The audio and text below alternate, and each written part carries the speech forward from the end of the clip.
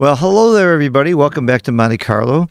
Uh, it is a lovely morning, and I had a nice time at the pool. But now we're ready to go to work on some incredible, exciting matches with some of the best players. Not some of the best players in the world are here. It's just an amazing thing we have coming up right now. This is the finals of the Super Jackpot. This was a 16 member, uh, 16 player tournament with an entry fee of 7,500 euros, and they're playing. The winner gets uh, this match is going to get 56,000 euros. Second place is going to get 28,000 euros. So if your math is as good as mine, you're going to see that they're playing for 28,000 euros this match. It's going to be very exciting. And we have two incredibly talented players uh, for you. We're going to be using it, the XG. Uh, feed as we play so we can see exactly what's going on. Our two competitors are Mario Cool from Berlin. He's actually from Potsdam, right outside of Berlin. He was the founder and, and uh, tech guy who put together True Money Games. Uh, he's an inf- informatics technology genius, I'm told, mathematical genius. In the last couple of years, he's been a money player. He started t- playing uh, tournaments, and he just told me he's going to be showing up at more major tournaments, eight or ten major tournaments a year. We'll see him in Gibraltar, uh, not Gibraltar. We'll see him in Dubai. We'll see him in uh, probably uh, Nordic. We'll see him in Cyprus, the big tournaments. And uh, along the way, he had to beat a lot of good players, but he beat a guy named Mochi to get to the finals. The other player, Peter Jes Thomsen, the youngest world champion ever in 1993, and he was in the finals in 1994. He won the Nordic Open several times. He won it this year. Everybody knows he's one of the best players in the world. He doesn't make it to a lot of tournaments, or you'd see him much higher on the Giants list. Um, in, in this tournament, he had also a very tough draw. There's no such thing as an easy draw in a super jackpot. He beat Victor Ashkenazi. I had the honor of doing the commentary. It was one of the most exciting matches I've ever seen. They had two eight cubes. The computations that you have to do in order to know when to double and when to take those eight cubes was unbelievable. And uh, Peter got them right and I talked to him afterwards. And, uh, Victor was very close and very good on him too. They were both incredible. And this the, the kind of math that was involved to figure out the position and whether it was a double, whether it was a take, uh, and you, with the whole match on the line was pretty amazing. They did a great job. It's a 15 point match. Uh, I'm going to try to watch the comments as much as I can. So if you have a question or comment, I'm happy to see it. I'll try to uh, acknowledge it and answer any questions you have. You can see that Mario is playing the white checkers on top, and Peter is playing the black checkers on the bottom. By the way, we did have some problem with the clock before. You will not see another stream match without a clock, and all of the matches on this channel on uh, stream one will have the XG feed from now on. On stream two, we won't have the XG feed. It's just too hard to do it, uh, get the right transcribers. We have Aviv who's doing an incredible job keeping up with the transcription. So we will have that on stream one, but not on stream two. The main tournament is going on. That starts after these matches, the next round, and we have some amazing matches coming up. I think uh, uh, Steve Sachs is going to be playing Wilcox Snelling is going to be on one of our streams. I'm not sure who the who's been selected for the other stream. I think we might have. Uh, I think Sander and Mochi are going to be playing soon, or uh, uh, uh, they're in they're in the losers bracket, but it's still or the fighters bracket, I should say. But it's still going to be a pretty exciting thing when the two of them play. So I'm not sure who's going to be streamed where. We've had nothing but really incredible matches last night. If you were watching uh, between uh, uh, Justin Noel and um, and Oliver Squire. Uh, we had an amazing match where they were both almost out of time and were playing super fast at the end, and they still played incredibly well. I think Oliver played under three PR. Um, Justin was a little higher, but with when you take into account the clock and the complicated games that they played, he played incredibly well as uh, and nothing to be ashamed of. I think he was in, in, the fives, which is high for Justin, but again, the circumstances were amazing. Okay, let's get to this match right here. Uh, we can see already that uh, um, uh, Mar- uh, that Peter's got a very commanding uh, situation. He's got one checker back versus two checkers back. He's got three points in his inner board versus one point in the inner board. That's that says you've got a major lead. Of course, XG is telling us he's a 62% favorite. Not enough to give the cube yet. And it's not just about the wins. There's 20% gammons as well. It's all about market losers. This is why he hasn't doubled yet. He didn't have a roll or enough rolls where he didn't feel uh, that he would get a pass by Mario on the next roll. Both of these players know the other player well. They know that they're going to both play tremendously well, and they're going to try to just play their best game. They're not going to try and game the player at all. They're going to just try and play the best moves and the best cube decisions they can they can make. CJ Utley, good morning, my old friend from England. We miss you. Haven't seen you for a while. Thanks for saying hello. And greetings from Santiago, Chile. We're getting a lot of views uh, on these uh, uh, not necessarily live in the morning because of the uh, time change difference, but by the time the evening is done, the number of people looking at these videos and streams is very heartwarming. I'm not wasting my time and my breath. I hope you're enjoying it. And again, I look forward to constructive ideas, criticisms, any anything you want. We're not going to please everybody, but we'll, we'll do the best we can to try and please as many as we can. All right, do you come up here? It's really tempting to come up, but you can get blitzed too easy. This is almost like a this is really a prime versus prime, and it could go either way. All prime versus primes just about our takes. 2 1 is not going to do much. I don't think you step up because you're everything points on you. You ought to keep your builders. I, I almost you almost have to play eight seven. It's almost like automatic to me uh, to get that checker in play to be able to make either the five or the two point and not have to break the bar point. He did. Okay. Made the right play. that part was automatic. I would have done that and then looked for the rest. This is a good roll. This advances the prime very nicely. The last one's a little awkward. Do you slot? Do you slot? If he doesn't roll a two, you're in big shape. If he rolls a two, you hate it. The computer says you slot big time. You desperately need that point, so you put your checker where it needs to be. Very nice play. Mario's looking at it. This is clearly the best play by far, according to the computer and according to Phil Simborg. Now, which one is uh, more important? He's taking it back to look at. He's got plenty of time. In backgammon, you can move him back and forth, and until you hit the clock, you haven't moved. This is clearly the best play, and I would be surprised if Mario doesn't find it. He's just too good a player. He found it. That's it. It takes guts to make plays like this, but everything you do in backgammon is risk and reward. Okay, who has better timing? The one that's winning the race has got worse timing. Oh my God, that is a joker. That is a super joker, but it wasn't the right play. He did it so fast, and it really wasn't the right play. You split and make the prime and then you let the play, then you let your opponent hit you and put you on the bar after you made the prime, and you did that so quick.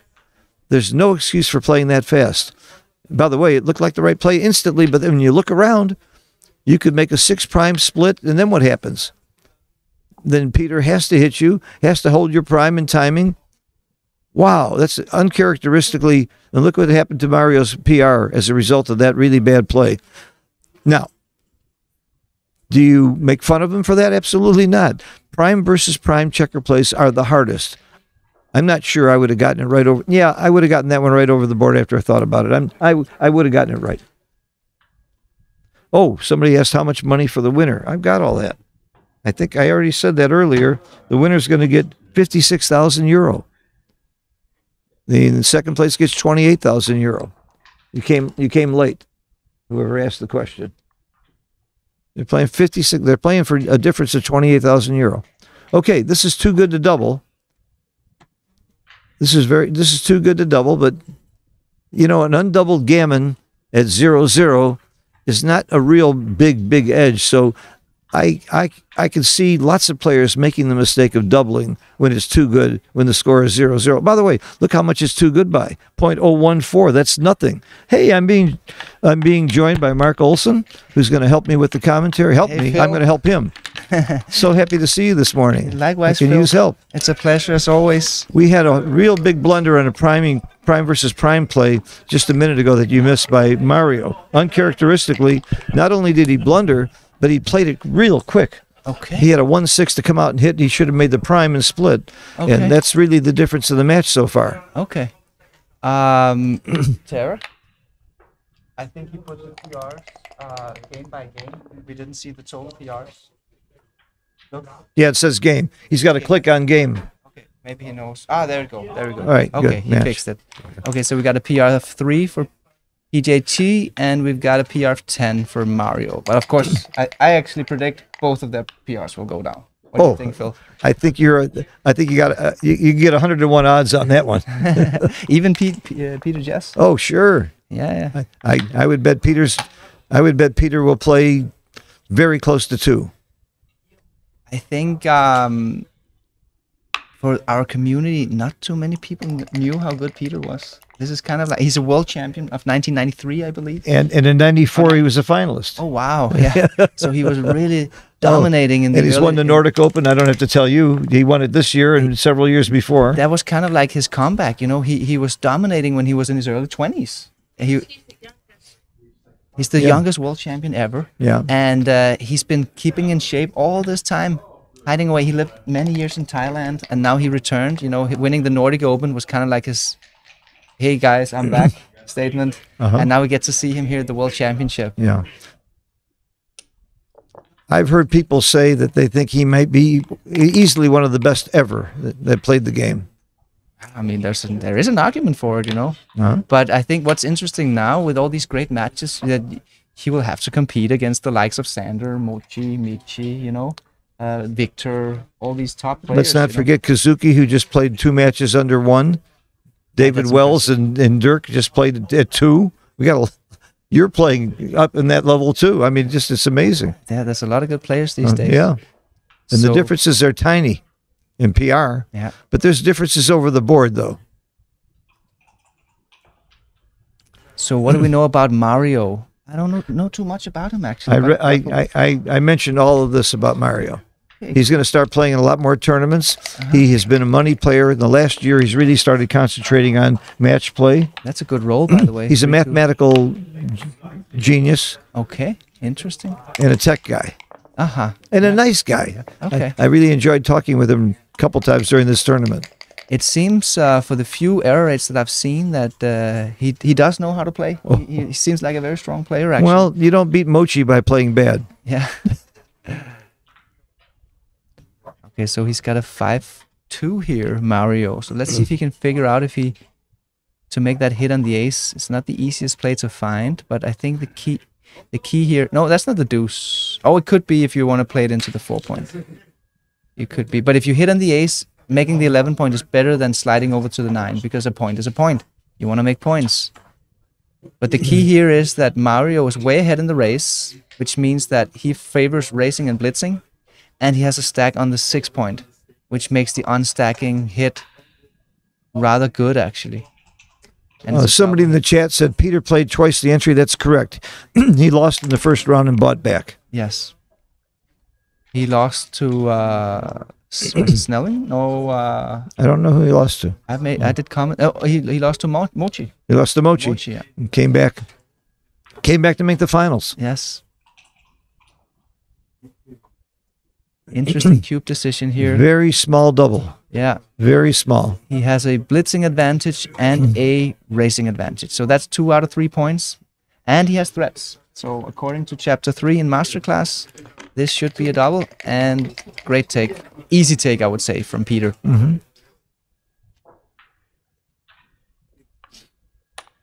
I would have missed that cube. I have to tell you. Well, I think if you knew the pip count.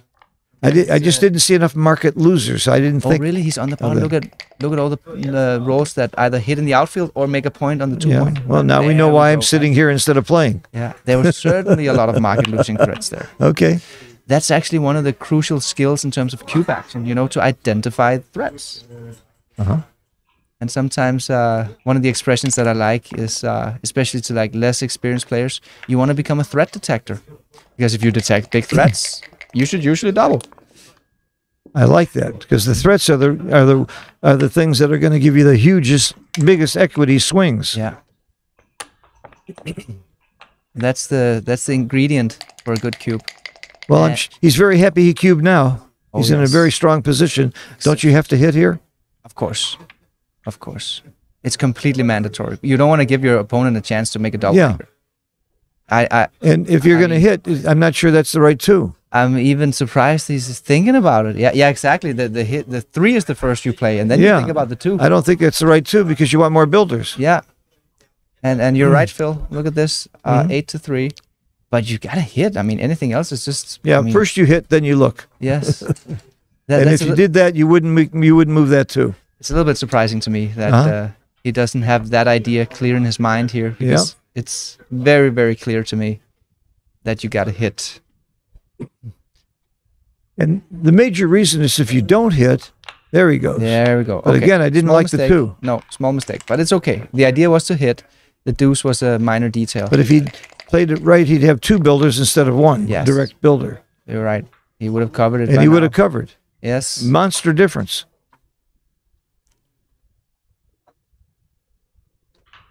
Yeah, Peter's fighting to get in here. It's pretty Mm-hmm. big if he can roll that three. Oh, he didn't. And now Mario's got him.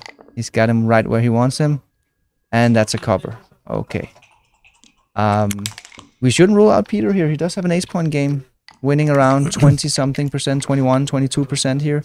He's got good timing. But the problem for Peter is that he's losing a lot of gammons here 59%. And even 11% uh, backgammons. See, I knew all those numbers except the, the backgammons. Yeah. I just haven't studied that part of the game enough. you know when we play over the board uh it's not too important to know right? You know is it 10 is it 15 it's, not one of those things that makes a crucial difference at this moment. So we tend to be good at get estimating things that are important and it's not too important to know. Uh, it might be later on if peter's trying to get off a backgammon but at the moment it doesn't really matter for peter how many backgammons he loses Mhm.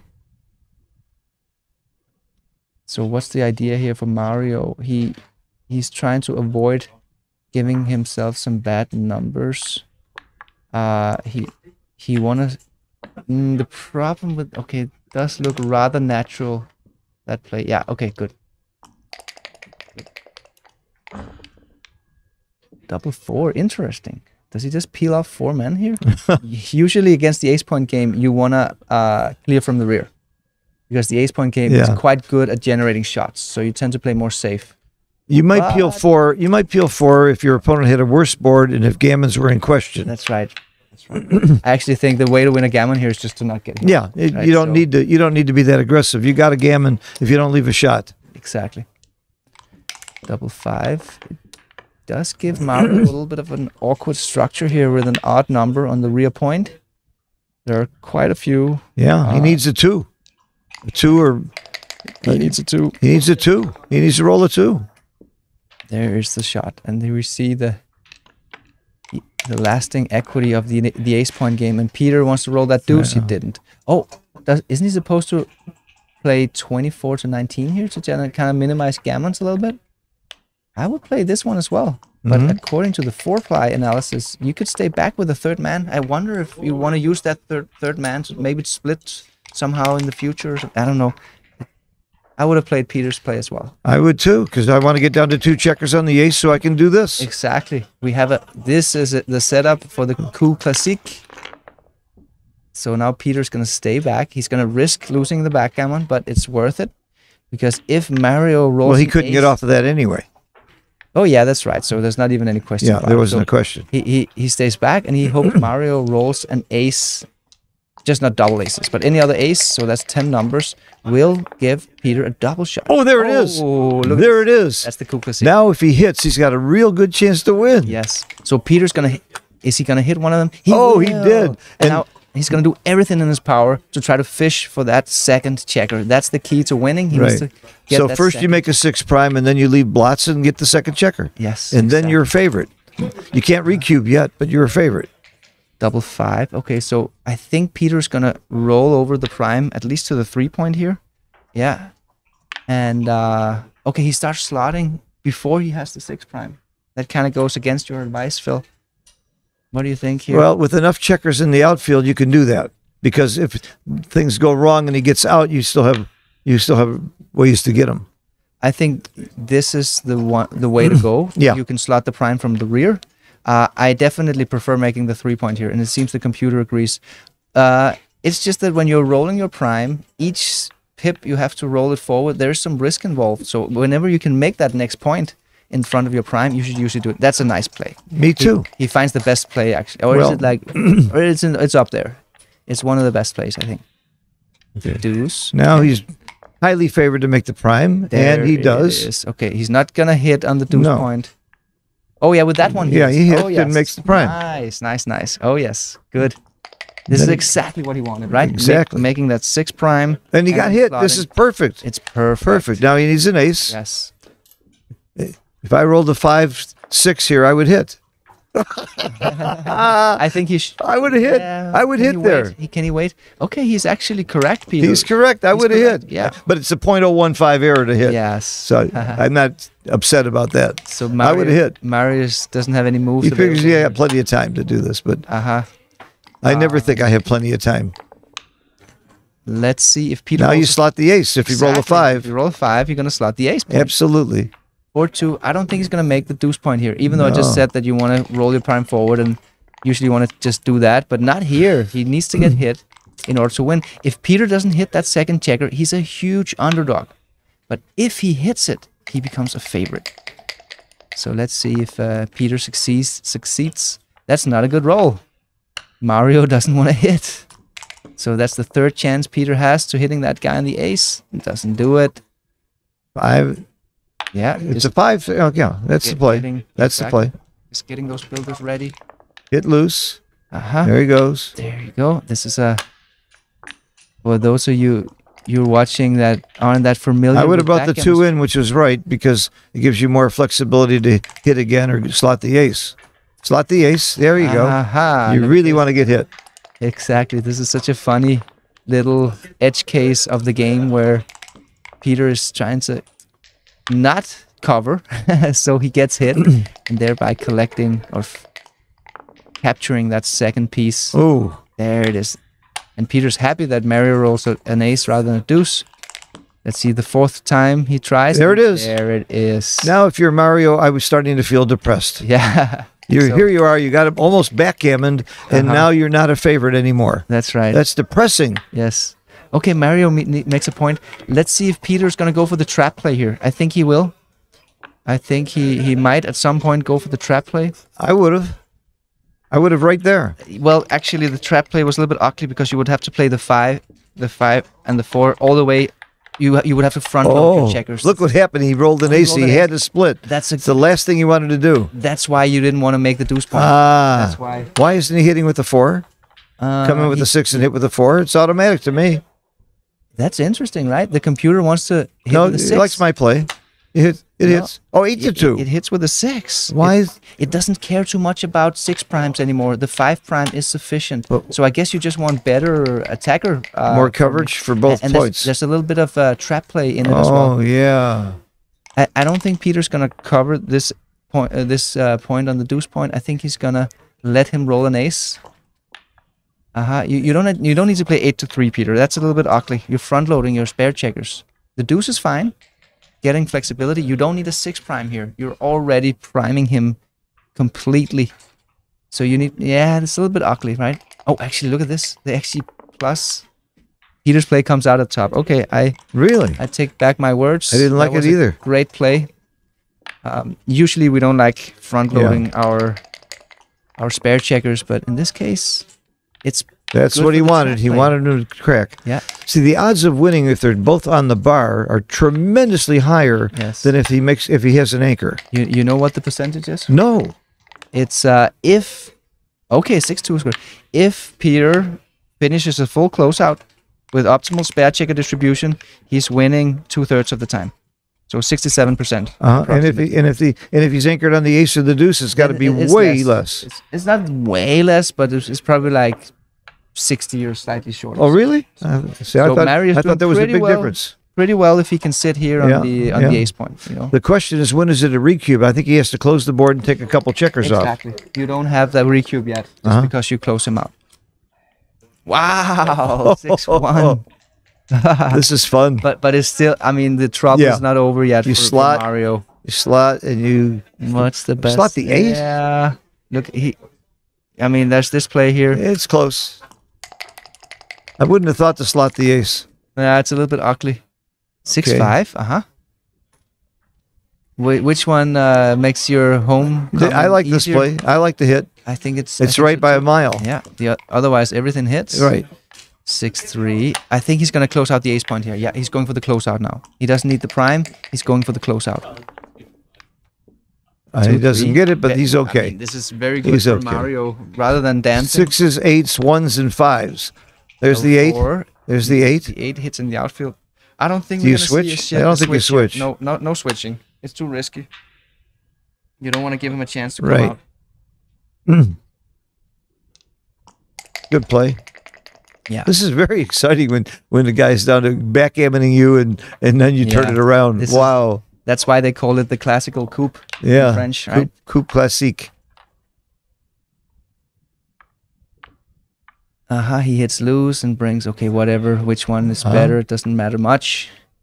You you just gotta hit. That's the idea. You go oh, he, you know. I'm surprised. He's only a 64% favorite now. yeah. That's surprising. I thought it would be higher. He got it. He's got to get to the closeout. And Uh-huh. actually, Peter prefers to cover with an ace because then he will allow himself to get better uh, checker distribution. Uh-huh. The remaining spares. Ooh, Mario fights two. back. It's Doesn't he know when to give up? I always say that to my opponents. Don't you know when to give up? It's a hit, loose hit. That's there you go. Good loose hit here. Yeah. No deuce. Sevens No and deuce. ones. Let's see. Seven. There's the seven. Seven, there it is. is. So now we see the the percentages. Yeah.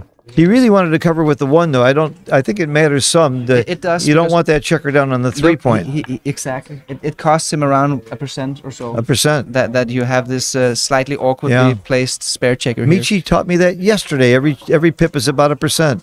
Uh huh. Oh, okay. So I found out something interesting. Michi knows a lot about the game. All you guys who write books seem to know something. You're not just writing fiction. Yeah, you got to study a lot to write. I've been book, pushing you your latest book for two reasons. Number one, you're here and I work for you. But number two, I read the book and I love it. I learned a lot. know. Good. Um, Good. and both from both of you. Uh huh. Double five, one, two, three, four. Okay, it's actually a little bit awkward. Look, Peter's Yeah, but it could chances be- went down here to If he dances, is it a cube? No, he didn't dance. No. If he'd have danced, it might have been a cube. This was a bad sequence for Peter. The double. The, that's another is- poor that's roll. terrible. Yeah, That's he- a he- terrible he, roll. does the right thing. He wants to keep it on the bar for as long as possible. Yeah. But it's a terrible role. Mario is a huge favorite. Yes. It's basically. I mean, is he Yes. like ninety percent favorite or something? Maybe more. Uh, Wow. Yeah, take it off. Take it. Ah, course. Peel. Yes. I like this not? play. Eighty-one percent favorite for Mario here. Wow.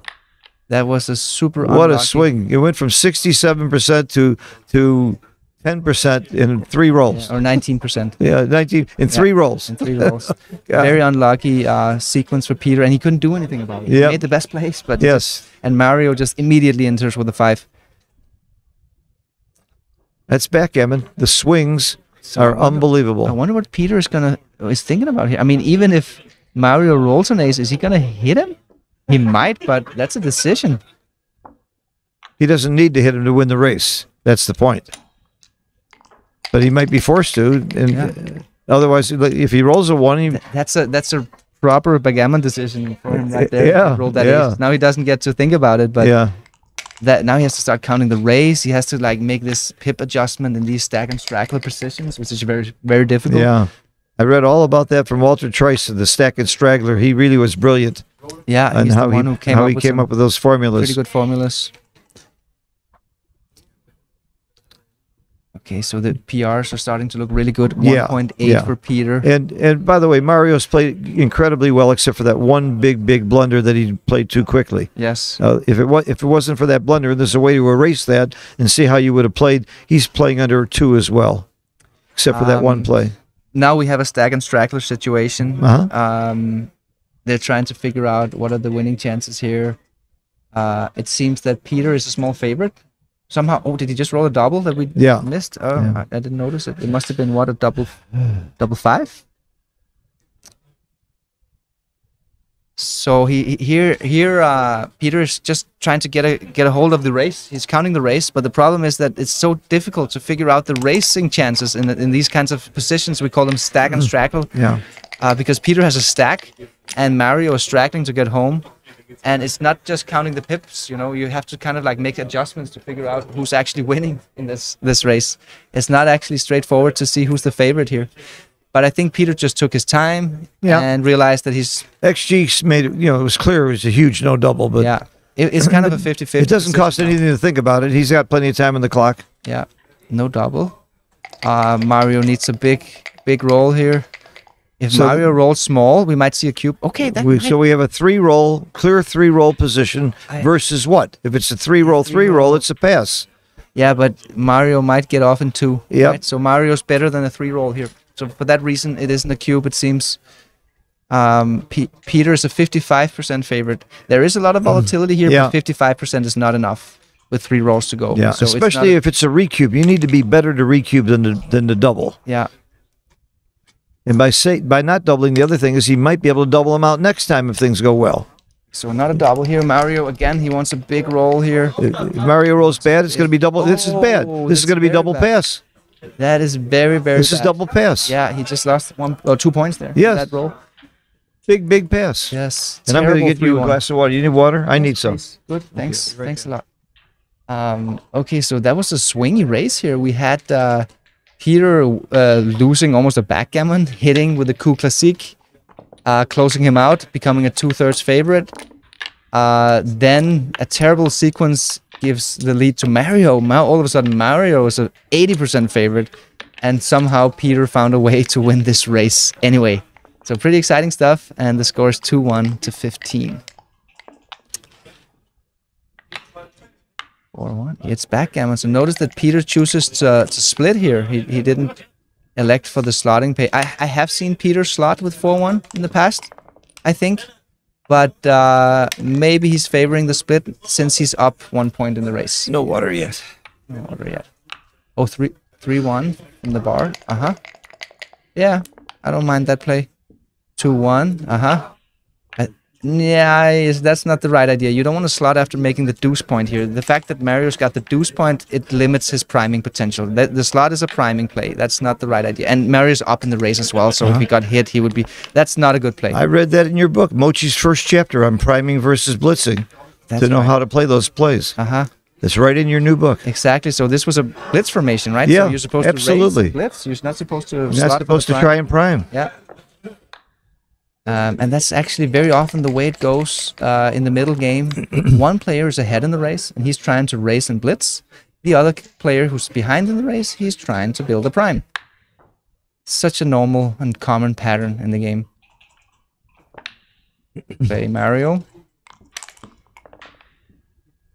Four five, not the best, not the best, but immediately. Look how Peter fast he made the right play. Yeah. and that's a gutsy play. But that's because Peter understands the strategies here. He understands the game plans. He knows he's the one priming. He must play pure. He must play efficient.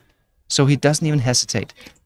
And the main reason that play was right is there was nothing else. Six one for Mario. He yeah. he. I, I don't think. uh, Was that correct to make the seven point? He didn't even look at the the splitting plays, trying to get out of this Uh-huh. priming battle. Uh, wait, wait, wait. Oh, blunder, blunder, blunder. Ooh. You should split. Now you're playing a priming battle. Like Peter Uh-huh. needs to split those back. To, even has a better home board. So That even, even if you get hit, you're holding your prime. I'm a little bit disappointed with Peter's move there. I thought he would have a. He played so well uh, up to the, that, leading up to that uh, Uh-huh. blunder, but uh-huh. I mean he's still at a PR 2.4, right? So it shouldn't 2.3. But that was an unnecessary blunder. In the priming battles, It's not characteristic of It's Peter's good- play either. yeah, it's a good thing to split. Peter might be thinking, I'm facing a blitz formation. Let's not split. Let's not get blitzed. But look at Peter's front position. He's got the stronger front position. He's got more points made. So it's a good thing to split in a priming battle. Uh huh.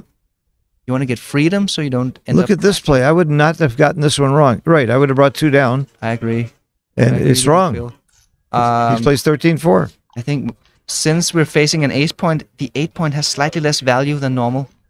I see. Um, so you kind of maximize flexibility to build the uh, the deuce point.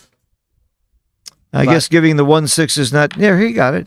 Wow, he did. He got it right. That's the right play. Yes, it's pretty impressive. I would have just played two down as yeah. well. Yeah, well, the difference isn't Wow, huge. No, but it's pretty cool. I think it's good to keep that guy up there as well for outfield Uh-huh. control. You know, all of the all of uh, Mario sixes where he comes here, he keeps that hmm outfield control so we get a shot. You know what? Actually, I think I would have found that play as well. Okay. There's the crack, the crack in the structure. Just got to go to the two. Oh, oh, this is the right play. Wow, that's a very hard play to make, I, and it's the I- right play. I'm not sure I agree with you, Phil. I, th- I think it's a- XG, you think it's an easy play to find? I think it's an easy play to find. Oh, This not a- for me. This is a priming battle, and what you want to do in priming battles is you want to maximize checker utilization and purity. And look at this beautiful Oh, flat structure. oh, oh, Oh. how's that for a roll? Oh, Oh, my goodness. What is he looking at? No, he's What just, can you else? What else Yeah, could yeah. you look at? Like, I I guess maybe he was just assessing timing. Wow. Make the seven point, and is it too good? I think it's too good. I think it's too good. Yeah. Yeah. Too good means that Way he's going to win so many gammons and not lose very often. I don't think you need to make the seven point here. No, you don't want to get stuck. You No. got bad Yeah, double fours and double fives, and You need to use the six. yeah. Sixes are. What's more important? And Exactly. the XG agrees with you. Yes. The sixes are scarce. Yeah, yeah, yeah. Now he sees it. Now he sees it. He moves the ace, and then he um, Yeah.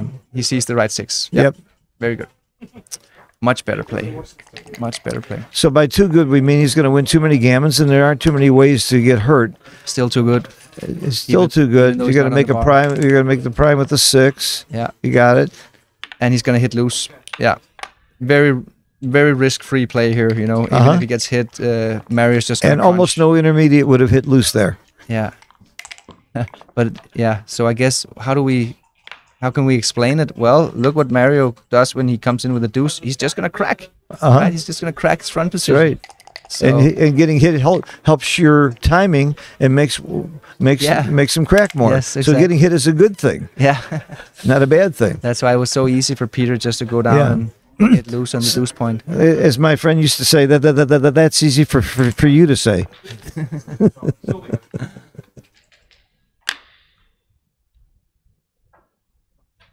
Okay. Um, it doesn't really matter what Peter plays here. He's just basically bringing Yeah. his checkers around the board and aiming for something like of a nice uh, spare checker distribution over Uh-huh. here. He might clear the he might clear the seven point out of turn if he gets a good dice roll to do so. I think you wait till you're a little bit closer You- with your other checkers, though. Yes, you do. Before you do that. You do. You do. I agree. You need to be like one step away from bringing Yeah, these guys in. Then, yeah. then you might look. And at you also need, yeah. clearing play, early clearing play. So now, for instance, if he rolls like a three-two, I think the players should play something like this. even Bring- three one. two-one, he could even do it now. Uh, an argument for not doing it, I think, and that's what we're seeing here, is that Mario doesn't have any timing left, so he's gonna crunch. Uh huh. Therefore, look at what Peters does. He's killing sixes. Yes, he's slowing Killing himself down. sixes. He's slowing himself down because he wants Mario to crunch Right. first. That's why he put this checker here. The other reason you put it there is if you leave the checker on the eight point and later you roll a six, you have to go to the deuce. Look at this, And every does it again. checker you put on the deuce point is bad. He does it again. He's slowing his own clearing down by killing his sixes.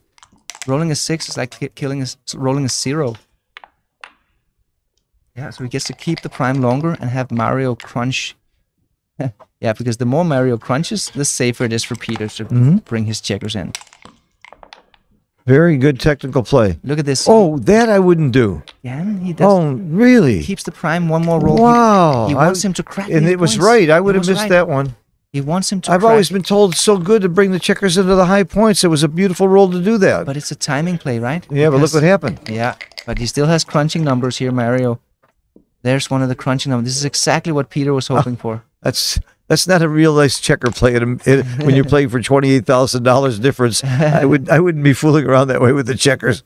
These guys are so good; they know what's going on. Yeah. One, two, three, four. I think he can just be aggressive here, given the fact that Mario's a little bit crunched. But he could also just clear from the rear. So the, com- I would have cleared from the rear. the computer wants to clear from the rear. I would have well. cleared from the rear. Because look, actually, I'm not even sure he gets a faster bear off by bringing checkers off because this is a fast bear off position. All Yes. the checkers are ready to be peeled off and no shots except for six five. That's the worst roll for Mario. And I shouldn't say six five out loud, right? there it is. Oh, oh. Double three. Okay, one. Uh, now he can he can be aggressive. Yeah, yeah. Just get them off. Go for the gammon and the back gammon. because the because the opponent's board is He's still so weak. crunched over Yeah. here, so you can just be super aggressive in your bear off. That's not no. That's would be a waste of time to to play. You want them fast off. You know, Yeah. even if you get hit, then you have moment. No, Oh. that was a a Yeah. poor play actually. Why why did he make that play? It's If, a, it's if his a- opponent had a four or five point board, you'd make that play, but the board is crunched. yeah. I and, mean, and he's punished for it anyway. he's punished for it. Now when he gets hit, he has less men off, Yep. and uh, and he gets hit. yeah. He's going to regret not having two more checkers off. It's funny how that move just uh, you know, I don't mind people making mistakes and blunders, and I think Peter is an exceptional player. I kind of look up to him in some ways. So I was a little bit disappointed. he disappointed me a little bit with that barrel. Yeah. move, you know. Maybe they're Uh, maybe they're not playing for enough money. So do we know the price distribution here? Yeah. Is it fifty-eight thousand I'll show you. versus uh, There it is right there. wow, fifty-six thousand euro first prize and twenty-eight thousand euro second prize. This is high stakes. Yeah. This is high stakes, This guys. is more than I usually play for. I usually play for 25 cents a point. Uh-huh. So Peter has a tactical decision here. He's I just- do not slot the ace. You could get hit, not? come back, hit another checker. Yeah, but it's, It's, I mean, and it's right, and I would not do it. the the key here, the idea here is you you slot it so you can quickly make it, and then you don't have that liability in the future. Then you will never get more Ah. checkers hit. If you can I just see. quickly make the ace, then he's Ah, good. You know. That's As that was as that was missing from my brain. Yes. And it seems here that he was not really under so much attack that he could he had the time to do it. And Oh, you make the point. that's interesting. That goes against my grain now. Yeah, yeah, that's especially with the blot down here. I mean, Yes. it's not even a problem if you get hit. You still get a shot. yes, I want to get hit if uh, That was weird. he hits. He hits He a hits. triple shot. One. Maybe you make yeah, I think this is good play because you're block you're blocking double sixes from progressing. So that was probably a good play from Mario. Uh-huh. There look Peter had the ace point made. It's closed. No more checkers. I see. Lesson learned. That's a lesson that I that I needed to learn. Yeah. Well, you hit loose and then look for the two, Um, don't you? I mean, how can you not? Yeah. You hit loose and the- then you the decide whether to remake the, point or reason I was hesitating a little bit here is uh, hitting loose is very often just an instinctually best when you're playing containment game. But the containment game here is so poor for Mario that he's actually more in damage control mode. So sometimes there are plays where you shouldn't play to win. You should just play to not lose a gamma. But it seems here you should hit, you know, because I you mean, still have enough wins. you have enough and, wins. and not that many gammons. exactly. You, you actually have. As a matter of fact, you can see the wins and gammons are even. Yeah. And if you understand the game, gammons are only worth about half as much. yeah. The gammon value is about 0.5. Yes. Somebody asked me about that yesterday, but I can't give that lesson right now. But you need to know gammon value all the time that you're playing. What how how much a gammon costs you compared to how much it costs to winning and losing the game, and usually it's only half as much. That, that's That's good- the right play. That's a good play. The right play. Very well played, Mario. And you see, he took his time. You know, he Yes. kind of went through the same process as I did. You know, it's not obvious that you just hit automatically, uh, but he figured he he, he spent his time. Oh, this. great roll! Wow. Great, great roll. Yeah, I guess his winning. His equity just jumped. twenty-five percent here. If he makes the right play, Yeah. twenty-five percent. There's the cube. Not too good anymore. I mean, it could still be too good, but I think this is a pass because Peter can still win a gammon here. Nope, it's a take. It's a big take. Ah, no, look at Peter's And it was a great cube. Look how fast he gave that cube too. Yes. That was he knew ahead of time. yes, he knew ahead of time. As soon as he saw that double six, he knew he had a cube. I think uh, the hard ch- choice here is on Mario, uh, because my quick one-ply evaluation here it actually fooled me because I knew that the winning chances was around the 25% mark, but I thought Peter was winning a handful of gammons, and Uh-huh. he just isn't. You know, look, look at the gammon rate, one percent. That's right. So uh, if if Mario can figure that out, Yeah. then he can figure out that this is a take. By the way, that oh, making the one point gained him an extra about seven percent from what I recall. But It's- it's because he made the play that you said was right, Yes, he's got seven percent more winning chances than if that ace point was open. if the ace point is open, then you always have the risk of getting one more checker trapped because the other guy can come in on your ace point and then you might expose expose No, yourself. but, but even if you don't have any more hitting, just with no contact in a race, the ace point open here cost him about seven percent.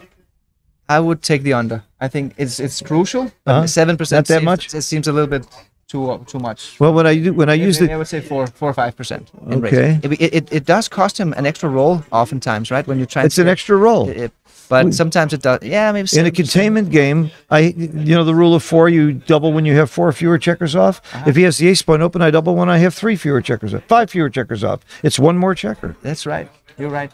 So it's it's a whole it's a whole. Might, you might even be. You might be seven percent. Yeah, it's a whole roll. But it's all because of the play that I would have missed of slotting that ace uh-huh. point.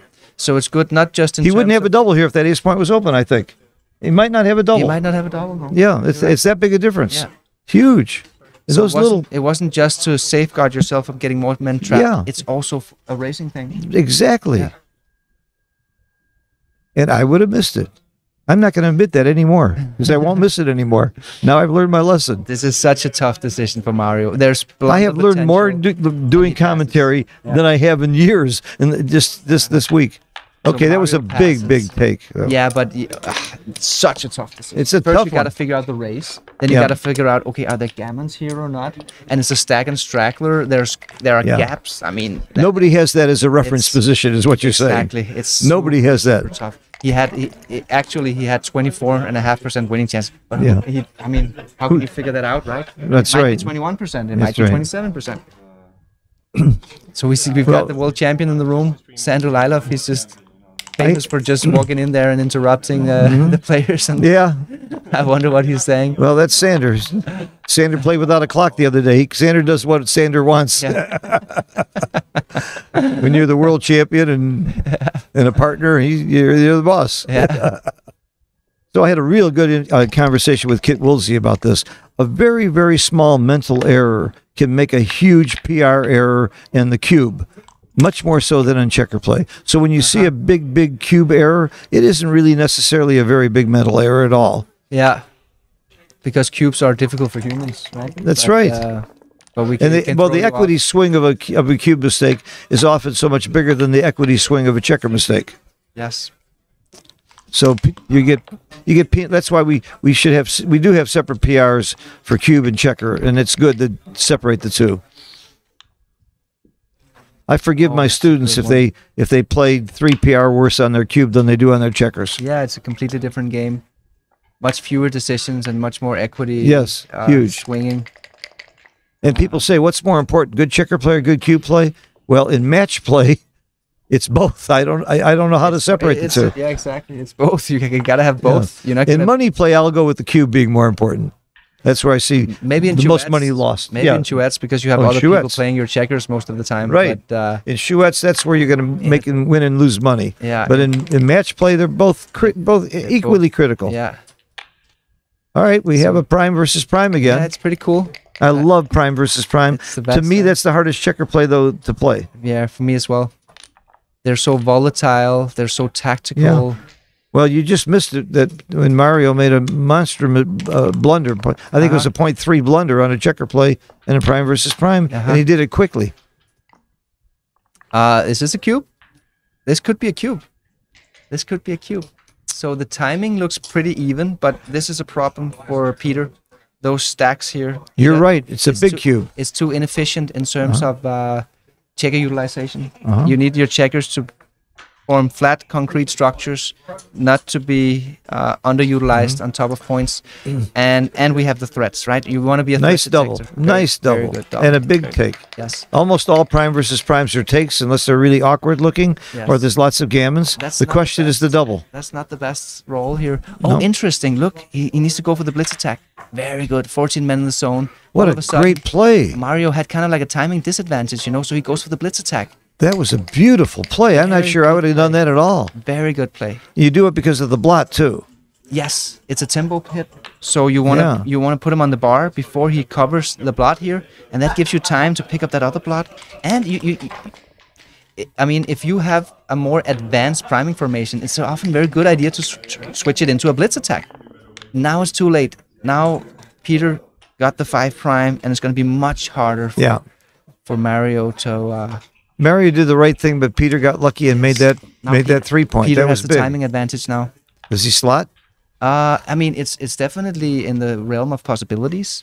Is it correct here though? No, it's I wrong. It's wrong yeah. by wrong by It seems that here 4%. he, you don't want to slot because when he creeps up with an ace, you want to attack him. You don't want to be on the bar. I see.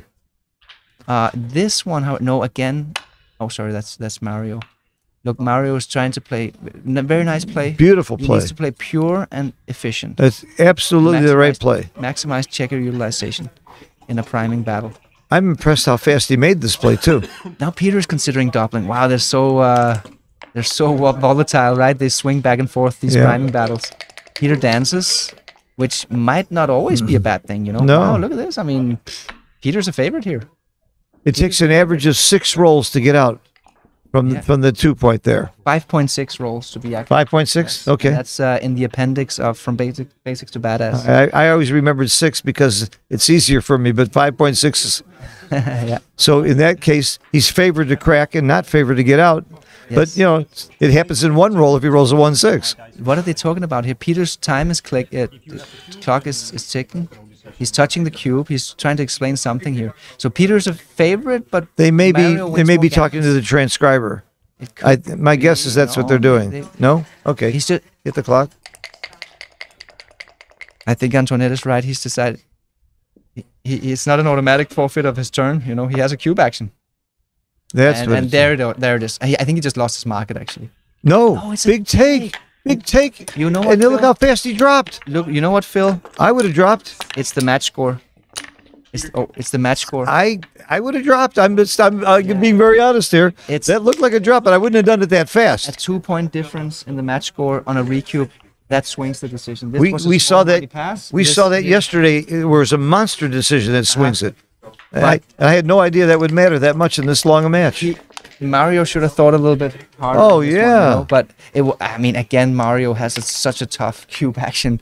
I mean, two times, two games in a row, he's been challenged. Yeah, but why not think a little longer about it? These are big decisions. It is. It's a four cube. But I mean, if he if he was already made up his mind that this is a big Yeah. Pass, you know, nothing we could do and, s or say to make him change his Yeah. mind. But I would only make a decision that quickly if I hedged. that would be my argument for it.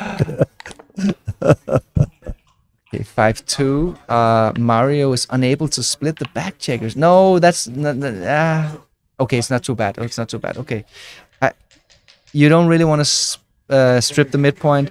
You don't really want to leave a, sh- a seven to hit. It's too many hitters. Uh huh. Um, I guess there is a middling play where you do leave the sevens, but then you slot in here instead, so you get to keep the spare on the mid. Uh huh. This play wasn't bad. The .08 Um, wasn't bad. So now Peter is considering the double, and the, what makes Peter's position strong is the fact that he's winning the anchor war.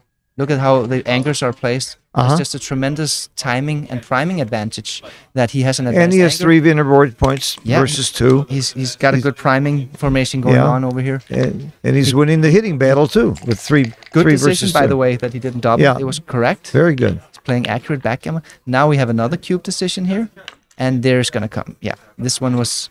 Is, this was easier. You know, you have the market losers Mhm. that the, big doubles that run, the four two, the double two that comes here, and even the all the bad numbers of Mario where Peter just rolls something neutral and Mario rolls a double four or double five or Uh-huh. double six or something, and, and completely destroys. Oh, I can see the double. I'm I was I'm worried about whether I would get the take right. yeah. Um, It's a clear take, but I'm not sure I would take it. do you see a path to winning this game? Oh yeah, sure. You roll a three and split right away. that's typically a tell that you should take it and fight. You know, if the path to winning is not too hard to visualize, Uh-huh. usually you should just take it and fight. I call it the light at the end of the tunnel. Do I see a Yeah, do do you- I see a light? Uh-huh.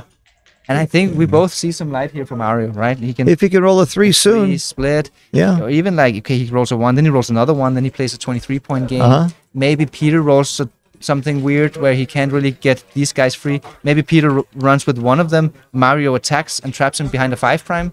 You know, there there are many ways for Mario to win. Okay. here. See, for me, it's easier to see the double because I can count market losers Yeah. easier than I can count the path. That's right.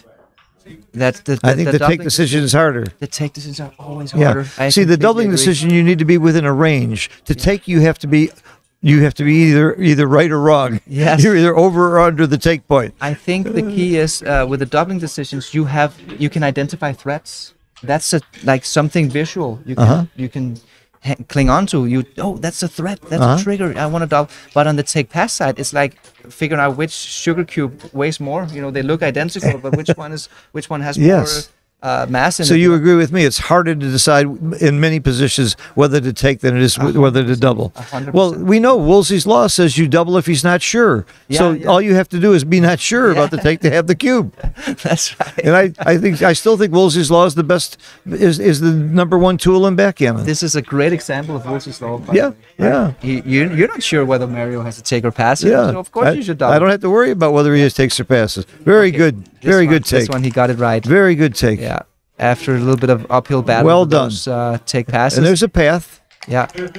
That three doesn't look as good anymore. Deuces. That's pretty good. Well, that's a good blocking yeah, number. That's good. I mean, the take just got Yeah. got much much stronger. Not a. Ah, we're running here. I think we're running. I think we're running. You're running? I think so. I'm scared to death. I might I might be slotting. Um, wait a minute. This is a big decision. Here we gotta think. Here we gotta think. You know. Uh, yeah, yeah. Okay. So my intuition was right, but again, if I was there over the board, I would not play it fast. This is a crucial decision. Yes. There, there's always risk. This is a big play. But You your gut reaction was right by Yes. a mile. because it's a destructive play. All other moves were, were destructive. We're not going to slot. We're already winning the prime yeah, battle. slot is very bad play. Yeah, yes. Very Uh, bad play. You don't want to risk getting a third man behind a five prime. Okay. stuff. Uh, the key here is uh, the the lack of attacking potential here for uh, for Mario. Uh, he doesn't have. I mean, when Peter's running, it's not that easy for Mario to point on him. Yeah. You know. The threes and fives all leave blots in the outfield and lose points. Another Yeah. feature here is the fact that Peter's actually improving his priming by making the 10 point. Oh, yeah, blocking it's the part of a prime. It's part of the prime, which means it's structure. You can create structure here. I think that's actually my first, uh, my gut re- instinct. That's like, wow, we can make, create structure in our prime rather than make a Right, destructive. this is a great lesson, and, and you, you spelled it out perfectly. You have a gut reaction, then take your time and make Yes. sure, see if it's right. And Peter did exactly that. Right? Yeah, he, he very good. Went through somewhat of a similar process here. this is not a good roll. Are we gonna see the ultra pure play here? He might be tempted to make the ultra pure play. This one, you know, the ultra pure double slot. Wow. Because if he doesn't, he's basically resigning. You know, making the deuce point is Yeah, it, ah, it turns out to be wrong because of the gammons, So yeah, i exactly. Too many gammons. Double match point, the pure play is correct. Yeah, wow. But in in a in a In double match point, I'm not even sure I'd, I'd find that play. but in gam when gammons are into the mix, Yeah. it's too big. But I hope he looks. Yeah, he looks at it. you He's know? looking. He's looking at it. It's it is the best way to win the game. And by the way, when you're losing five to one, that may have a uh, that make, make make you be a little bit more work, you know, more inclined to work for the win. That's right. That's right. Um, very good play by Mario. Yeah. He didn't let the temptation. We're seeing become- very good plays by both of them. This Yes. is a great match with great players. So here Peter's gambling a little bit because he's leaving a three-six. He's leaving a three-six to hit him. Uh huh. But uh, is it the question is whether it's worth it to give that Extra spare. you you, you want to use the six over there. Yeah. That's why the computer wants to just clear it. You don't need the, the you don't need a builder here. You you're using the six Yeah. on the other side of the board. Depending on what he rolls, maybe you're not. if he if he cracks, you might not need that six. But that's why it's only two percent difference. Yeah, exactly. That, that's a good point, though, right? But this is the the principle of diversification. Uh, if if Peter has a builder here on the ten point, it's actually duplicating his own rules because he wants to use a six over here. So why is not? He can't even use this this six or six to to to build over here in the four point. He wants to diversify. Mm-hmm.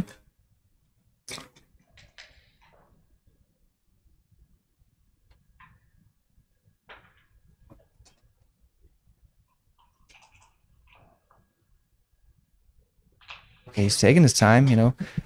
Look at the Uh, the, I mean, the the previous decision from Peter whether to run or not, that's such a big decision. That's something you want to spend time bank on. Here's like, okay, don't spend too much time bank. You know, it's not. Uh, this is not a crucial decision. You know, this is a tactical detail.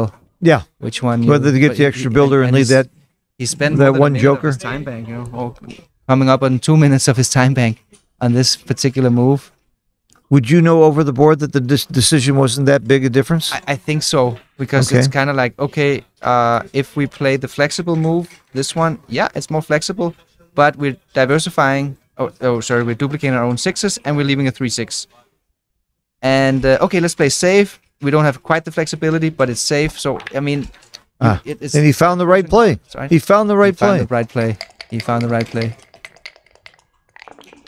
It's not one of those decisions where you're like, okay, that's a crucial decision. Uh huh. Uh huh. That's a pretty good roll here. Uh, the blitz to escape idea from Mario.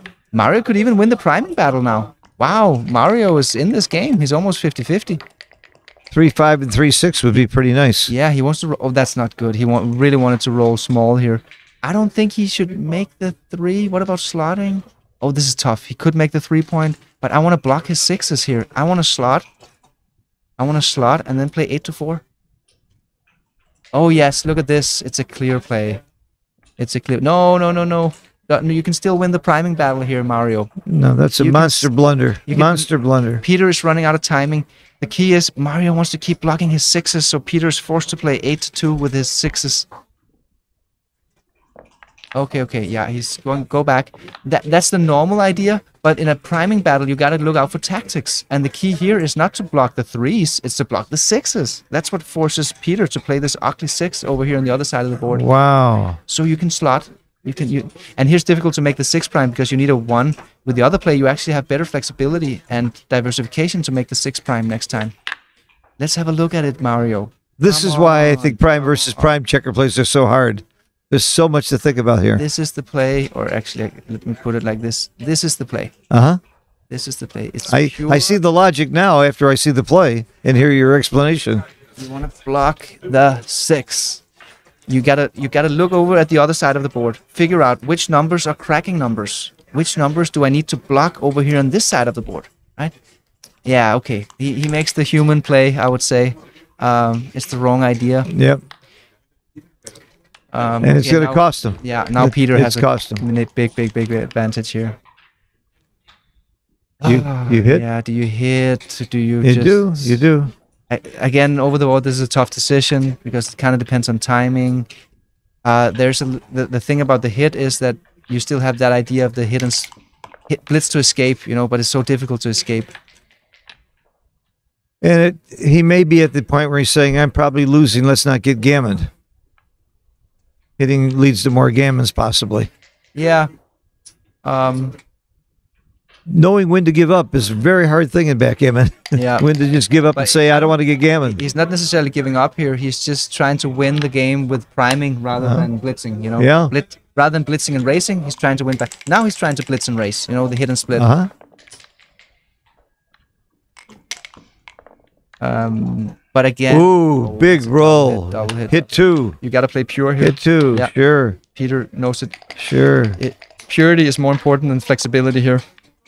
You But need. Mario's not dead. structure. Peter's got to roll a six. This is uh, a very strong position for Peter. Wow. Now Peter has a decision here. Do we swap and just blitz him? Yeah, we do. Of course we do. Yes, of course. You have all the time in the world to roll a six here. You win so many gammons. There it is. Oh no, that's the wrong guy. Oh, was Mario. oh, I'm sorry. Or two. Okay. okay. Peter's playing really, really well in this game. Four point, uh, one point seven so far. PR.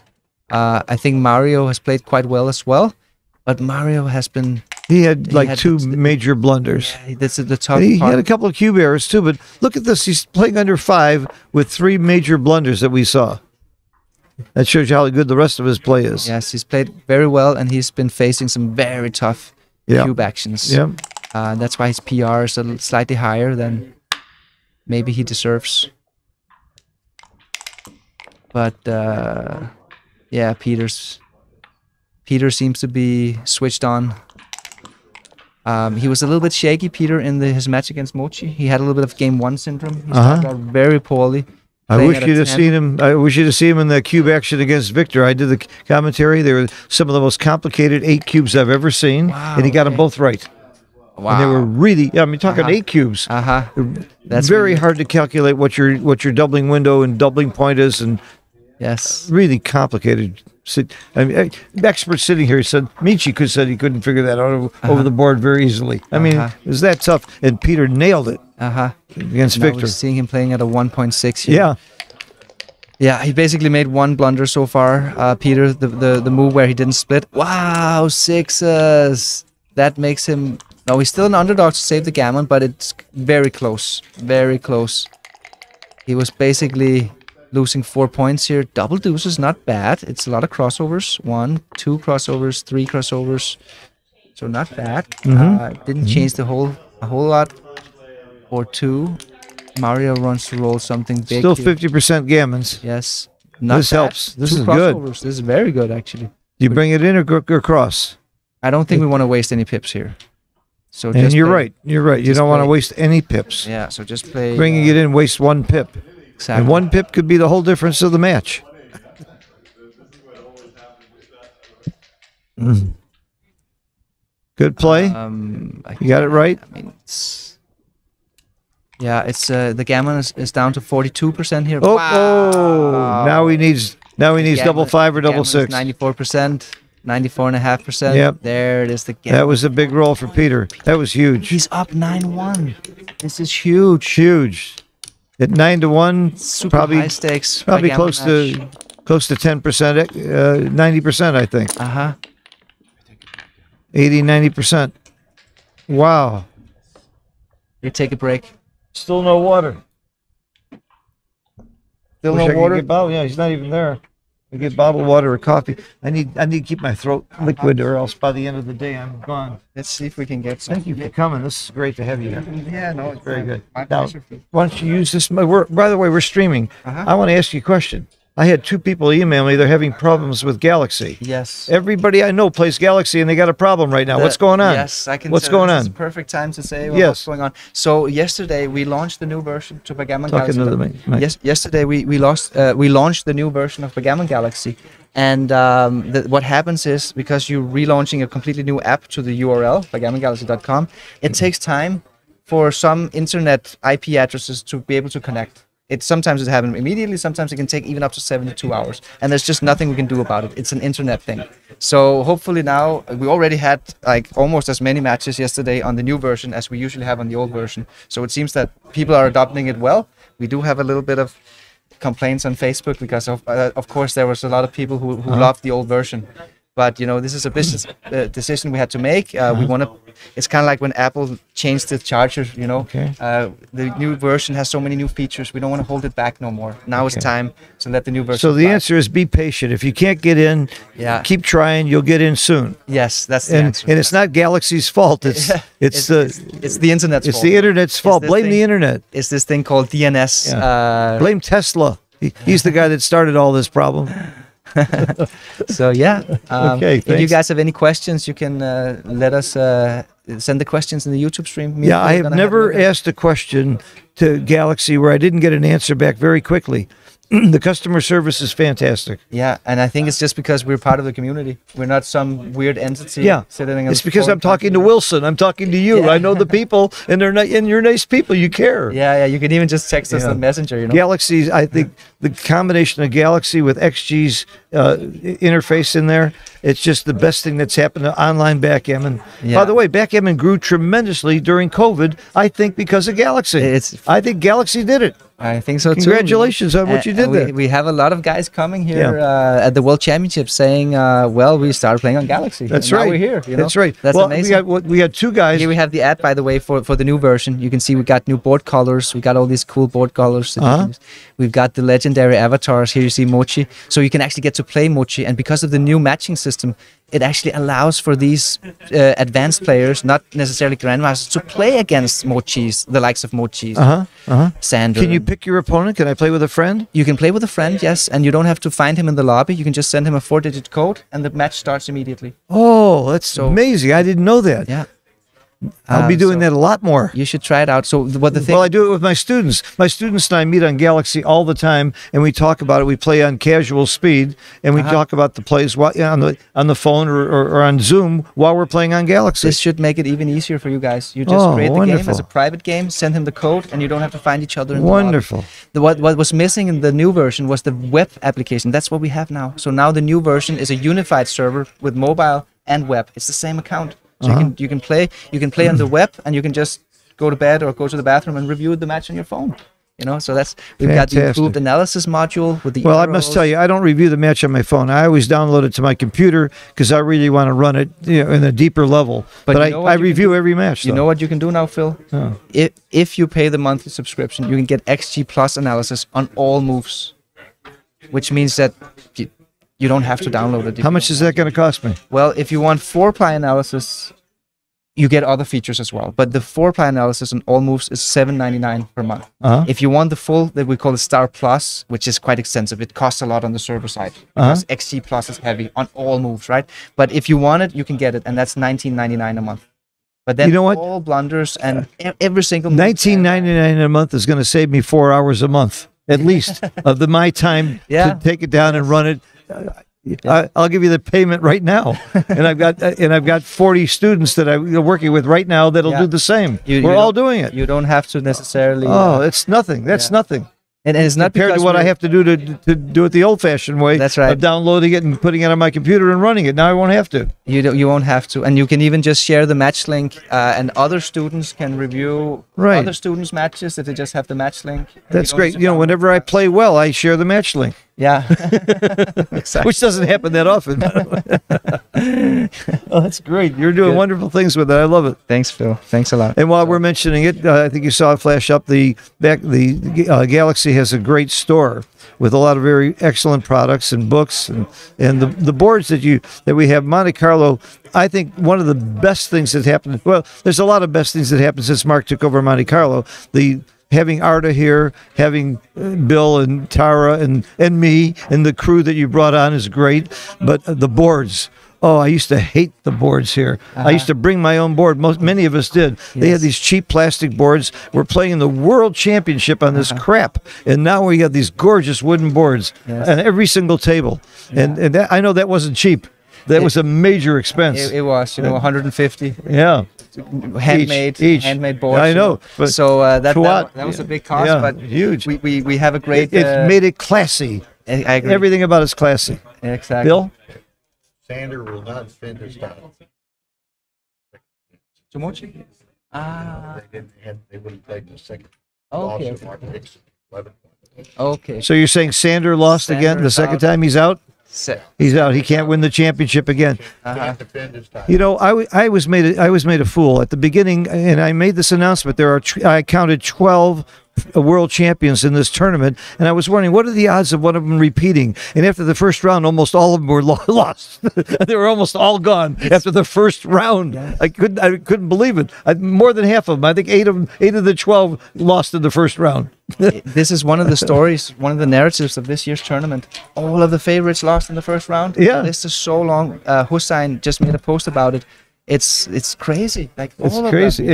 Yeah, it So happens. uh, Well, I think also a couple of stories. We have a couple of people who are, who are newcomers. People uh, like Galen Hall, who's only been playing for a few months, who beat Sander. Uh, yes, he played much worse. He played at 12, but 12 wasn't that bad. If you, his cube play was great. His, he, you know, this is a guy who's been playing for just a few months. it wasn't Galen who, who who beat Sander. Oh, I'm sorry. It was um, uh, what's his name?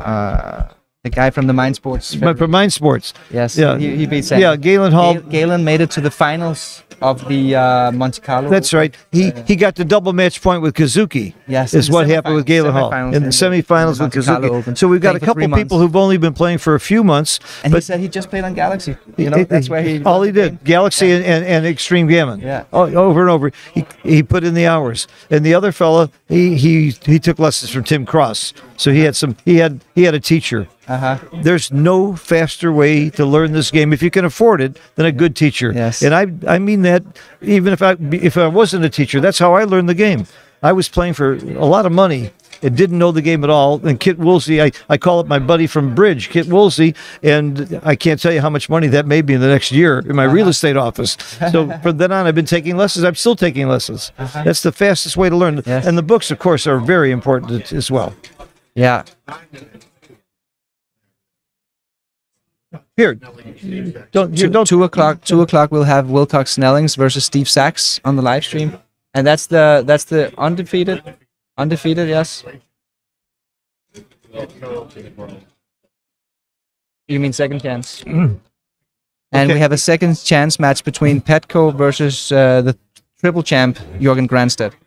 And in my hand is a betting slip. I've got a bet on Wilcox versus Sachs. I'm not going to say who I bet on because they're both really good friends of mine. And there's odds. Of course, Wilcox is favored 120, uh, but you can go you can go online on Martin Holmes' website. What's it called again? Club, clubgourmet.dk. Yeah. Clubgourmet.dk. And when you go online, it's going to tell you don't go to the site. It's dangerous. Ignore all that stuff. It's not dangerous. Go to the site. You can bet on Steve Sachs and Wilcox Snelling too. You can bet on any of these matches. Yeah. You can bet on who's going to win the champion. He's changing the odds all the time. It's Yeah. really fun. I don't really have a huge bet here, but I, at least it's fun. If I if I win, I'm going to show this to everybody. If I lose, I just throw it away. Um, what else? Oh yeah, we've got the we've got the new website Backgammon Gal. No, sorry, BackgammonWorldChampionship.com. And there we're today. we I think maybe already. I don't know if they finished it, but they're gonna put up the live brackets uh, onto the the official website. Yeah, so you can find the live problems. brackets on, on the We- website. I was telling everybody to go to drawboss.com, and I wasn't finding the brackets. No, we, you, you go to the official website, BackgammonWorldChampionship.com, and there you can have a link to the brackets. Okay. That's the better. You sent me the link and I put it on Facebook. Yeah. But I, I'm going to stop telling people to go to Drawboss. Just tell them to go to Backgammon World Championship. Backgammon World There Championship they will find the brackets. Yeah. And, And another thing we're going to try to do is uh, we're going to try to make news updates with blogs. So we have we this new blog page. Uh-huh. So this the team here we can make blog posts like for instance uh Snelling's just won against this guy or this guy this Uh-huh. Sure. you know making stories. Cece's got a good blog uh, going too. Cece, on Cece's making the the vlog. You know that's not a that's a video log. Yeah, yeah. so he's great. making the video log for YouTube. And Michi and Mochi both have YouTube channels. I have a YouTube channel. And of course, Galaxy has one. I've learned a lot.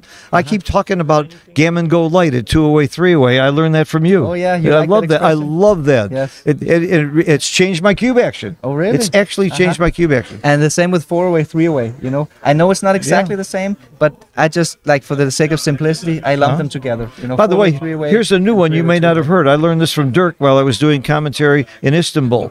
At three away, three away, you ask yourself, is this a double for money? If the answer is yes, you double. If the answer is no, you still double if you think it's not a blunder.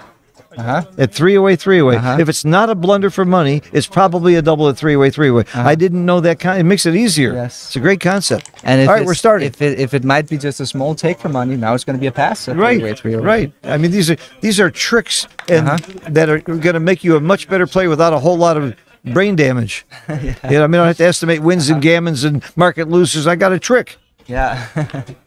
and I need that. okay, so Peter is trying to figure out what's the best opening reply here with the three-two, and it is a little. He, he knows that there's something weird here. Look, he's he's gonna find it.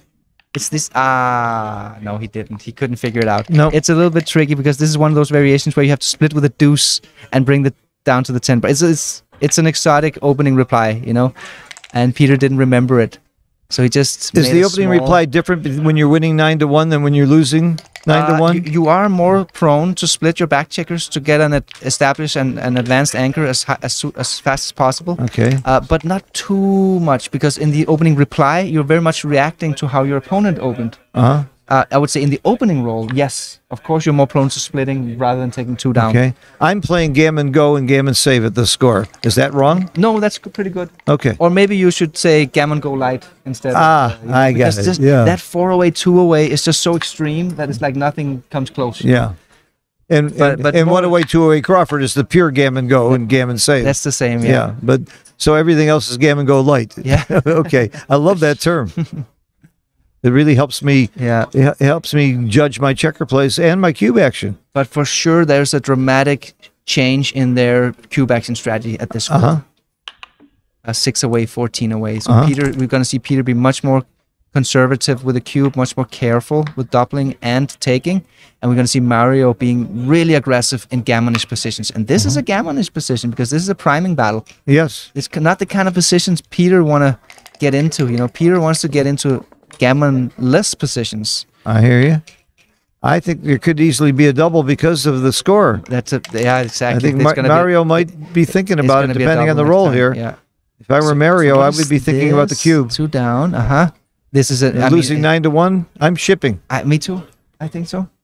I think he can double here. I think this is a cube. Let's see what XG says. I think it's gonna be a big I think take. a big take. And, uh, I'm shipping. I, mean, it could even be a blunder not to double because of the. There's a little bit of. I mean, look. Imagine this roll here, right? how uh, how epic that would be. Yeah. Uh, How about double fives? And you have it the- is. You, yes, Big double, big take. Look, exactly. Look how big of a mistake it is not to double. It's Yes, The volatility. yes. You- even a roll like four one that just double hits. You know, then you start a blitz attack. You pick up that other guy. Do you can double hit with six one? I think yes, so. Yes, you do. I think because so. Look at the pip count. Mario is leading in the race. He's more advanced, Uh huh.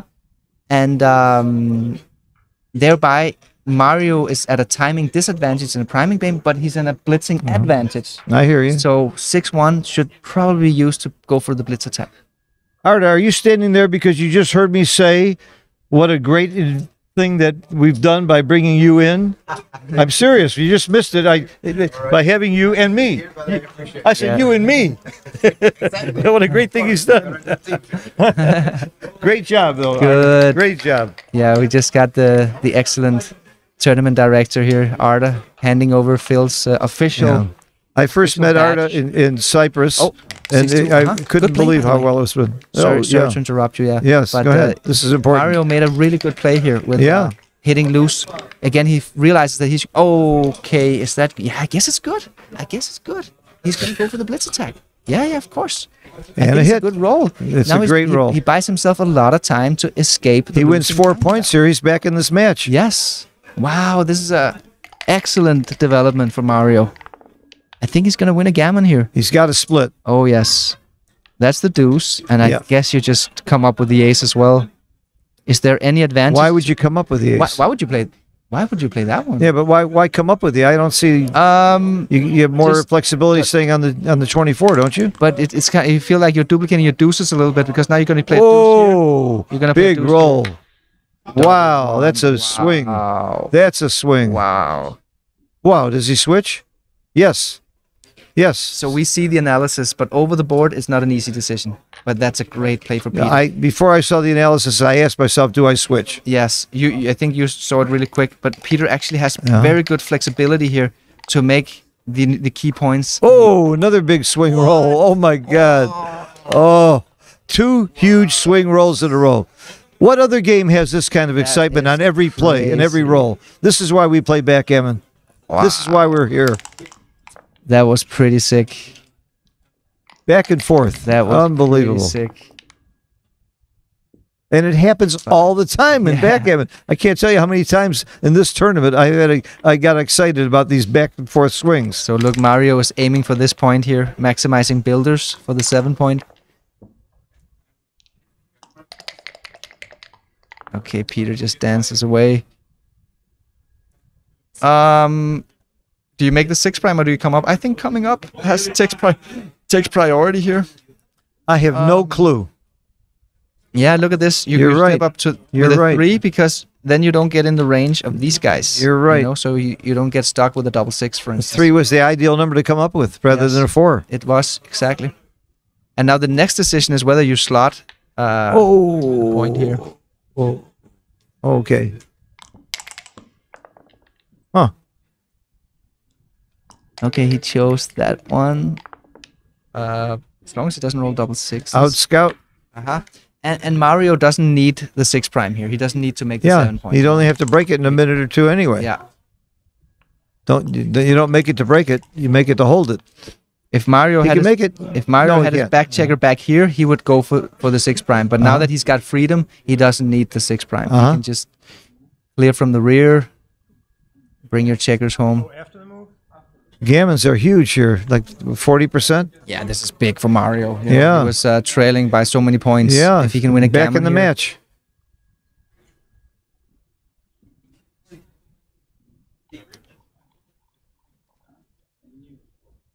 Just go to the staff room to find something. place. If they don't have water, they Thank want you. something else? Anything.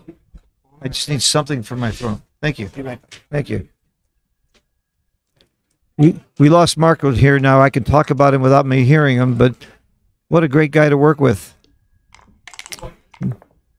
Just a super guy as well as a great, great backgammon player. And his staff is I've seen lots of staffs at backgammon tournaments. Everybody here are we're all friends. We all love each other. That's why we get along well and it's everything runs so smoothly. This is my third tournament where I've worked together with the Galaxy staff. It's really a pleasure. He would like to come in quickly, reduce the gammons by moving his checkers forward. Dancing is not smart. And these are smart guys. Why the heck would they dance? I wouldn't dance here. I would come in. Peter, you're better than this. You need an ace. Plus, you can threaten those outside checkers with indirects. So this is really not good.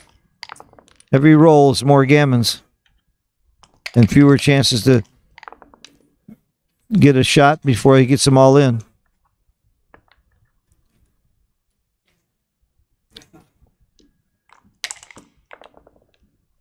There it is. You don't come out though. Clearly the right play. Four in and to the deuce. Most flexibility. Nothing leaves a shot here except six five. I shouldn't say it out loud, should I? Six five is the only number that everybody's thinking here. Clear from the rear. Now nothing leaves a shot. No shots. And he doesn't need to take checkers off too aggressively because as long as he doesn't leave a shot, he's got a pretty good shot at the gammon. He's got 50% gammons here, according to XG.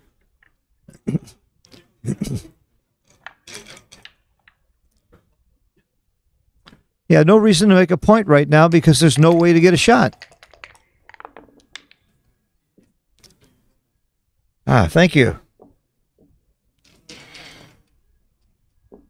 Pretty uneventful so far. Uh huh. yeah, it looks like You didn't miss anything. the natural progression here. Mario is trying to win that all important G to win four points.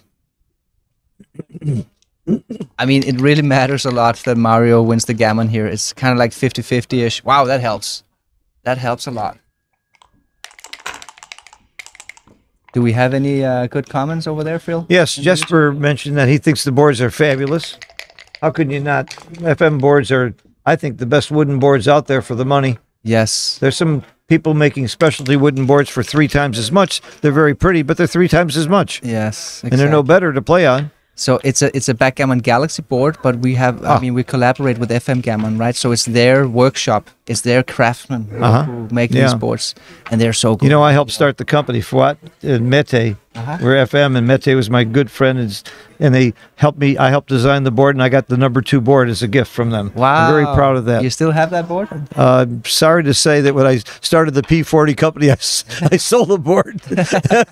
I'm almost embarrassed to say that. Why would you ask me a question like that? I, I should have lied. I'm embarrassed that I did it. I love the board though too.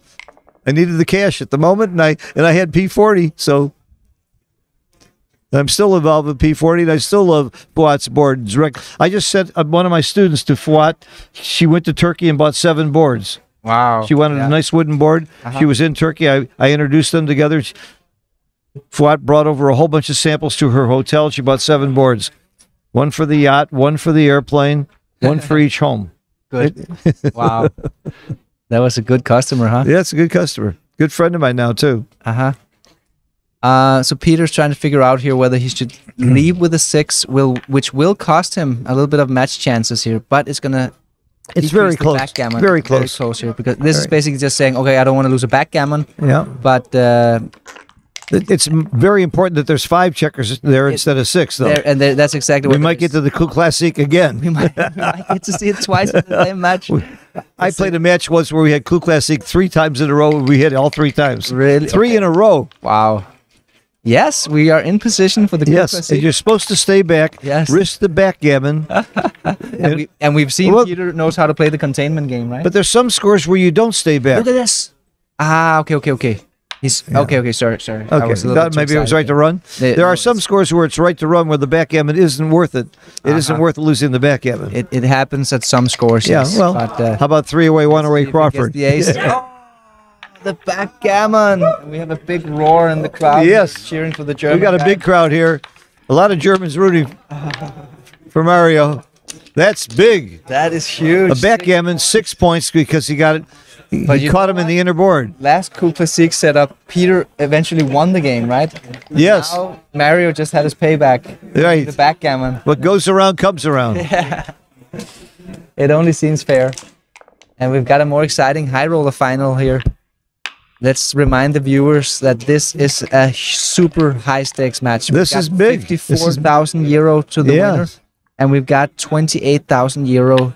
I have to To tell the- you when you loser. when I saw that you have a seventy five hundred dollar entry fee, I said you're nuts. You're not going to get you're not going to get more than eight players. You got sixteen, We got and you got 16 rebuys. We got 16, a 16 player bracket. Yeah. Um, last year, the Patti, we called it the, the Patti Rubin uh, high Uh-huh. roller. Yes. in memory of dear Patti.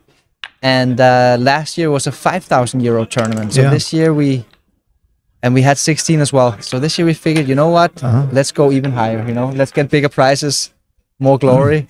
I have to tell you, I've been a close friend of Patti and Ronnie for many, many, many years, and I'm sure they're proud of what you've done with the tournament. You've continued the legacy. They they have nothing to. They, they have to be glad that they turned this over to you. Oh, you've done, you're doing an amazing job. Thank you, And Phil. the turnout here and the reception, and look at how many people are watching the streams. Yes. We've taken you kept backgammon in the glory that it needs to be, and this is this is the glory tournament for backgammon. Thank you, Phil.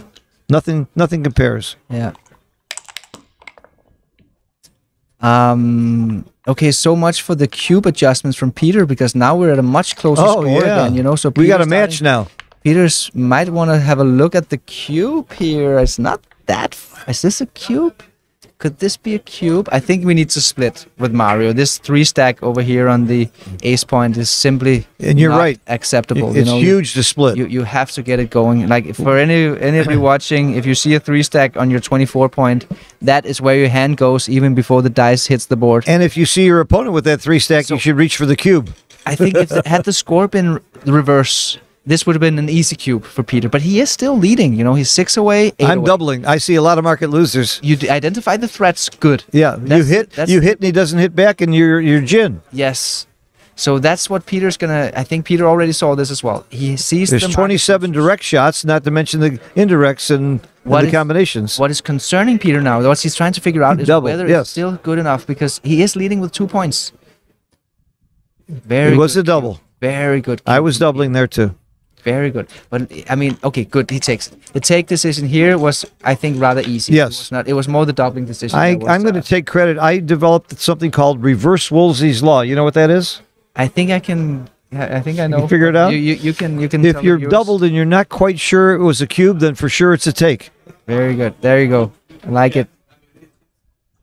Um, I'm a little bit surprised uh, that Peter is actually. I mean, I, no, I would say impressed that Peter isn't just hitting immediately here. He he realizes that The hitting is wrong by a little bit. maybe it's not that good to get hit back. You know, you're leading the, the race by 33 pips. 33 pips. you I would have hit that's a- reflexively. 33 pips. That's a lot of pips. Wow, good great play. you know, Great, very hard play to He- make. He, he's one man back. He's up 33 pips. So why get hit? You know, That's for me. That's like not having dessert. that kind of restraint it would have taken me not to hit. Yes, he exactly. But it just goes to show how how well he understands the game. I think he really understands that uh, hitting is not automatic. Two one. Does that come from playing the computer a lot, or does that come from just intuitive knowledge? I think Peter has so much backgammon experience. Like he's Uh-huh. been playing. I mean, he played in the Ace Point Club in New York back in the '90s. I was there with them. I was playing in the East Point Club, and Peter Jes Thomsen and Falafel walked in, and I moved my annual meetings, my, my weekly meetings from New York to Dallas. The day I saw Peter Jes Thomsen and Falafel, I'm telling you, I used to play with Chris Trencher and Karen Davis and, and Blake Fleetwood and a bunch of guys at the East Point Club in the 80s, and I moved in the early 90s. I moved. My whole corporate meetings were there because I wanted to play in the East Point Club, and it was Peter Jes Thomsen and Falafel that chased me away from the game. I couldn't win anymore. Uh-huh. Yeah. It was a fifty dollar chouette, and I was raking it in until they walked in the door. Changed my whole life. I went to Dallas, and Malcolm Davis and I had a we had a nice game with uh, Harvey Huey and a bunch of nice people in Dallas, and it was more lucrative for me. Wow, the five four is huge. So, so Peter is not that he. I mean, he's what is he? Late forties, early fifties, you know. But he's got so much backgammon experience. Well, I would walk in in the morning, early in the morning. Alan Steffen, who ran the Eastbourne Club, was a good friend of mine, Alan and Lourdes. And early in the morning, there would be Peter and Falafel. They had spent the entire night with Snowie going over positions all night long. So this Everybody talked about how what a natural player Falafel was. Yeah, he was natural after hundreds of hours of study. Yeah. uh huh. Yeah, he he he didn't do much else other than That's right. play and study backgammon. That's all he did. Yeah. And eat. He ate well. Yeah, it's a cool play by Peter here. He goes for the blitz attack. Yes, that, that's a dance, and this would have been this would have been, been a double pass actually. Sure. So Peter is in a good spot now. Uh that looks a bit ugly. Is that really the best play? It's real close. It's It's very close. close. 0.015. Um, yeah, It's okay. close. The, the best play is actually to go for flexibility now. That's the play. That's the play. I mean, it's it's a little bit tough to find because you have so many blots here, but you you want to take the chance early to then cruise it easily. Cruise it later on. You know, if you play, if you make that move eleven to three, it's safe for now, but you might get in trouble later on because it's ugly. You're front loading. This one is risky in the short term, but if it works out well, I would not have had the guts to make this play. yeah.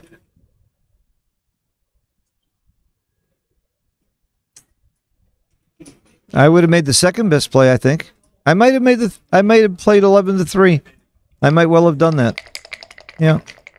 I mean, that's actually an impressive play by uh, by Peter. Good play by Ooh. Peter. In and Yeah. hit. You know, it's a it's a good role for Mario, obviously, but Peter still has some action here. Uh-huh. He has a ton of return shots where he can win the gammon. We can even call it the gammon trap, and that's uh that's uh exactly what we see here. This the clearly right trap. here. You It's must hit. Clearly right. You know, it's the gammon right. trap. Imagine Mario dances here, then Peter just destroys him with the blitz attack.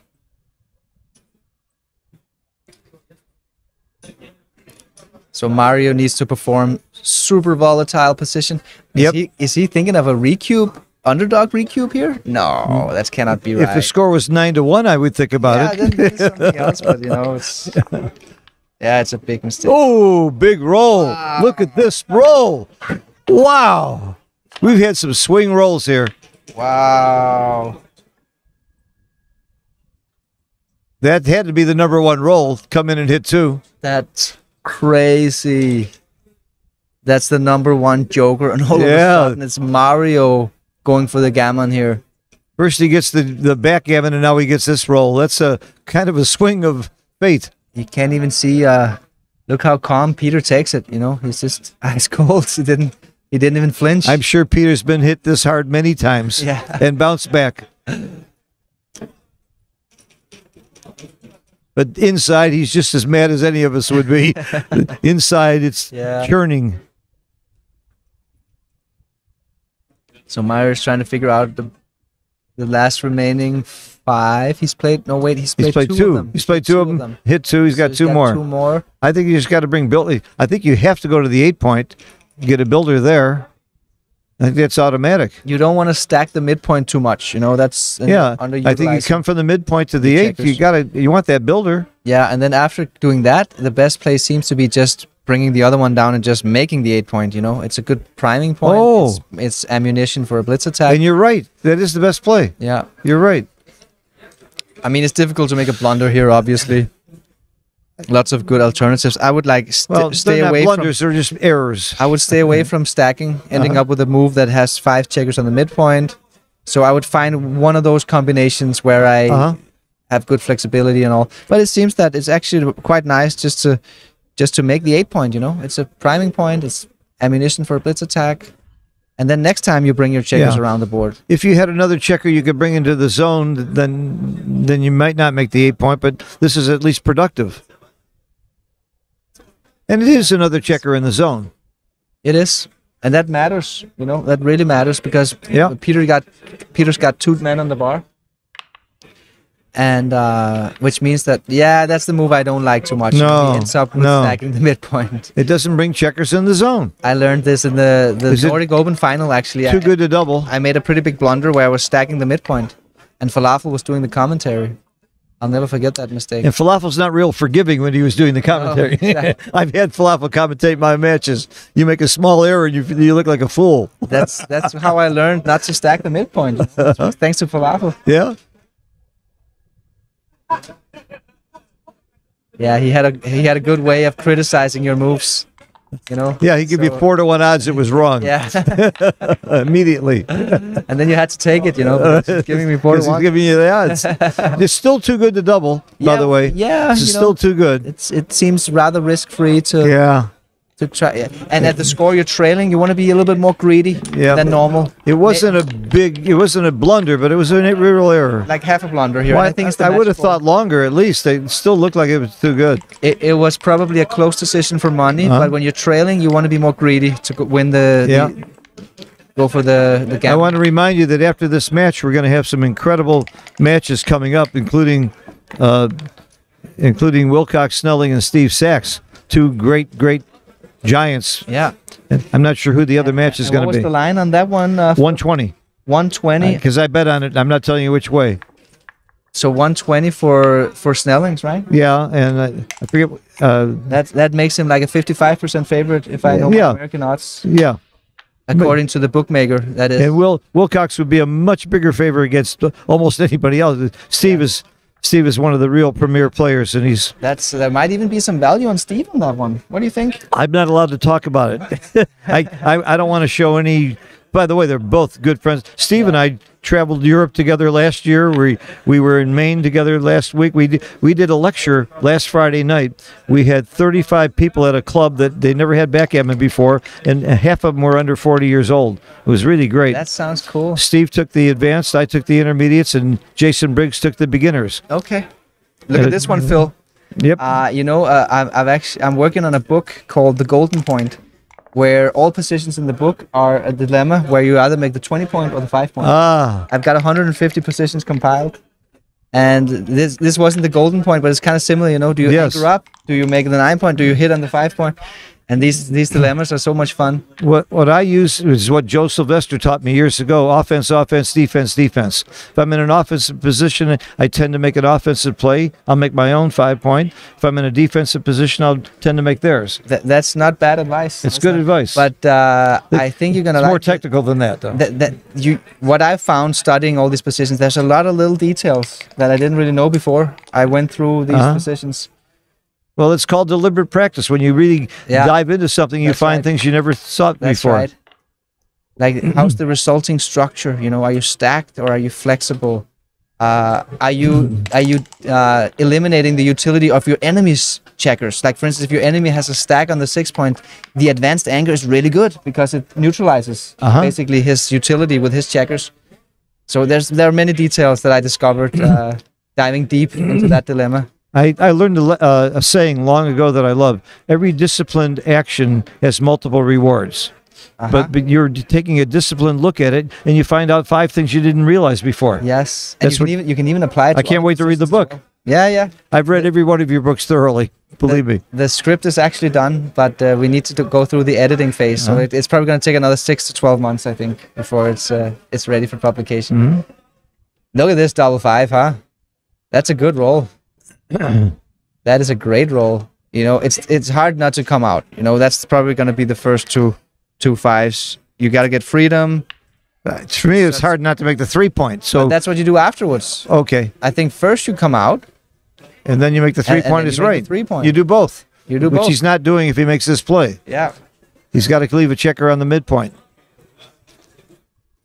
I mean, what other alternatives are there? I'm having difficulty seeing other alternatives. Yeah, I mean, you guess you could, you could play this one and then make the three point, but that's just uh, inferior, I think. if he's come to the conclusion to he's not out. coming out, then that's why he's having problems. I don't think he's made that leap that he must come out. Maybe he's getting there. That's a that's half of it. huge- Huge difference between having three men behind a four prime and having one man behind Ah, a four prime. he got it. Good Play. He got it. Yes. I don't see any other plays here, to be honest. Good play. Yeah, Beautiful. He got it. play. He got it. Wow, Oh. Back after being very unlucky in several games in a row. Now you make the He four point. Finally rolls a joker. Yeah. You make the four point, then you look for the last one. Well, the Yeah. last one you got to come out. You got to come you got no choice. You have no choice. No choice. It plays itself. Yeah. FBL, forced by logic. Yeah. Forced by logic. That's right. Okay, so Mario wants to come in here. If he doesn't come in, we might see a cube. Well, Maybe he can come in. He can. He can make the po- outside point. I think he has to, doesn't he? Yes, he has to. He's very sad about this situation over here. I mean, he if he didn't have that blood in the outfield over here, he he could have come in with a three Yeah. and stepped up with a one. uh, but the fact that he has this, uh, Oh, and a quick, quick cube. yeah, Very quick cube. Uh, okay, There wasn't okay. any hesitation It at all. Very easy to and it's not a double by. It's right on the edge. It's right on the edge. I Right mean, on not, the a, edge. not a bad cube from Peter. no, it's not bad. And again, it's one of those. This was one of those situations where the, it was the decision was on the cube side. I mean, the take was very easy Oh yeah, using the inverse uh, Woolsey's Right, law, right? You're right. not sure if it's Easy a cube or not. take. It's an easy take. that's right. But why such a fast decision? Is he getting? He's not low on the on the clock. I guess he's just that was sure. He's Yeah. just that sure. Yes. I would love to have that kind of confidence over the board. I guess you Okay. another forty years, I might get there. Oh, that he, that's not good. Now he's in the disconnected state. No, uh, that's not good. Uh, but the, I, I mean, that was a very difficult play to find because the best play was the slotting play. Wow, Very, very difficult play to find. wow. That humans don't find that play. I guess the key is you're facing one man back that can easily escape. You need a pure prime ASAP. It can only be too slow. So slotting and Wow, I would not have found the slotting play no. either. again we see here. So Mario has to play super pure here. He has to play super pure. I think he wants to split the back checkers. Ah, and he doesn't want to. No, Ah, look at it's. He doesn't not supposed to split because of this. Black is too dangerous here, so it's dangerous to split the back checkers. I think that's why. That's why splitting is not the right idea. no, it's not on not on the list. he doesn't have a good four to play if he splits. Yeah. Like, if you do this, where's the floor four? You're not gonna stack, right? That play is a little bit weird. That seems just No, weird. you know? no. Look at look at Peters. Uh, he looks like the he looks like Phil Laak, the Unabomber. Yeah, Peter Jes Thomsen. Look at this. yeah. I said Phil uh, X still plays a great game of backgammon. By the way, I don't know how many people know that. That's what I've heard. He Oh. still got it. He's he's a brilliant Last gamer. You know. last week he won a whole bunch of money from somebody I know. Okay. He still played a great game of backgammon. So it's not just poker. He's good at. Yeah, and but and. Phil X, another one that hung out at the East Point Club all the time. We were there. Uh-huh. I had dinner with him many times. I think uh, Peter and, and Phil are probably more or less same age. Right. And they were all they were at the East Point Club together. Yeah. And when the East Point Club started having poker, that's when Phil that's actually when Phil converted from backgammon to poker at the East Point Club. Aha, interesting. And then look at the career he had. Yeah. ever since. Yeah. The career and the girlfriend. Was it the same with Gus Hansen? yeah. he uh, what do you call it? Like uh, Meg Tilly. yeah, yeah. You got a you got a career and a great girlfriend out of it too. He scored upwards. You know. Yep. Well done, Phil. Four two. Okay, we make the deuce point. yeah, you got to do it. You got to get those checkers utilized. Mo- Uh-huh, uh, he uh-huh. had too many checkers stacked up here, so it's a little bit impure creating this gap. But at least uh, he's utilizing utilizing his checkers. Three one. I mean, he's probably thinking about slotting here. He's down to 12 men in his front position because he got three men stuck. Slot and played here. slot So played to the eight. Yeah, you look, slotting is the right play. And you know? playing to the eight. That's right. You need to play right. efficient. You need to play efficient. It's scary to slot against that that board. it's Oh, your only this way. is is this a good play? I, I, I think it's good. A good oh, All roll, around, uh, yeah. I think it's uh, good. Also notice that he's killed his sixes over here. yeah. Right. So I- he's my question was down. whether, whether it was a good roll or a bad roll. I think it was good. I think it was good. could hurt his timing. It would have been not so good if he'd made the bar here. It might have been slightly bad for his winning chances, but I think it was good for his gammon chances. I see. Overall, I, I, I didn't get to see the percentages, but I think I would take it. I think it was uh, Okay. net profit. That's the beauty in XG. You can go back and look at dice distribution and Uh-huh. find out how good or bad a roll is. That's a pretty good play here by Mario. 2 5, not a good roll. He needs to get that back checker going as soon as possible. Oh, that's a big roll. Big, big roll. That's Huge roll. great for Mario. And uh oh, there goes the Ooh. there goes the It's six. still not a recube yet.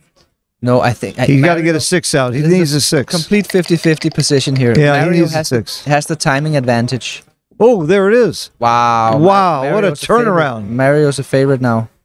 That's the six. And then there, it doesn't really make much sense to make the 13 point here. So you should gamble a little bit and get that extra builder down so you can fill You, out your you only get hit with one six and three four and three five. Yes. That's six numbers. Six numbers, right? He, he doesn't take the gamble, It doesn't make but the reward is worth it if you It can is. make that point and have is. a builder. You need to have four builders yeah. pointing at that point. Right now he only has three because you you can't count this one as a builder for the for this 4 Uh-huh. point. It's not quite a recube, I don't think, is There's it? a huge difference. It, maybe if he had a fourth builder Yeah. now, it might have Yeah. been, you know. If he'd had the eight point slotted, it might have been. Five. I need to. I, hmm. I think he needs to play it big. Yes. Look again. We see the big play Two down. when you are in a priming battle. It's really important that you play efficient, flexible, and pure. You cannot allow any deficiencies. You know, playing playing like this move here is just so inefficient. You can't do it. You need to utilize your checkers. he did it. That's he what, did it. Yes. Yes. Yes. Good Very play. Pick up the dice. Hit the clock. You you take an Hit the clock. You run a risk, but that's the way you win the game. Hit the clock. It's the right play by a lot. Yeah. Takes guts to play back, Evan. You know that? And look at the blunder potential here. Again, we see a priming game. That's where you have these huge blunder potential moves occurring. Good great play. Good great play by a great Mario. player. Yes. Uh oh. Okay, he goes. Now, Okay. Wow. Wow. Now No- giving Peter a decision. He's giving Peter a decision. you know what? I'm surprised it's a take, it's a big take. No, it's not a big take. It's Well, a big cube, and it, it's less than blunder margin. It's For a almost. It's close. Yeah. for a human being. This is such a This is tough. This is a tough one. It's really, really tough one.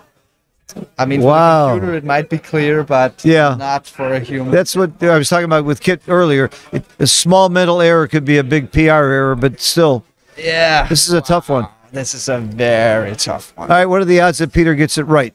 Ah, I think he's, I think he's a favorite. You know, he should be a favorite. He should To be get it better right? than- he should be better than Random. Why is he looking like the Unabomber now? Yeah, that's, Oh my God! You, you, you, That's we're talking about. Phil Laak? that's why I told you. oh, I, I didn't look up and see that. I didn't No, see it. That's, that's exactly why I was started talking about. Phil Laak. oh, I now I see it. I, I never looked up at his face. All right, is he going to take it or not? This is tough. I think he's gonna spend a couple of minutes on his time bank here. It's a huge decision for the match. Uh, Peter might think that he's a better player and oh, adjust a little bit here. Let this one go, you know. Yeah, if you think you're the better player, because this is not a hard position for Mario to bring home. Yeah. If it was a complicated checker play position, you'd be more inclined to take if you think you're the superior player. I'm not thinking. Yeah. Standard. Unbelievable. what do you think about this one? This, uh, what do you think about this four cube here? I hope he's going to take it. Huh? I mean, I, the reason why it's good to play two, two down with five. He passed. He passed. Ah, he passed it. Passed. Great play by Mario though in that that double Sanders- slot. Sanders a little Great bit play. disappointed. German is, uh, is now up. The He was up 9-1 and then two, 10 points. This is the second match in a row where where the where a player had like 10% equity and turned and all of, now he's leading. But uh, Peter is still. Uh, he, Peter has one blunder in this match so far. This wasn't even a blunder to pass this cube. uh-huh. He's got one blunder in this match. In the whole match. and the score is 9 to 11. Right? He's played at a 1.9, right? Oh, now he has two blunders. Maybe it did count it as a blunder. I don't know. Maybe it was. It was right on the edge of a right blunder. edge, yeah. Point, point seven nine, as I recall. Anyway, he's playing. Uh, It's semantics. The blunder just has to have. It's just a line at .08. Yeah. Uh, we could have. We could have set it at .07 or .09. It's Yeah. just. It's an arbitrary number. Yeah, right. Do you know why we set it to 0.08? No.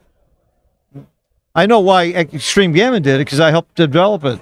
Because Snowie had it that day. Snowie had it, That's- yeah. We don't Why- know why why. does Snowie have it? Because Leverman decided that's what it should be. Uh huh. That's why we're it's doing it. Liverman. Uh, He was the, the he was the guy. We, when he did Snowie, he decided .08 was the number. I I feel like it's a great, great number actually. If it was .07, we'd all accept that. Yeah. You know, it's arbitrary. no, we wouldn't, Phil. That would be too low. you know, we All right, if it was .09, you'd accept that. I wish it was .09. We'd all look better. That's a good point. I'm, I'm a .08 player. Yeah.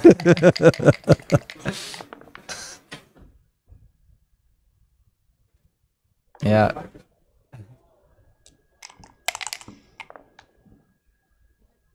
Six three. You got to make the ah. Is that the play? No. Okay, it's close. It's close. Okay, very close. I would have gone for the anchor there, but I Uh-huh. think the the match score is influencing it a little bit because now Peter's now, now Peter's the one trailing, and he wants to go for the offensive movements. Six away, four away. Yeah. That's not gammon go light. Not It's gammon gammon, go go light light. Exactly.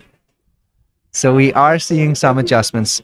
I think that checker play was actually an adjustment. I think Peter Uh-huh. would have made the anchor in a neutral score rather than the five point. Um, five. That's okay. He plays the four first, which is a little bit weird.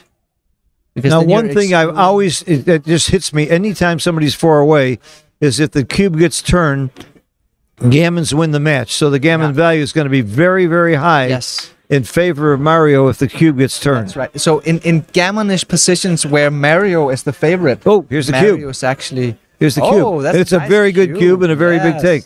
Nice cube by by Peter. Excellent cube actually. He's trailing a bit in the race, which make that's what makes it a take. But it's an excellent cube, and there's even a little bit of bluff in this cube. You know, Oh, he he, could get him how pass. fast he did it too. Yeah, yeah, he, He might get a pass. he might get a pass. I wouldn't be shocked if Mario passed this. It'd be wrong, but I wouldn't be surprised. And I mean, the key here is the pip count. So Mario, please. Okay, now he's counting. Good, very good. I, and that means he's probably gonna find the take. Because if you know that you're up seven pips in a position like this, early middle game, yeah, it's almost impossible to pass it. You're not on the bar. Yeah, but It's when you're single winning in the match, you're winning in the match. That's that, scary about that scares you. Yeah, That scares you. And the and the gammons you know, he and you can't see that many gammons that you would win. So that one percent that one oh gammon value when you're only winning eight percent gammons isn't really exciting. Yes, that's where the bluff comes in. I mean, I think Peter looks really scary right now. You know, I mean, he's I think he's taking this Unabomber to a, no, uh, a new level. Yeah. We got to call Phil Laak and say something. He took it. Attaboy. Okay, Good good, play. good Good play. play. Mario certainly is impressing me with his skill. Okay, He's- we have a we have a blitz attack here. We have a blitz attack. Oh yes, the Sander. I'm looking at Sander. Yeah, he's already exactly. I saw it immediately as well. The blitz attack, point shift, four point board. Pick up that second blot, win the gammon. It's actually a clear play. Yeah, yeah, yeah, yeah. Peter sees it. Come on, Peter. It's a clear. Not a lot of people. Oh, yeah. a lot of people would miss that play. Yeah, you A gotta lot of a lot of people miss that play. I would make the play if it put two checkers up. With one checker up, I'm not sure I would see it. Exactly, exactly. But the other blot makes me want to do that too. You gotta you gotta train your brain to look at the switching. Yep. uh, switching plays. You know, it's counterintuitive. Excellent play by Peter. Five three. Okay. Comes in and hits. I, I, I mean, he has to, right? He has But to hit. It's not over There's yet. no other three. It's not over yet. Is he considering hitting on the ace point? No. Maybe Why? to, to leave To less beat shots. the anchor? Oh, To leave also to be able to anchor, maybe. Look how close it is. I would never have dreamed it would be I mean, close. it's much less shots, right? It's it's yeah. it's less. also, if you hit on the ace and you get hit back, you might anchor. you might anger. It's Yeah. le- it's less ambitious, of course. You're gonna win more games with this, but it's a I would have lost that bet. I never dreamed it was close. this is a powerful roll, and he's gonna put Mario back on the bar, and now Big roll. Mario needs to perform. He really needs to perform here. Ooh, no. Dances. No. Wow, this was a big swing. Big If- swing. Two men on the bar. There you go. This is uh, Powerful, powerful blitz attack here from Peter. That's the four. Okay, so Peter's gonna He's going to hit with anything. anything here. A Anything. four, a nine. That's the hit, and then he's gonna he's gonna split the, the ten point to have more attackers. Sure. Yes, good play. And and Mario really needs to perform here. He needs a four. He's desperate for a four. No, he dances. This is looking looking like a, a four point win for Peter to me Yep. here. Now we're down to the He- double five. Oh, wow. Wow. He does it again. Big swings. Does it again with two and a half minutes left on the clock. I, they must have stopped for the transcribers. Yeah, they Yeah. stopped for the transcriber. Wow. Oh, my God. The swings. Makes the three point, doesn't he? That is Sure. just wow. What a swing! That roll might be worth thirty. It was almost going to be two away, four away for Peter. How much equity is in that roll? Oh, how many dollars is that roll worth? yeah. Yeah. Good question.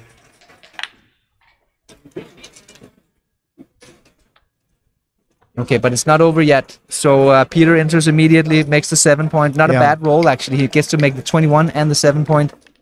Um, wow. Oh, my goodness. Mario Mario.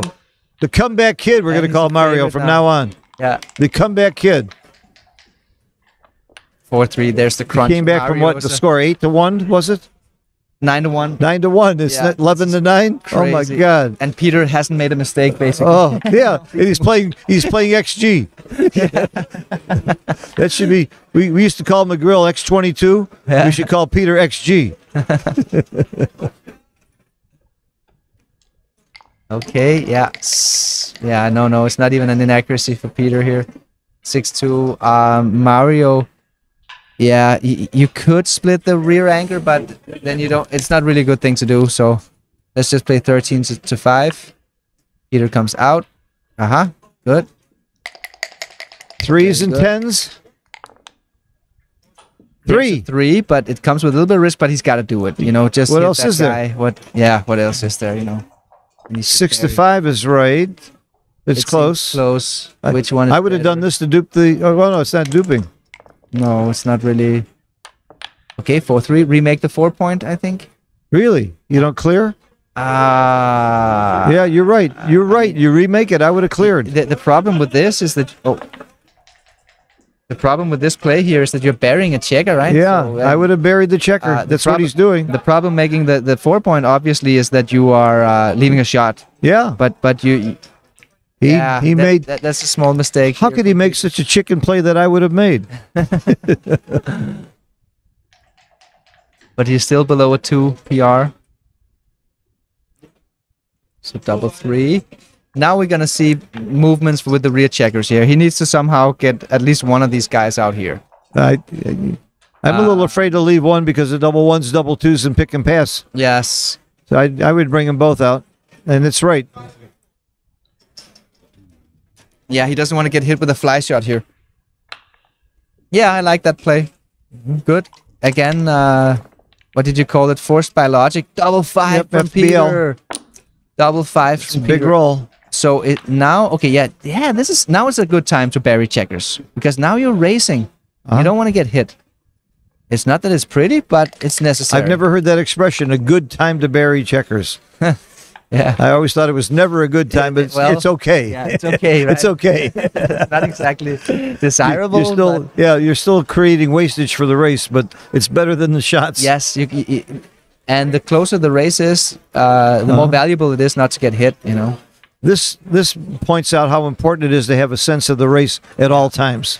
I think here, if you can just kind of figure out, you don't even need to count the pips. If you can just figure out that you're leading, you know, as Uh-huh. Peter here, okay, then you should place it. Oh, this is an interesting decision here because is he gonna play with the dragon with the tail? That's the dragon. That's the tail. Or was he gonna ensure this perfect contact, which is Uh-huh. uh, six pips away here from the anchor? So Ooh, that's good pip count.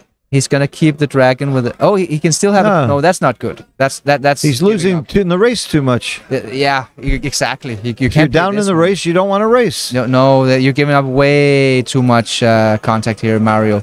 Okay, he's counting the He's race. He's counting the know, race. He's he, not going to do it. He should know that he's trailing. Make the ace. But there is a play. He can continue to have a dragon with a tail Yeah.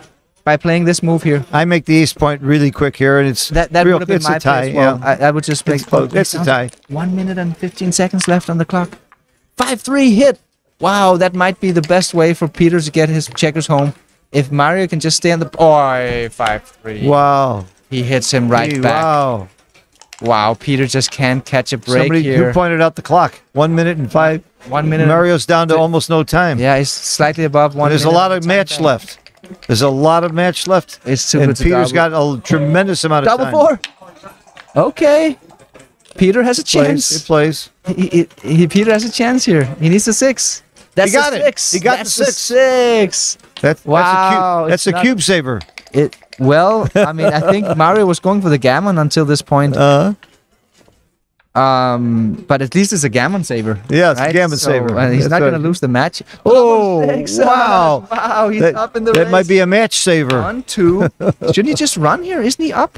It's even. It's very even. Very even. He's up, but he has more wastage, and he has the gaps here. That's the problem. So even though Peter's going to be up seven pips in the race, he's got too much wasted wastage and gaps here. So it's a very close race after running. Peter's got plenty Yeah. of time in the time. and by staying, you make a very good point in your board too. That's the other reason to oh, stay. Oh, that's right. You're making your four point That's right. Of course, it's it's a better play. By of far. course it is. by far. You're gonna get a seven shot on most of his rolls. You might even get a. I mean, imagine if he rolls a five sure, one, right? five one. Uh, you get a direct shot if he rolls the five two or six one, which would be good roll for Mario. sure. He gets a fly shot if he rolls something any, anything bigger than a, a seven. He's got it. He's Yeah, got it. He's doing it. Good play. Right it play. took me a while as well just to figure this one out, but uh, No, your gut reaction was right though. no, my gut reaction was to run, Oh, go for the okay. race. But then I started looking at all the wastage and There's a seven. That's a seven. That's a good roll. Okay, It's this is the big, big roll it's of the actually- match right here. One of the best rolls. Huge roll. Oh, he, He dances. danced. He danced. And there we have the cube. Yeah, there we have the cube. Double pass by a lot. Wow, he's really unlucky, Peter. He's really unlucky. Yep. Huh? Yep.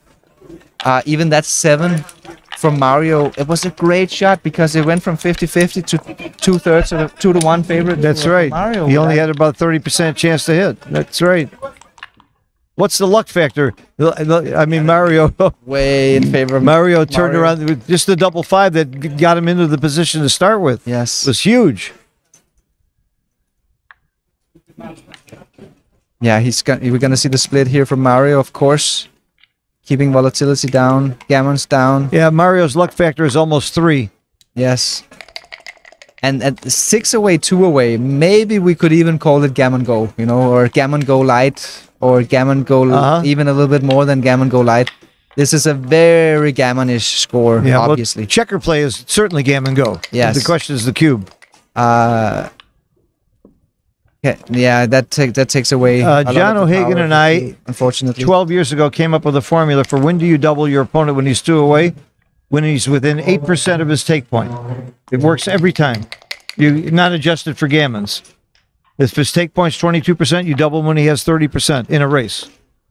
When your opponent is two away. really, It That works sound- every time. Does it? That every sounds time. like. Uh, At two away, five away, is take point oh, 17%. wait, when your opponent is two away. Right. Oh, when you're yes. when you're the Yeah, yeah, trailer, okay, you double when your opponent Yes. because he has no recube vig, so you double about four percent faster than you would in any other score. Well, I mean, in a straight race, you would also double eight percent from his. That's exactly what I'm talking about in a straight race. Yes, so there's no difference. in No, no, the straight race is usually the straight race is actually the same doubling points. if you use the Keith count and you're over by four, you and his take point is 22 percent. You're doubling when he has 26 percent.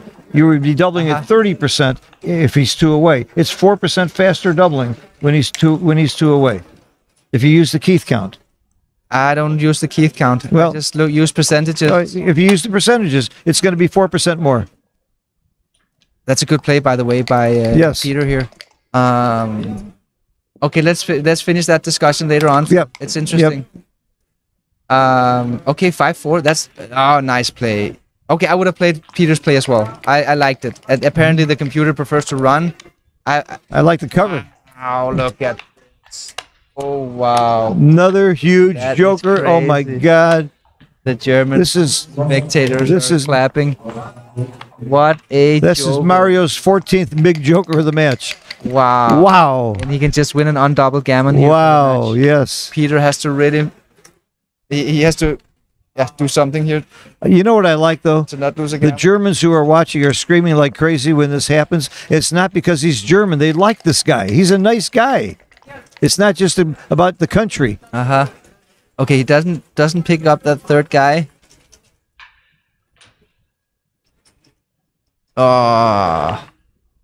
Okay, I, that's a little bit conservative, you know. I, I would be gre- more greedy. Oh, this, wow, Peter, that's very helpful. very helpful. very helpful. So the question is, uh, can you allow yourself to leave any shots? No. Yes, this, this is a good play, Peter, because the problem, even though it's more flexible to make this play, you are risking getting a fourth man sent Yep. back, and you don't want that. And a gammon costs you the match. gammons. You you lose the match if you get gammon. You have no more hope. Yes. So gammons are important. Uh, this is a little bit crunching. He's crunching the wrong. Okay, it's not a not a big deal, but I Uh-huh. have some pretty clear rules for when to run here from this, and this was actually uh, one of those. are cases. those rules in one of your books? Um, I need the I need those rules. no, it isn't. It isn't really. Yeah, how selfish of you. Yeah, uh, it should be. there is a lot of these secrets, you know. You, you can't get it all out, you know, all at once. Well, keep writing books because I'm learning from you. Yeah. And by the way, I'm stealing all of your information and teaching it to my students. That's good. double three. Uh, double three. That's a little bit tricky one, right? Because, I mean, how are you going to balance this one out? You don't want to front load too much. You don't really need to, to slot either, right? That's a little bit weird, but you could.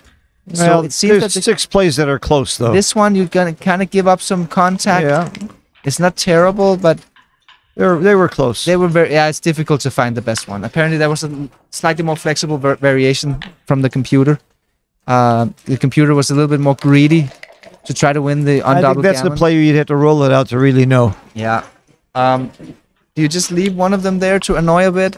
Duplicate aces? No, probably not a big deal. You could. Okay. You know, the interesting thing here is the gammon value is not necessarily one because just winning one point and getting it at Crawford's pretty good also. So probably gammon value is only about 0.7. Yeah, which is still Still good. still good. You still like to get a gammon and end the match and go home, go out to lunch and it's also important. it's also nice to just win a win a single and get to Crawford. uh-huh.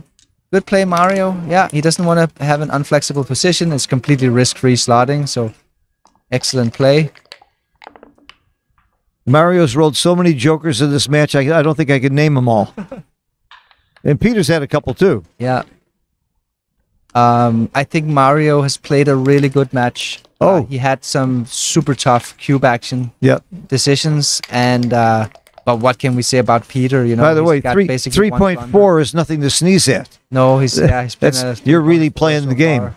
You are, um, and he had some tough cube actions. Yes. And and Peter has just played uh, fantastically well.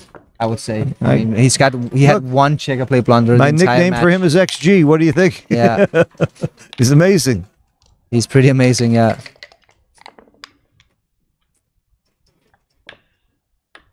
And we've seen the same kind of play from Kazuki this tournament. Yeah, Kazuki seems to be uh, Coming into it. Coming into it. Yeah. Yeah. It's going to be exciting to see if he can get some big results here Uh-huh. this year. And Oliver Squire with horrible time pressure last night played under three. Oliver is getting really good as well. Yeah. Played a three and a half in the UBC. Yeah. Another And he- college kid. He even made it to the uh, to the quarterfinals of the UBC, Right. where he was knocked out by uh, who was it? I forgot. But one of the top top players knocked him I out. think I it was think Dirk- Zedek. was it Stanek or Dirk? I thought it was Zedek. I oh no, it was wrong. Mochi. I think It was Mochi. Mochi who knocked him out. Yeah.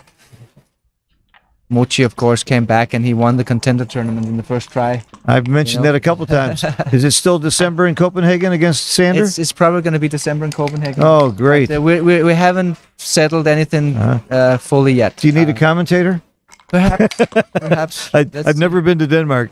You've never been to Denmark? Never been to cap- back- Denmark. backgammon capital. I know, I know. I, I, my my good friend Carter keeps screaming at me. I got to go to Denmark. Yeah, you should. You should. Aside from the backgammon, he said I got to go to Denmark. You will like it, especially if you go in the spring or the summer. Uh huh. December is But actually you're inviting me in the nice. wintertime. I, well, actually, December is quite nice too because you got the Christmas uh, thing, Uh-huh. Christmas market. Sure. Uh, if we're lucky, we get snow. Not always, you know, but sometimes we can get lucky and have snow. well, I'm from Chicago. I've seen snow. All right, it's Yeah, gin. No need It's to. gin.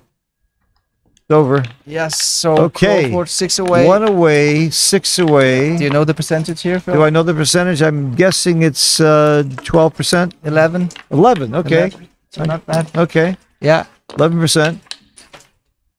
I know you play Gammon Go. Now, does the Gammon matter that much? Yes. Yes, it it does. absolutely It does. does. That's the first thing I look at at Crawford. if you're on good. an odd number score, you really want a Gammon. Yes. If you're on an even number score, you don't worry about it too much. And the logic is uh, that all post Crawford games are played for two points. So it really matters whether you're five away or four away because four away is just two games to win. Five away is three games to win. So Yep. so And Peter- I've seen so many players really trying for gammons when it didn't matter or not worrying. You know, Yeah. it's not. They always think whenever it's Crawford, you try for a gammon, and they're wrong. you're absolutely wrong. If if it's an odd number away, uh-huh. that's it's almost worthless to use win that gammon. That's right. Well, it's worth 0.024 percent. Yeah. That's what a free drop is worth.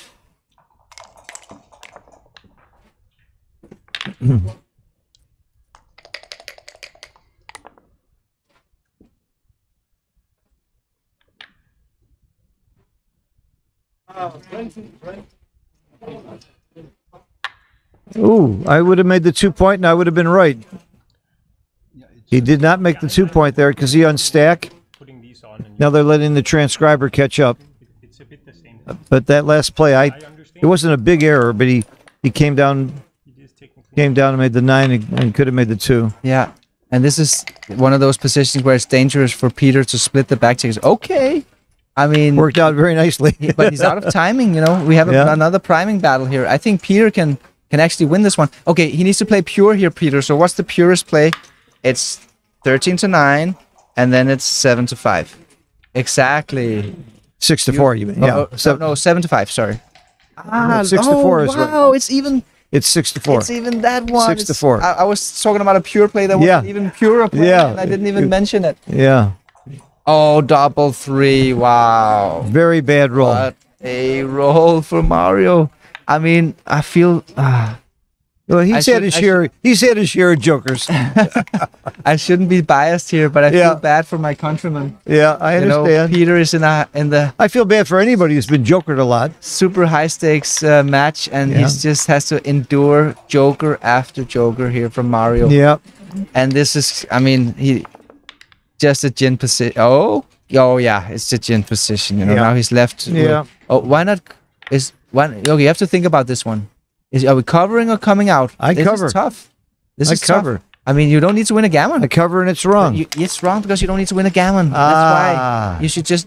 I mean, yes. the, the pure priming moves are, are worth more when you just have to win. wow. And the cover was so natural to me. Yes. Wow. I, I wasn't really sure. I, I mean, I, I think I could have made the same mistake here, but at least I, I realized that it, it was a decision, Yeah. you know? Keep in mind he's playing very quickly. He doesn't have a lot of time. Oh, 28 seconds left. yes, that's another. We got to cut him some slack for that. If Peter can get a six, he will have an ace point game. Ace point game's about fifteen percent. With if you have timing. That's with the a problem six, he would- He's down to 10% Yeah. because he doesn't have timing. yeah. Uh, kill, killing is okay. Interesting. Yeah, it's it's very efficient to make this move, Uh huh. and he he can still move a six on the other side of the board. There's the six. Ooh. That's a great shot, and I think now we're up to those. No, we're still uh, We're still at ten we're still at percent. ten percent. Nothing much changed. Yeah. I guess because he crunched the six point, we still have bad timing. It, he wants small numbers. That's not. That's good. not good for. Okay, he's saving a six. He made that play really fast. Clear from the rear against the ace point game. Yeah, when you don't need a gammon, particularly, why would you peel? Uh huh.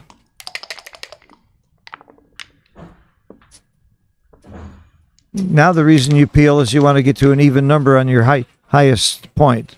You, that way the high doubles don't leave shot. He ran. Is there a It's chance? not- I guess it's his last resort. Uh, that's well. Again, he didn't think very long about it either. He ran so quickly. yeah, I think it was wrong, but I don't know about how much. This is not. It was wrong. Peter. Why would he do it? He's not the one under time pressure. He's got ten minutes.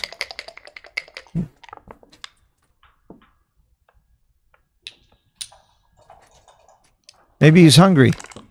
Maybe that's why he's playing fast. That's why I play fast.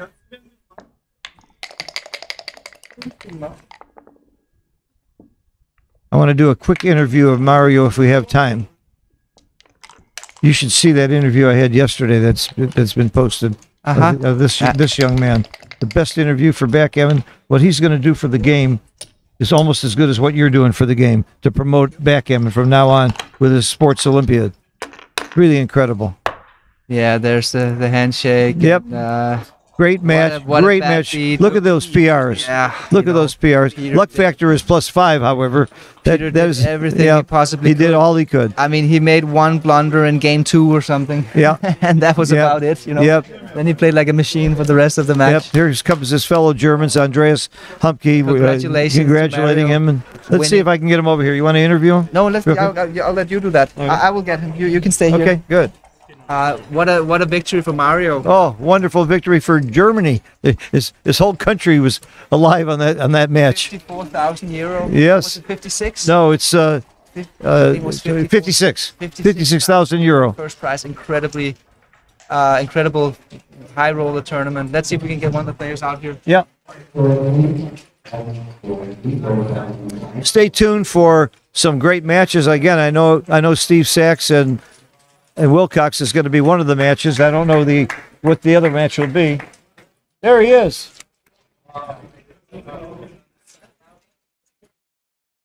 Have a seat. Congratulations. Fantastic match. Have a seat. We're, we're, you, we're being you. screened. This is Mario, our, our winner of the super jackpot, and a very wealthy man. Will you buy me dinner now? always, always. Always, always buy me dinner. So tell me, what are your what are you feeling right now? What are your thoughts? Yeah, I, I was trailing uh, a lot. Yeah, Uh-huh. I think nine to three. You had a, we think we, nine to one. Yeah. we figured you had ten percent equity in the match, maybe. yeah. Yeah. Yeah, and then uh, after this, I had a streak. Yeah, Wow. lost no no game. You may And have I wrote some really jokers like double five from the bottom. Oh, and You had some It was great the jokers. same like in New York, yeah. I wrote that, uh, ex- super important double five at the end against uh, at the end against Victor. against Victor in New York. I remember that. It's my Yeah. favorite number. Okay. They talk about how you're lucky to get those jokers. You will never get those jokers unless you put yourself in position to where you can get the joker. I mean, it's Yeah, not, and, and then you yeah. played them well. But I- look, but you I played well though. You played Peter very Jes- well. uh, I saw during the play that Peter, yes, uh, he played very well. Yeah. I oh guess, yeah. yeah, Peter played like He is uh, one of the. I have a new players. nickname for him. You know how Paul Magriel was X22? I'm calling him XG. It's, He played well, but you played great too. You had you had one really uh really poor prime versus prime in the very like the second game where you came out with a one six and hit, which is clearly wrong. You were supposed to make the prime. That was that hurt your holding PR. the, the the bar point. Yes. So that's that was that hurt your P. But you take away that one and you made it quick. It was just something you just didn't see. If you take away that blunder, you you probably played the two. I mean, you're I'm very impressed with your skill. And you've Thank only you. been playing match play what a, year or two. You, this is kind of new for you to play. You work on match play, isn't it? I, I work on match play since about nine months. Nine months. Oh my No, God. I, I played 20 years ago. I played tournaments, but uh, over the last 10 years, I um, usually I played only one tournament a year. Uh-huh. But uh, since New York, yeah, I started to play a little bit more. So this is this year my fifth tournament. I've been working on my match play for 46 years, and I can't come close come close to your Yeah, skill level. I, I, played backgammon a lot also before, but uh-huh. no- not so many tournaments. Yeah, but you got a, you got another thing going for you. It's IQ. You've proven yourself. You're a very smart man. I Thank you. I've never known. Thank you. I've never known a dumb giant in my life. And you're certainly. Are you on the Giants list this year? No, no, no. You're gonna be- was you're one, gonna be one there. time I was. How in- could you in not two- be- 2001. I know why you don't play enough tournaments, but this year you told me you're going to start coming to more. You're going to see you in Dubai, and we'll probably see Yeah. you. And we'll see Yeah, you at the. Nordic, maybe, Yes, and we'll see you at Cyprus. Cyprus. Well, I mean, you're going to be high on my list for the Giants list next year. Congratulations. Thank you very much. Spend the money well. Buy me dinner, okay. and we'll see you more. Good luck in the main tournament too. yeah, thank you. How are you doing there? Uh, second chance. Second chance. Well, you can still win the. You can still be the world champion. That's what we love about this game. It's a long way. Good luck. By the way, it's nice to see a nice guy win. You're you're one of the good guys. Thank you. Congratulations. Stay tuned. We got some big matches coming up.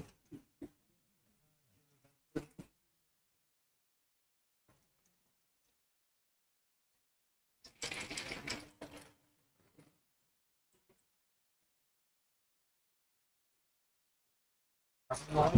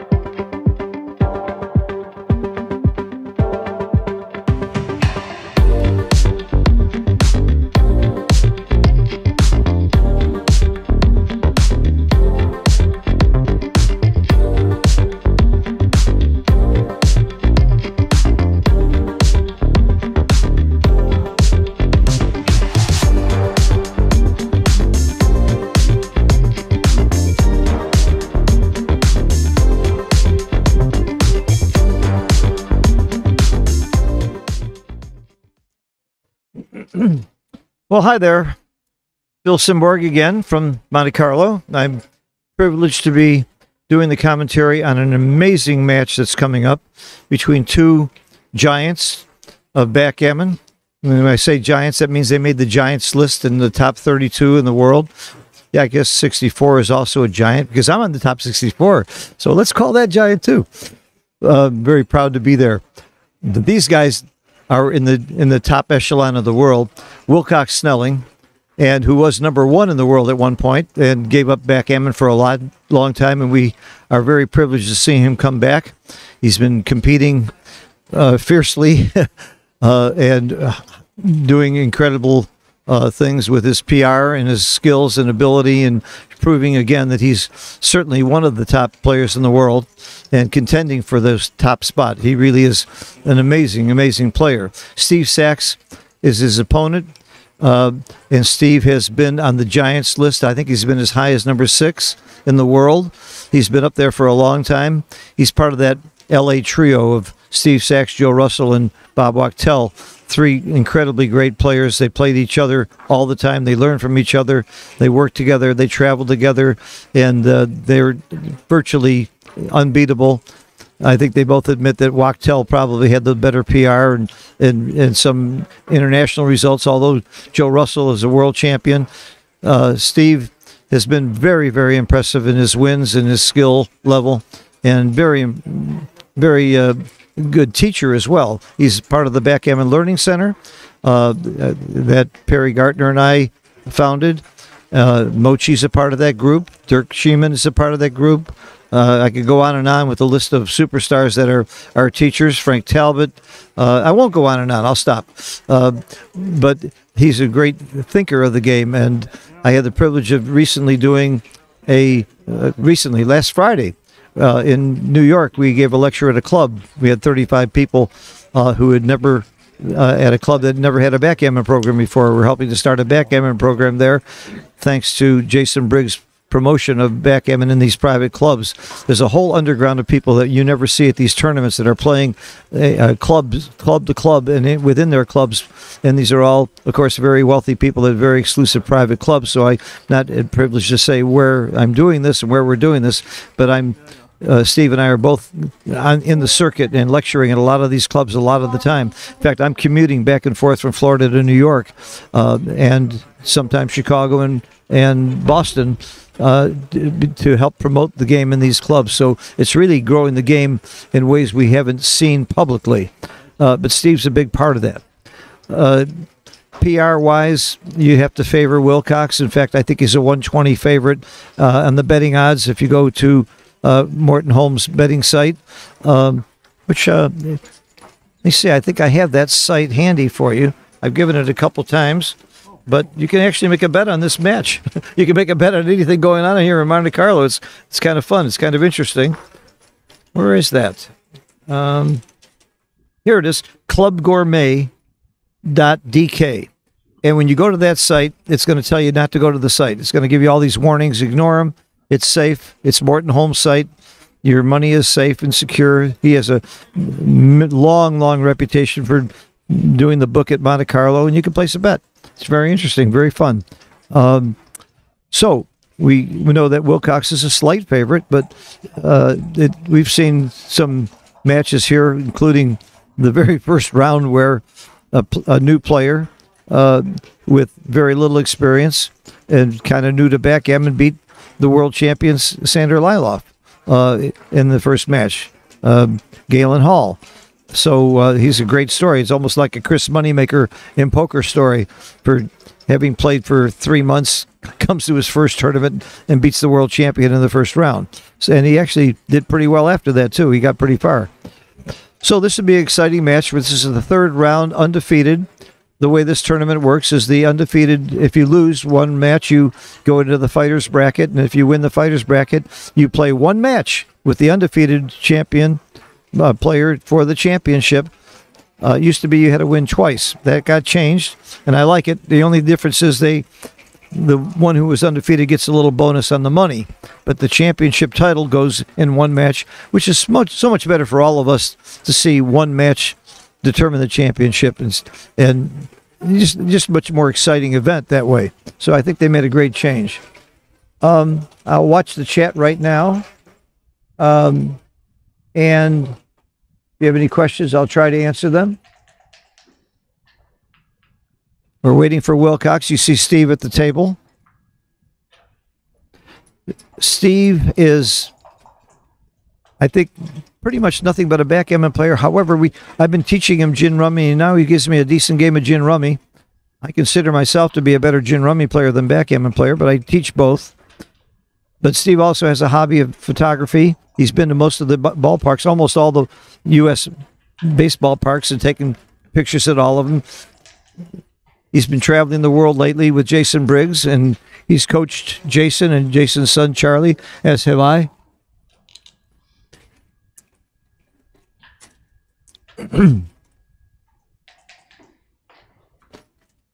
Ah. All right. Here we go. I don't know the schedule today, but I'll let you know as soon as I know. That's Steve playing the white checkers on the top of your screen and Wilcox at the bottom of the screen. I don't have any help right now because everybody's playing the major tournament, and whether they, even they won and lost in the side events, they're all playing. So I'm on my own. But we do have an XG feed, so I've got me and XG. I'm going to let the game unfold and let's see what happens.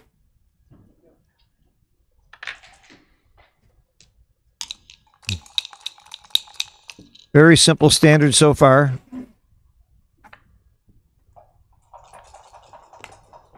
That's interesting. I might have been made the anchor, but it's clearly right to hit. Come down.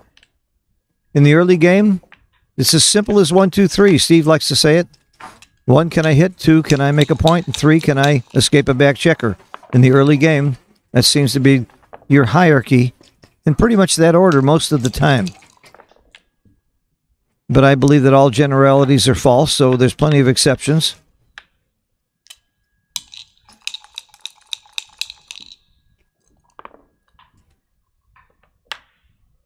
Steve always had that funny rolling style over the side. I I could tell just from the hand if it's Steve.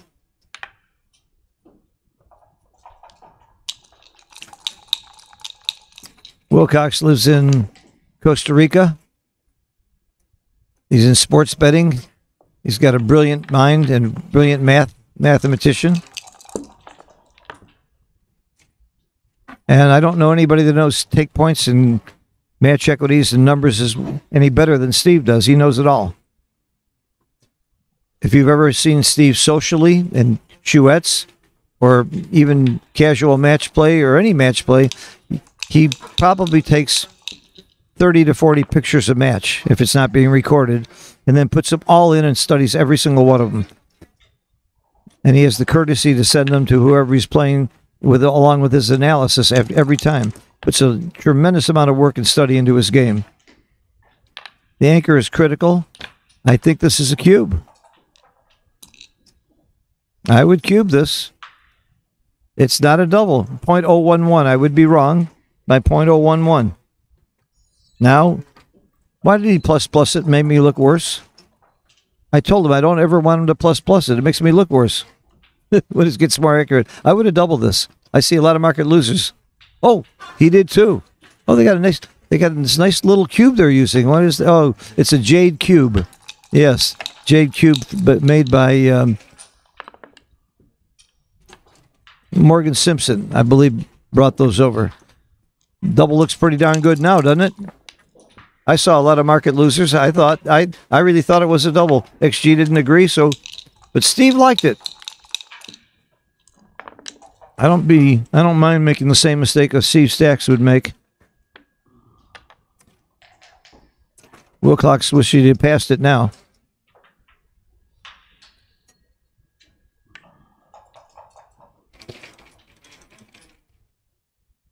I don't think this two is too critical. I wouldn't waste a lot of time on the clock.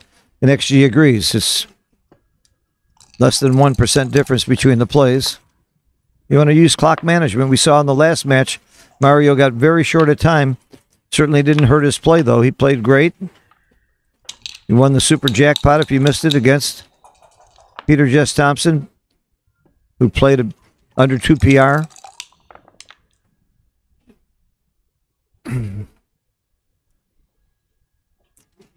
I believe that's a 3 2. Yeah, the dice is a 3 2.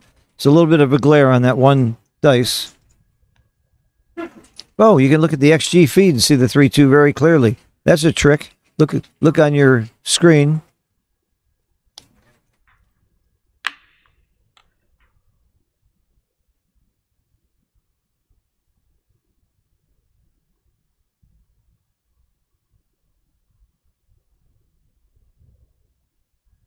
And uh, as Marc Olsen pointed out, the brackets I was publicizing every, oh my goodness. Oh my goodness. Look at this play. Look at that play. Shades of Jim Pasco.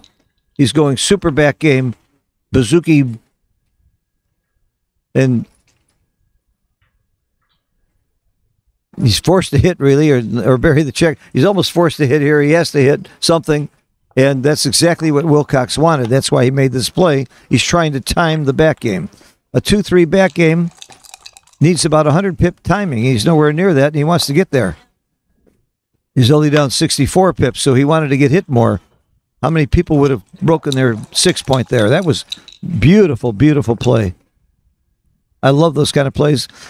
I learned those plays playing Pasco Gammon. And look what Steve's doing. He's making it harder to continue this hitting battle.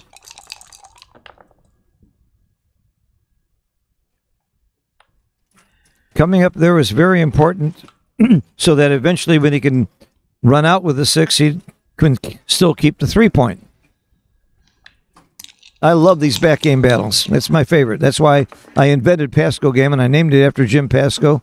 It's a big, deep back game, and you you see a lot of top players in their spare time playing that game because it's fun, and you can't use XG to help you. It's just off the charts.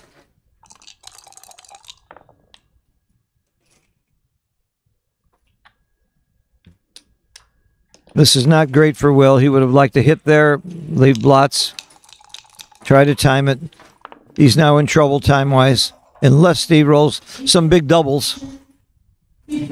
That play of going to the ace point that Steve did, I, I needed to study that more. It's usually wrong, but if Steve did it, it must be right.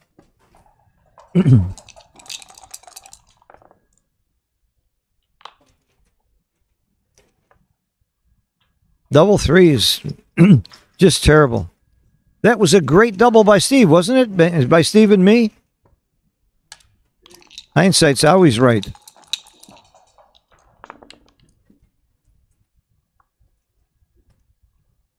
You want to bring your checkers into the higher points so that it takes longer to leave a shot and hold your opponent in longer as well. So you don't really want checkers on low points. So you roll a roll that brings it into the six or five point. You just grab it. This is all forced. He had no choice.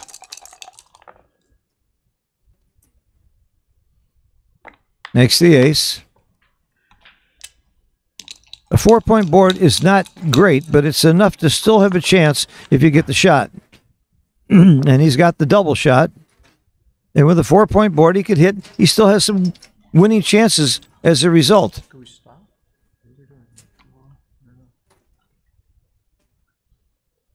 I think they're letting the transcriber catch up. That's what this is about. Yep. In fact, looks like they're rebooting Extreme Gammon. What's going on? He. It's so hard to do that job. Aviv from Israel doing it. He's brilliant. I used to do this job myself at Turner. I did it at the World Championships. I can't tell you, it's the hardest job in backgammon, doing live transcription. the fastest one I know at this is Ben Friesen, and he's great at it.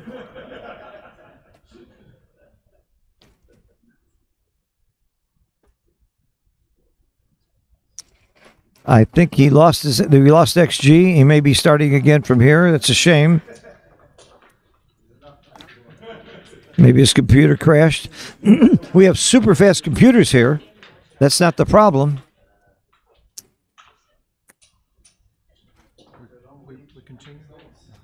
What a time to get to have to pause right before the double shot. That dice on the checker's no good.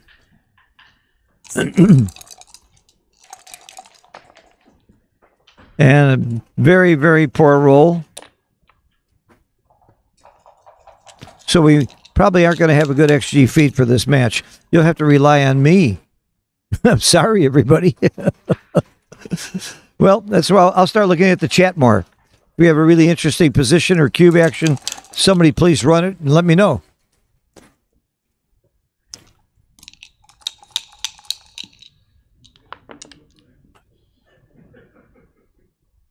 Do you volunteer here or do you go to the ace? I would volunteer.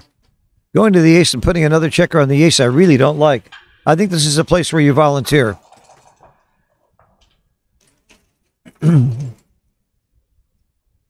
That's what he's thinking about. It, it's not too bad to get hit now. It might be worse to get hit later. Nope. He does not volunteer. Okay. Probably not going to get any worse or better later, so maybe it's just okay.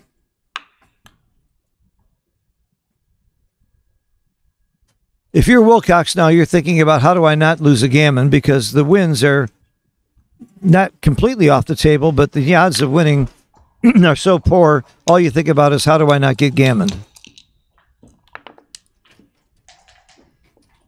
Forrest. Sixes and sevens. There we go. There's a six. Make the point. S- Steve comes in 75% of the time here.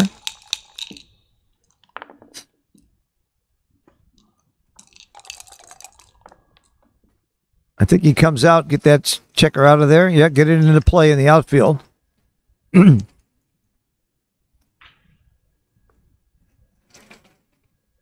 I would go to the 14. That's what he's doing to get more efficient coverage of the outfield from there in case Steve comes out.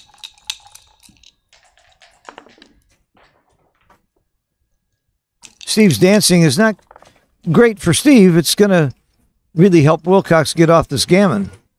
And you can see he's not playing for containment. He would keep the checker spread if he wanted to really try to hit Steve. Well, He's just trying to make sure he doesn't get gammon.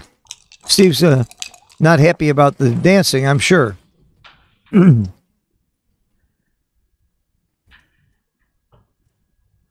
There's not much danger staying in. I mean, what's going to hurt you? Double four? That's about it. So there's not too many rolls where you're going to get hit or pointed on on the two point here because he's lost all. Steve's lost all of his spares, which argues for maybe he shouldn't have gone to the ace point on that last play. That he did. I would not have done it, but Steve did it. I'm probably wrong.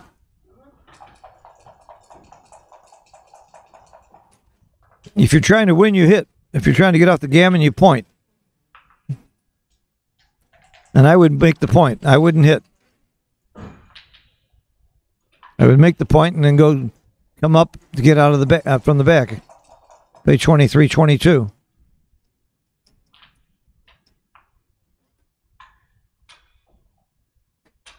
Oh, pick and pass. That wasn't on my radar. I I didn't like the play. That's throwing another checker away and exposing some blots. But it's a reasonable play. Certainly is worth looking at. It was not on my radar. And it should have been. You should be considering every play.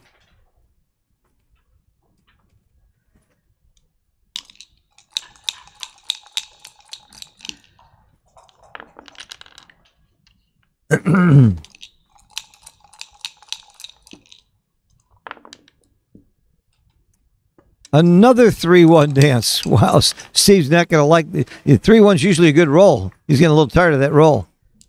By the way, now there's some winning chances for Wilcox making another point and have you Steve back there. Another 3 1. Oh my God. I don't I don't mean to sound repetitive repetitively redundant, but he keeps rolling it. There are winning chances now for Wilcox. This is amazing. This would be an amazing victory. I don't know what his winning odds were at, one point in this game, but they had to be close to 8%, maybe. Finally, he comes in. a two for Wilcox would actually be big here.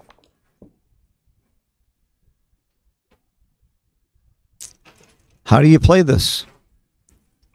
Just get off the gammon, bring it in, don't get hit. Very few gammons now, and Wilcox actually could do some winning here. This this is not uh, this is no longer gin for Steve. Throwing those checkers on the ace point burned him. I, I can't wait to look back at the, you know, he did that time he slotted the ace and the time he went back down on the ace. I think both of those cost him, certainly are costing him now.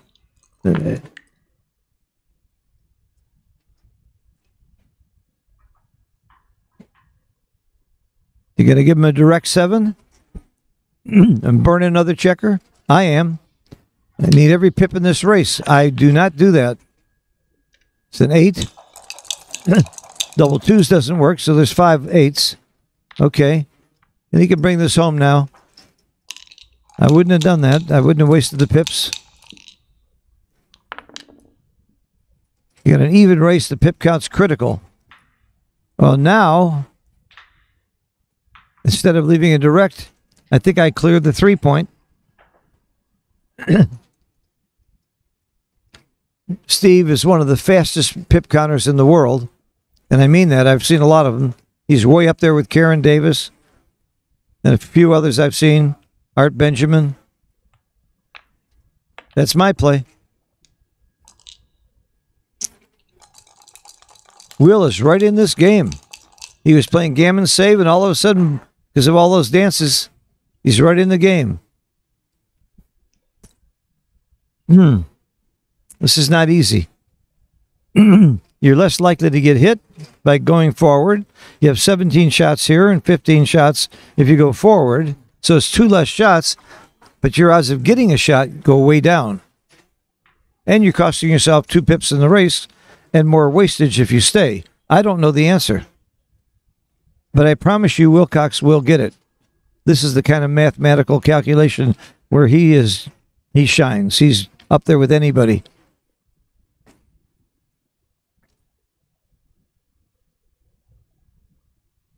This is not an easy play for me.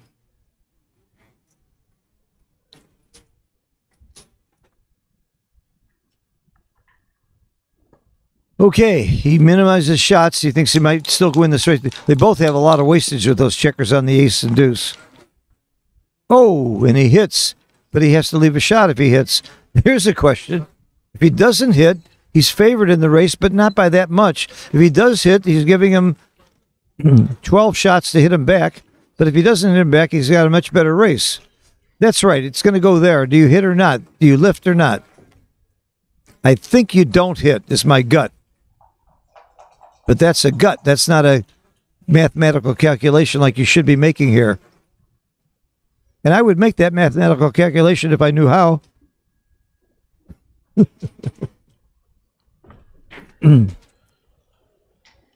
this is a tough one. Wilcox taking off his sweatshirt. He's already sweating from the pressure of the match. I think that Wilcox has been under a little more pressure than this a few thousand times in his life. He used to be a big money player back in the day too. When I lived in Chicago, and his father-in-law was Gary Kay. He'd come to Chicago. He was in some pretty sizable money matches around the world, as well as being a top match player. He decided to hit. Could be right. I have no idea. Can't wait to see. And it was turned out to be, uh, in hindsight, incredibly well. Stopped it. Look, cost him 11 pips. But there are a lot of repeaters. That was the other problem with the hit.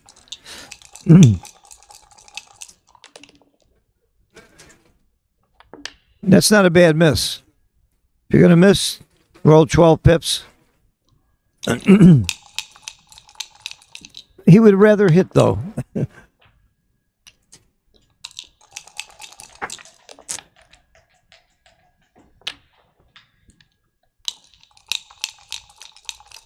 Very interesting first game we've got here.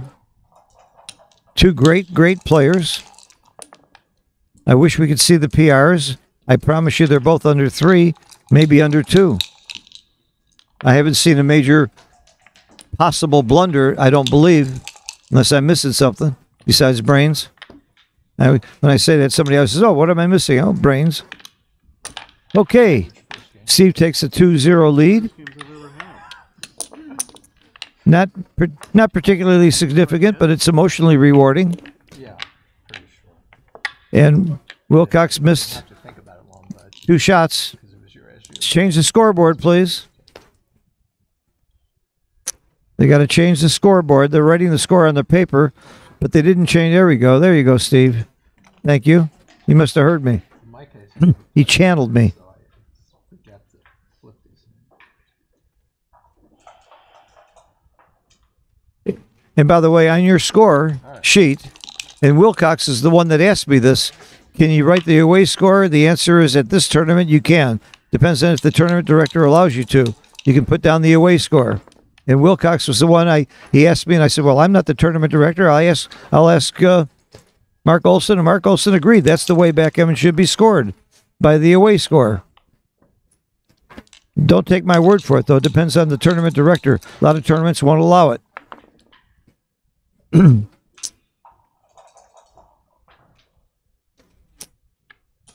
I think. Oh no. No, I think you're supposed to come up to the 20 there. Whoa, we got XG back. Thank you. We got XG back. Nice to see. I, I, I guess we don't have it from the beginning, so we won't have an accurate reading of the PRs or the previous plays, I don't believe. Maybe so. Maybe they recovered the match. I don't know.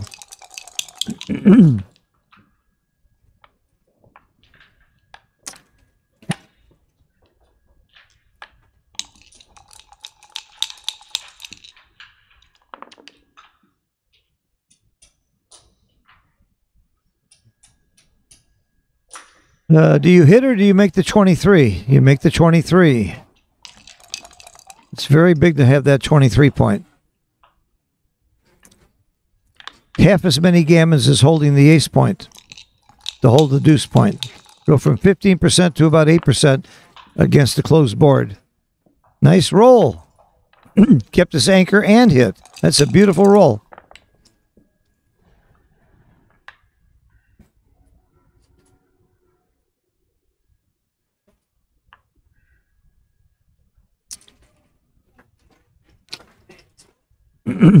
This is not a good play. He's going to take it back. You go to either bar is about is close. Slightly better to go to your own bar, which I wouldn't have done because it strips my midpoint. I would go out to the 18, which is slight. Oh, 0.001. It's a toss up. I don't like stripping the midpoint. I like going out to the 18. This play is not good at all.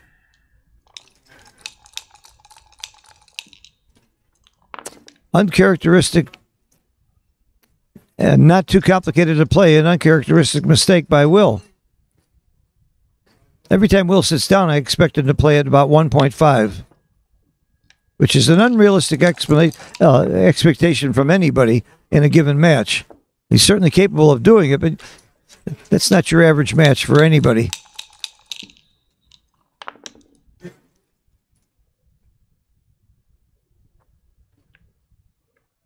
No brainer. Make the bar.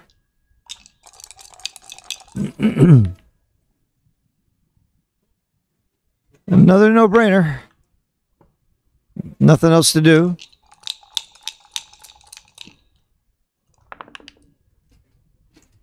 Oh, I was Steve was behind the ratch now in the race. Now he's up there. There's a hitting play here. You can make the three point. If you come out, you can't get to safety. So for that reason, I think you come down and you hit. But I'm wrong. I am wrong. You don't hit. You keep your structure. 13 to 5, 2. I would never have it's and it's right by a mile.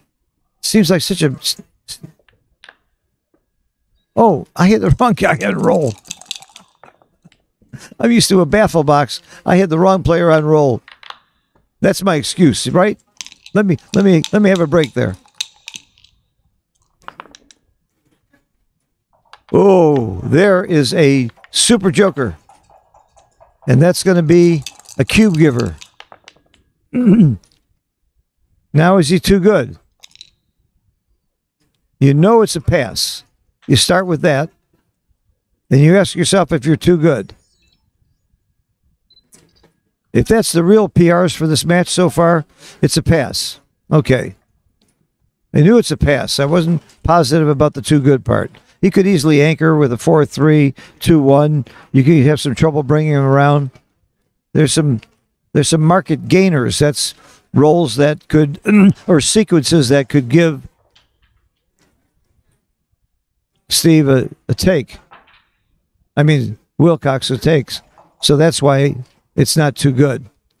This is a pretty big pass.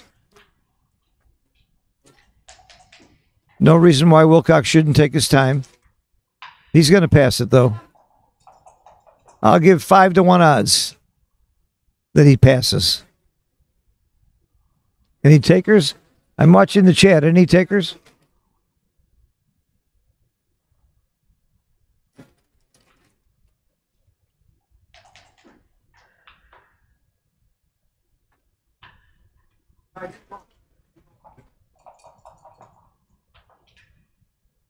It's easy for us to look at the screen, CXG, and say it's a 12% error to take over the board. Maybe it's not so easy. A lot of gammons here, 33% gammons.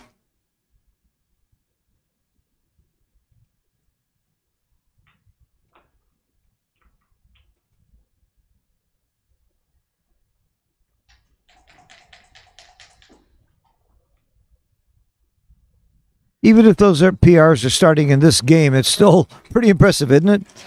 Both playing under two. And he passed. Good decision. Absolutely right. I won my five to one odds bet.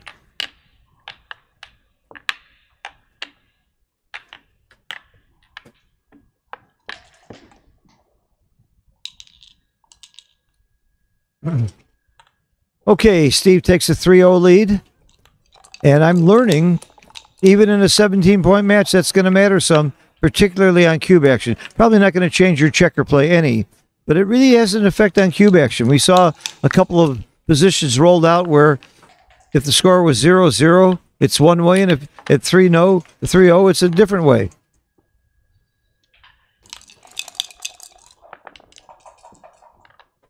Nice roll. Double threes is always good. You tend to make the five point if there's a blot out elsewhere in the board. Otherwise, you often may, would make the three point instead of the five point. But with that blot, you're fairly safe, not worrying too much about it. Your opponent hitting you in the outfield when you leave the blot on your eight point.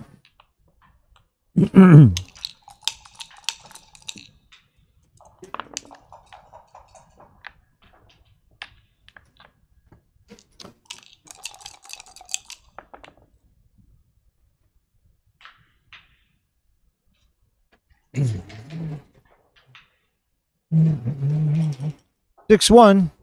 You can't see the roll. 13 7. You're supposed to slot here. Part of the reason is the blot on, on the ace point.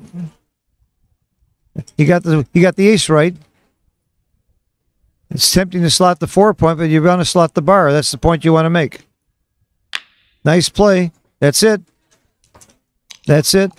That's why they call him Wilcox. He makes tough plays like this. And it pays off big time. Might even be a cube. Yep, there it is. Not much thought. Solid double, solid take. There's Steve pulling out his camera. See, even though this is recorded, he isn't going to wait. He's going to be up all night putting in all these pictures into XG, analyzing them, making comments, storing them away. And he'll probably share them with Wilcox and me if I want them. Big take.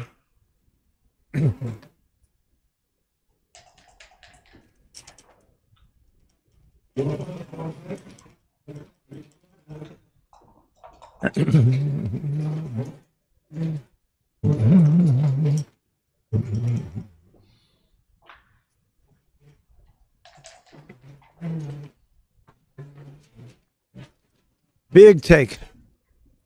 In the background, by the way, the lady in the white shirt, that's Wilcox's wife from Costa Rica.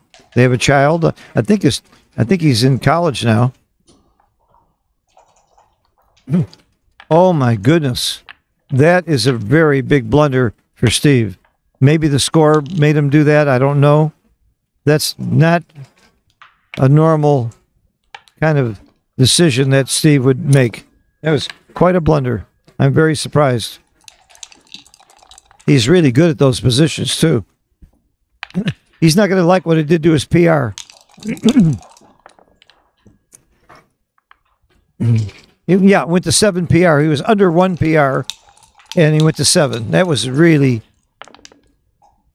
that was really not a Steve Sachs play to drop that cube. okay, not sure what he was thinking. It might have been the score. He may have felt he didn't want to be take a gammonish cube when he's ahead.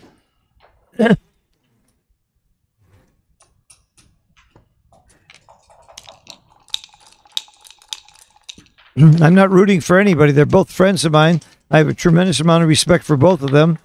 I didn't know Wilcox for many years while he was out of back backgammon. In the last few years, we've talked a lot, we've communicated a lot, seen him at tournaments. He doesn't come to many. This is his only major tournament. and he went to the UBC and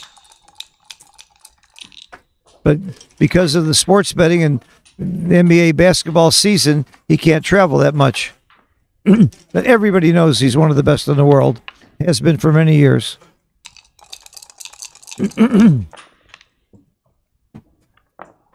Come in and hit. Or do you anchor? Nope. I mean, make the point. I would hit. You don't want your opponent to have his full roll there.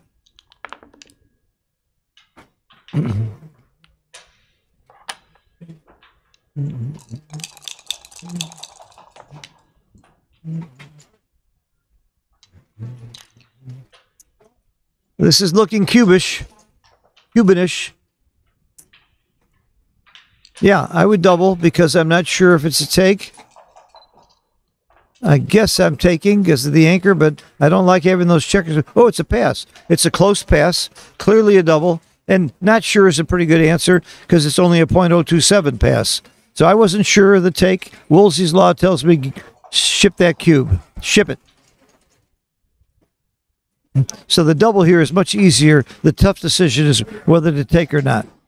So Steve should be having no problem giving the cube, and he doesn't. And Wilcox immediately passes, which is correct.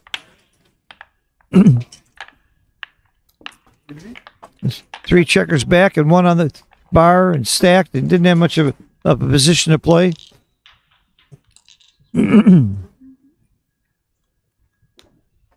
there's one I would have gotten right. That's one. One for Phil.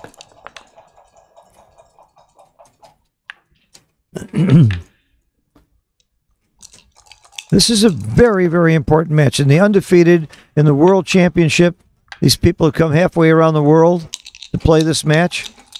There's a lot of money involved, prestige. No matter how much you play backgammon, it's really special to be playing in the World Championships in Monte Carlo. This match means a lot to both of them. The more, the further you go in this tournament, I've been there. I've actually been this far and farther. Wilcox has never won the world championship, I don't believe. He's not a world champ, pretty sure. And Steve, I know, has not. And they're both on track. They're both on track. You get by this match. Mochy and Sander and Jorgen Granstedt, they've all have they're all either out of the tournament or one loss. There were 12 world champions, and I was thinking, what are the odds of one of them winning again? And after the first round, there were four left. Eight of the 12 had been lost in the very first round. It, it was really a lot of upsets in this in this tournament. Nice play, make the make the point. Clearly right, nothing comes close. We've seen some very inefficient clock usage by some very good players in previous matches that I've been streaming. where they have almost no time at the end. and that's very, very poor clock management. And the reason I say it's poor is not, is because I we can recall them taking a long time on some simple plays early in the match that you just shouldn't waste your clock. This is right on the edge of a double, so he's right to think about it. Right on the edge. Point oh point oh one five. No double. Nice double though. Easy, easy, easy take. He sees market losers. A hit. A hit and a and no hit back. Here he goes. He's going to hit with a 5 4. Or is he going to just make the point? I think you have to hit. You hit and you don't get hit back, you've lost your market. A lot more gammons when you hit too. Okay, let's see. We can see XG now. Hitting is clearly right. You actually win more as well. Very nice play, Steve. You got him outboarded four to four points to one. That screams at hitting. And Steve sees that. And he does not hit back, and he rolls actually a pretty bad number. He'd, he'd almost rather dance than roll a 2 6 here. Very, very, very bad number. He covers with fours, he hits with ones and twos. It's a lot of numbers. Six is also hit. It's the right play. He's got the right play in mind.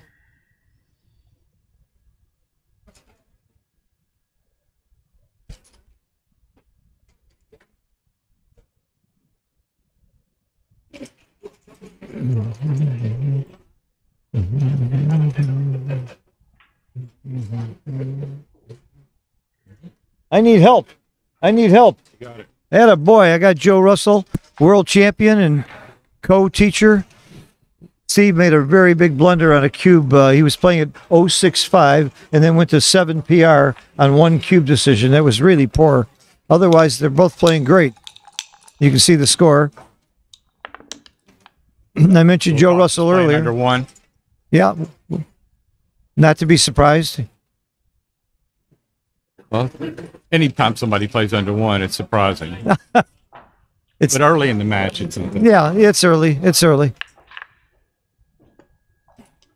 Look at this play. I love it. When you have them outboarded, you need to blitz any way you can. That was a big roll for Will. Steve got to come in and hit again. And he does not. and covers, he covers, yeah. Will stays out. It's it's the end of the game, and he did, and that. Oh, he didn't. No, he was already in. He Oh, only had, one, already he in. I only had he one I checker. thought he had two on the. No, he only had one on the bar. Okay. And uh, this is a big turnaround, actually. Very big turnaround. Although you didn't see the cube, it was a very small cube and a huge take. But I liked Steve Cube, and XG liked it too, by just a little bit. It was a gambling cube. So, what's going on with the pip count here? You can see the pip count on the screen. Like- See it No, I don't. in the see it. normal place where you would normally have the pip count, right upper right above the board, upper right and lower right. I don't see it. Where is it?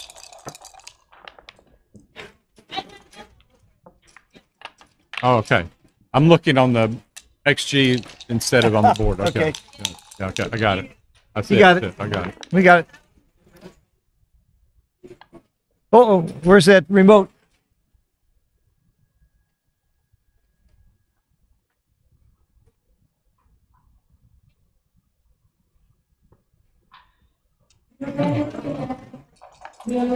Thank you, Tara Mendicino, for saving us again. She she's amazing. Big Steve- turnaround, Steve- redouble pass. Steve trails by eight. Uh, you can be deceived into thinking these positions are stronger than they are because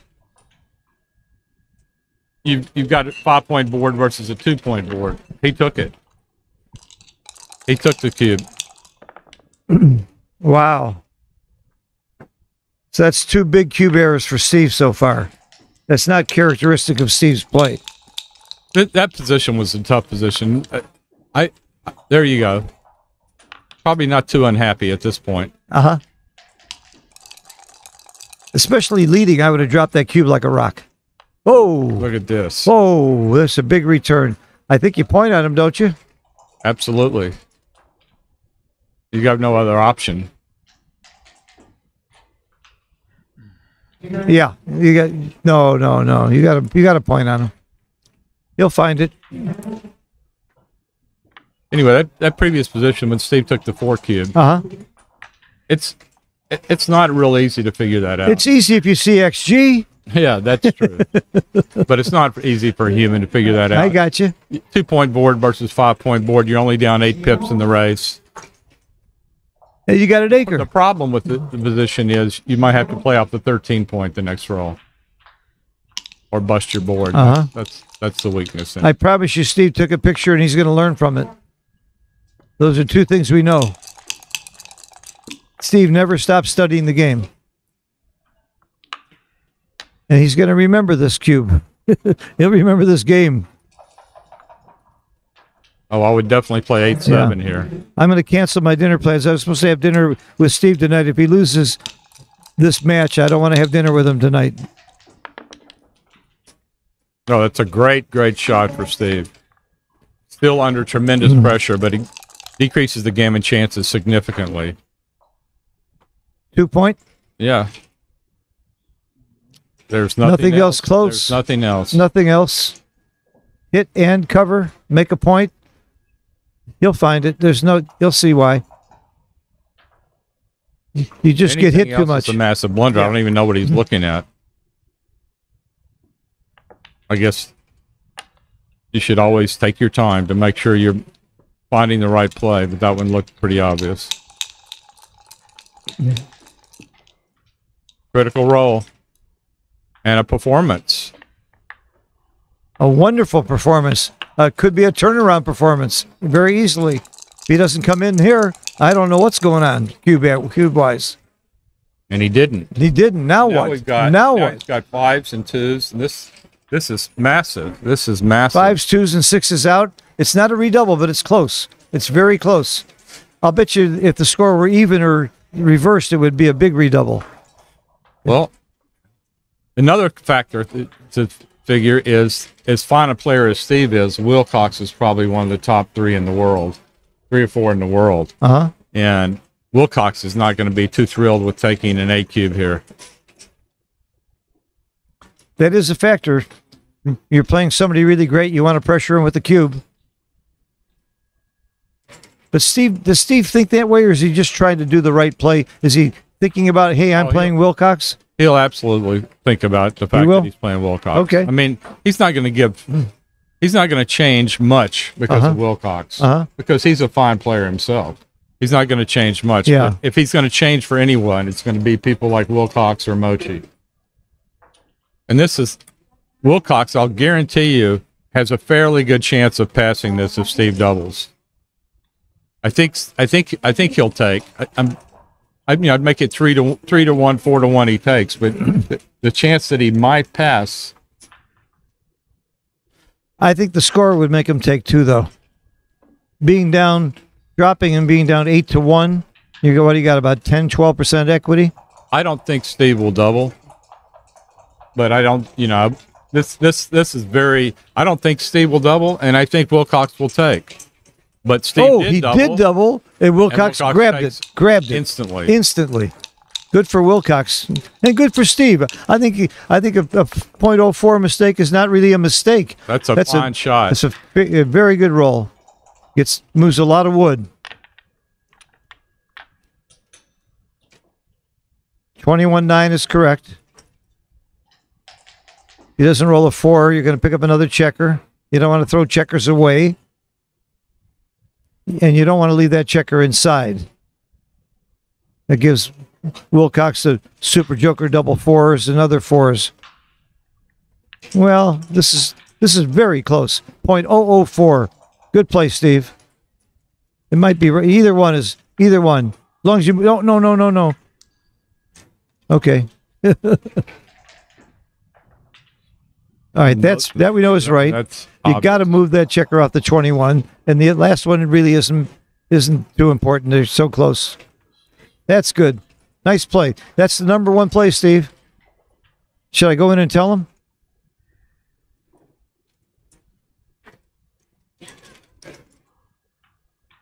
What a big turnaround. One thing to keep in mind is when you're in doubt between two plays, make the play that's going to be best for you if your opponent doesn't come in. That's a good axiom. You get more shots by playing to the nine if he doesn't come in. Because the odds are he's So- not going to come in, so you're playing the odds. You always play the odds, Joe. Okay, I mentioned earlier that there's nothing like Monte Carlo for being under pressure in a tournament. Do you agree with that? Is this the most Absolutely. pressure you ever feel in a tournament? You know, I, honestly, I don't feel that much pressure. Because you won the damn thing and you came Yeah. in and you've been in the finals That- that- twice. that that could that could be it, but you know, You're- you're I've immune to it. Backgammon for so long. Uh-huh. I- it, it's I had the most fun maybe in Monte Carlo. Okay. You don't feel pressure though. And Steve Okay. Steve found the right play, by the way. Yeah, he did. Excellent. He Steve. did. very well, very well done. I promise you, Steve's under pressure. Steve's under pressure in a five dollar chouette. He's always under Okay, pressure. So, so here I'd get off the double four.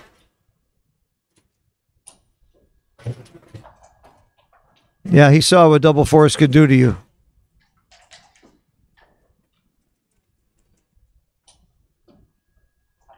You missed the super jackpot finals where Mario had like eight jokers to kill Peter Jes, who played under two PR and still lost. I But Mario played well too. He left him double fours. left the double four. You shouldn't say it out loud. If he'd rolled it, I would have told Steve later you said it.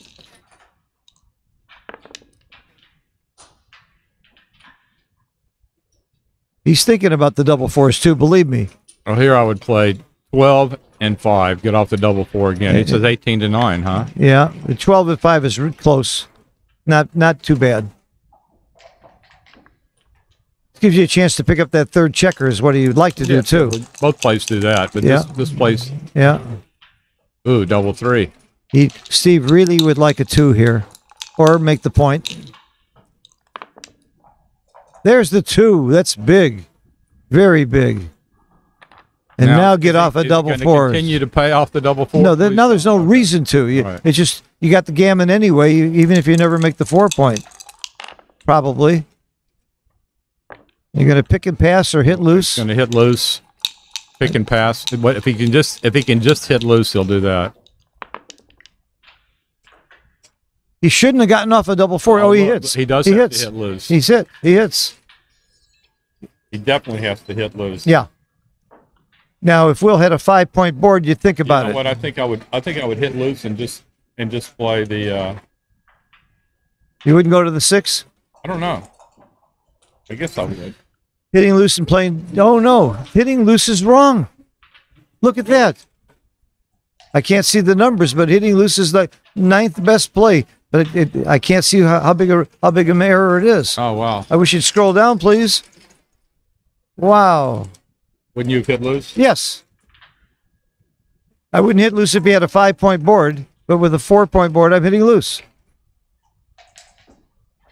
I guess you don't. There you go. He hit loose. The last one, and I'd make this play. I this is exactly what I would have done. How bad was it? I don't see it, so we don't know. Uh oh. We got action. With an eight cube, every single roll is critical here. This is an eight cube we're looking at in a 17 point match. Every single dance, every single four is really, really big. This is huge. These guys came halfway around the world for this match. Woo. Boy, does he want a four? Does Steve want a one or a four? Each roll, Steve has 20 numbers to come in, and Wilcox has 11. Oh, In and hit. in and hit. No, hits wrong again. Wow. Wow. 0.071. Wow. No, Steve, you should come in. Oh, he's taking a picture again. I mentioned this early earlier. He's going to study every one of these. You and I hit, don't we? Yeah, I, I would I would definitely make a blunder on this. I yep, me hit. too. But Steve's going to find the right. and it's play. big of you to admit that too. Not big of me because I'm not. I'm not Joe Russell. I don't know. that anchor is going to be very costly for gammons and maybe wins. Okay, you button up. You make a point. No, you don't make the point. Yeah, here just start clearing checkers before he comes in. Uh huh. Yeah, if you make it, you only got to clear like it. have done is Yeah. like duplicated the double four and bring another checker in, but you can't do that. So just Uh-huh. play 10 to 5 and 16 14. That's the right play. You found it.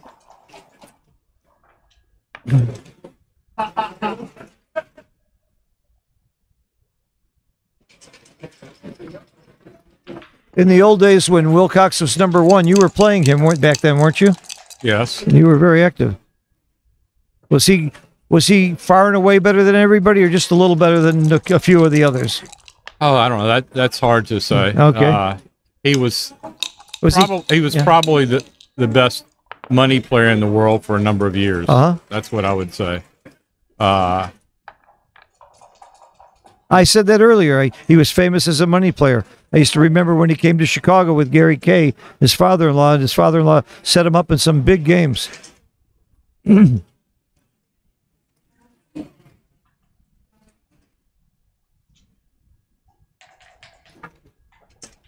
Don't forget, Svobo was playing for money back then too, wasn't he? He was. He's had to be way up there as a great money player. Still is.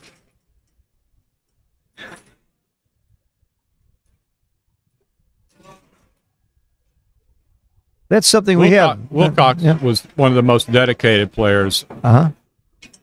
meticulous. So he he took over your job, right? Okay, he's involved in sports betting. Okay. And no, that's not true. I was more of a software developer. Oh, you're a software developer. I see.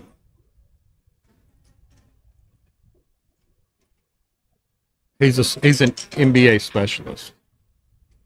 NBA basketball specialist. Yes.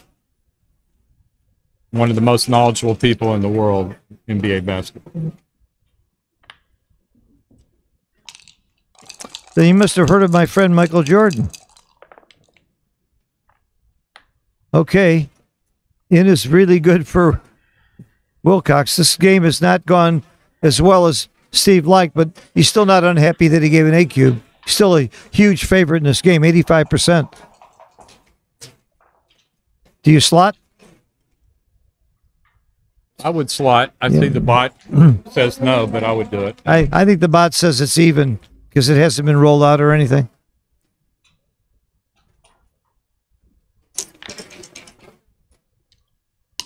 It, he could get an indirect shot, which might have made me afraid to slot.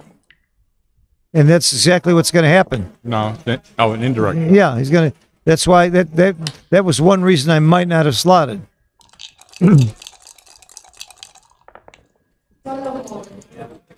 Woo.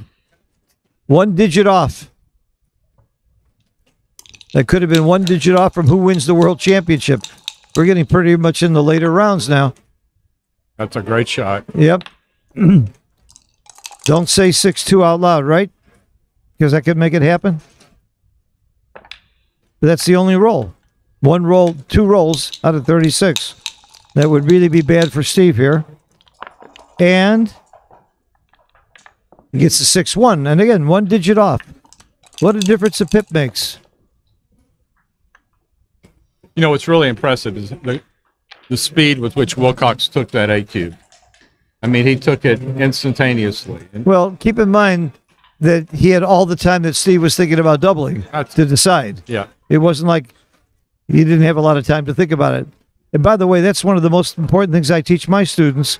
And Joe's one of our teachers now too at the Backgammon Learning Center. When you're playing with the clock, use your opponent's time. Don't just sit there twiddling your thumbs. When it's his turn, you should be thinking about what you're going to do. And that's exactly what happened with Wilcox. still, it's impressive when you know if you get Gammon there, Yeah, it's an eight match cube. is over. Yeah, this is an eight cube in the World Championships, and you gobble it up without using a second on the clock. I see what you're saying. Here he should play five to five to three. All you care about here is what's the fewest shots. Well, it's the same number of shots either way. It's just double jeopardy. Good rule of thumb in, in these positions are when you're clear. Yeah, this is good place, Steve.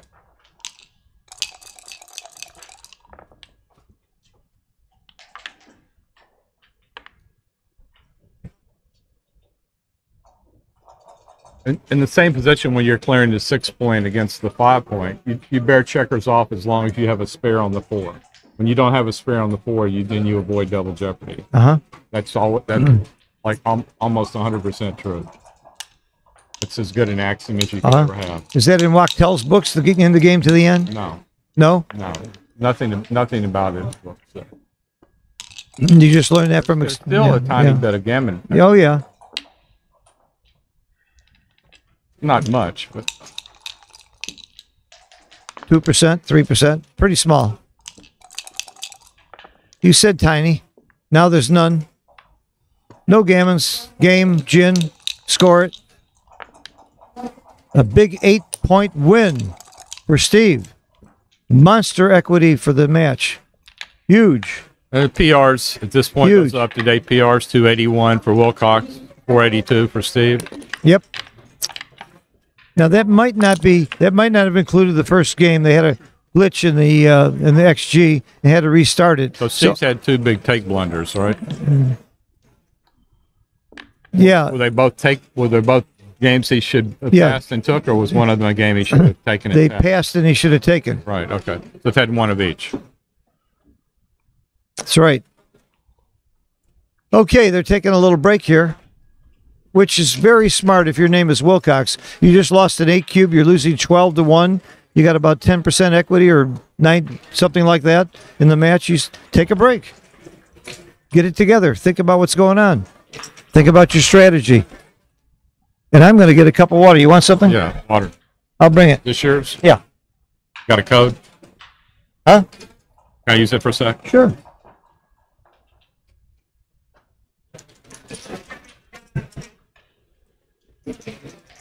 Thinking it was uh, 11 pointer.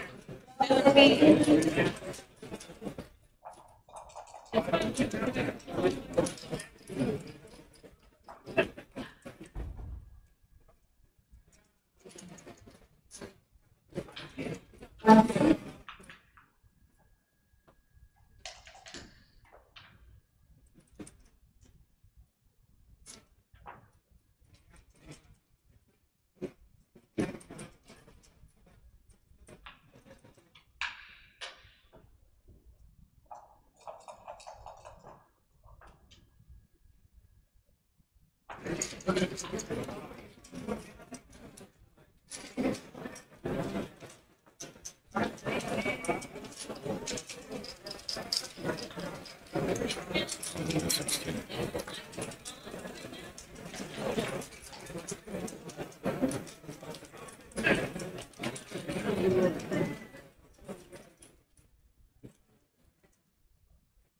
looking at match equity.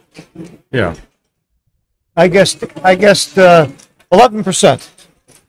Eight, per- eight, eight and a half, eight, let's see, 8.1%. 8.1%. But it's a sporting guy to show you what a sport I am. Yeah. You're going to give me even money, Nine to one. it's 11 to one. I'm taking nine to one. I'll tell you what, I'll take Wilcox even.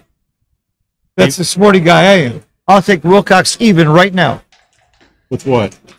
With what? What do you mean with what? Even, even in what? Even money for the for the uh, for who wins the match. And What do you mean and? what's the catch? There's no catch. I got Wilcox, you got Steve. For how much? Oh, not for money. this is the gentleman's bet. It's 11. It's it's almost 11, what? Uh, 11, 11 and a half to one. Uh-huh. I'll take nine to one. All right, you got ten dollars. Okay, got it. It's a hedge. 'cause By I the have way, we're, we're of by the way, we're our mics are on. The whole world just heard Okay, our bet. yeah. And by the way, there's a lot of betting going on in Monte Carlo. You got to go to the website. You got to go to Morten's website. You can put a I bet down. usually, I usually don't gamble, but ne- when my, You usually don't gamble. You can go to clubgourmet.dk and put your bets down on anything, any match or on the whole tournament, and who's going to do what. And uh, Morten's booking it. I was again, actually looking to bet on this match, but he had such a wide spread on it. 120. No, he had he had the line Wilcox 140, Steve plus 110. I thought it was 120. Hmm. Okay. That is a wide spread. Yeah. That is a wide spread. And who would I you might, have, I might have bet on Wilcox minus 110 or Steve plus 130. So he, he had me covered.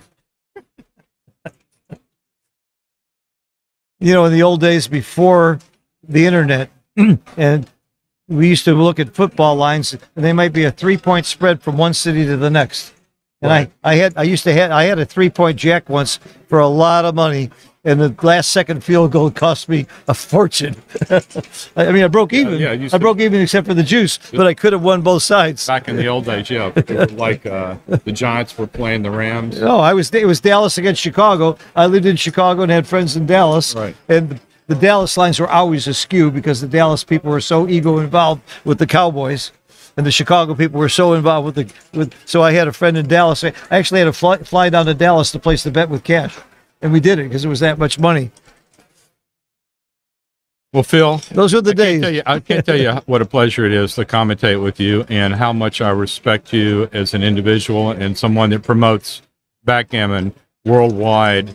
And you're one of the most energetic and entertaining people I've ever known in my life. And I'm always happy to share company with you, regardless of the venue and format. Thank you very much, Joe. And here's the twenty bucks. I was I I, I agreed to pay you for that.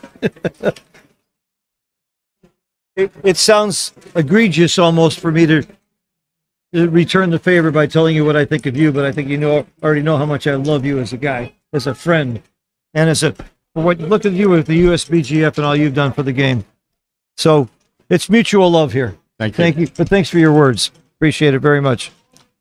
That's why I'm on the Giants list. We all know I made the Giants list this year, not because I'm I'm, I'm, I'm as good a player as Steve Sachs or these guys. It's because I, I have tried to promote the game. I love the game. Well, you deserve every every accolade that you receive. Thank you so much. And I've and I've been I've been thanked. USBGF gave me a special award. The UK gave me the award for the number one uh, promoter of the game. I mean, I, I I've been thanked. But the thanks is the fun. I'll tell you, the biggest thanks I get is every time I bump into a student.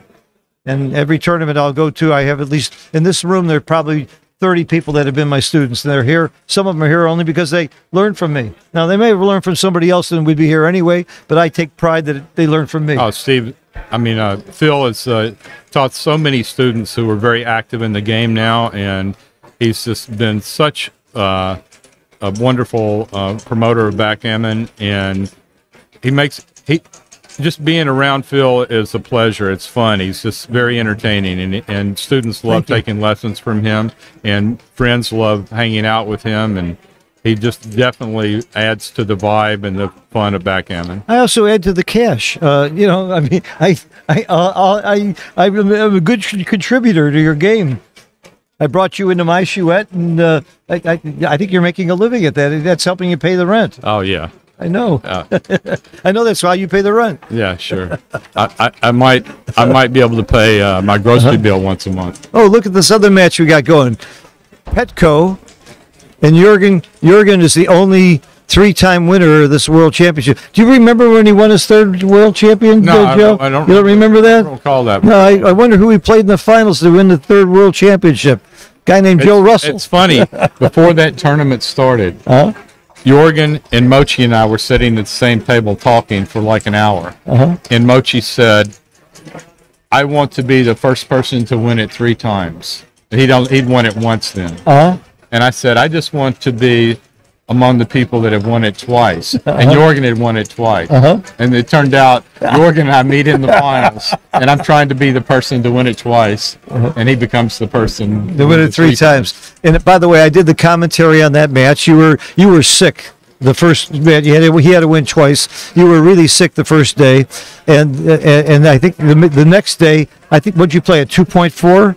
Something incredible. You No, no, I, I think it was the three. the three, but it, but back then, a three is like playing a two today because we the, the the level of computer analysis has improved in the time being Well, using people just extreme. more time to yeah, spend. right. So you were you played as good as anybody in the world ever played, just about we in, both in played under three. Yeah, in it was very match. impressive. So what's going on with Petko and Jorgen is winning two away, five away. You can see they're only playing to 11. That's because they're in the fighters bracket. They've each lost one match, but they can still win the world champion again. Jorgen could be a four-time, four-time world champion The winner. time, the time that he, when he beat me for, for his third victory in the finals, he lost his first match and fought back all the way through the fighters bracket. Uh-huh. He had to win like I don't know, eleven matches or twelve matches or something, Uh-huh. maybe thirteen. I don't know what it was. Yeah. but he had to win, and each, and he was the best. I had already won the winners bracket, and I'm waiting for the fighters bracket to finish, and I was obviously rooting against him because he was the best player left, and I didn't want to play the best player left. Yeah, of player course, left. of course you don't. That's course you natural human instinct, right? So every match he was trailing like two away, seven away, or one away, five away, like three matches in a row. Uh-huh. It's trailing. Yeah, he's trailing. I'm just like, okay, come on, knock this guy out. You're- Every, every match. You're rooting for the underdog, everyone. What do you think of the the change now that you only have to win once to win the world championship? I just, I didn't even know that till somebody told me last Yeah, night. they- When did they change that? Last year. Okay. Last year. And what? How do they compensate the winner? They just pay extra money to the guy who Where's is my extra undefeated. money? Huh? Where's my extra money? That's, they changed it after you. They figured, why give it to Joe Russell? We'll give it to the rest of them. But do you like the idea of one time instead of two? Yeah. I do too. I love it. It's much more exciting final.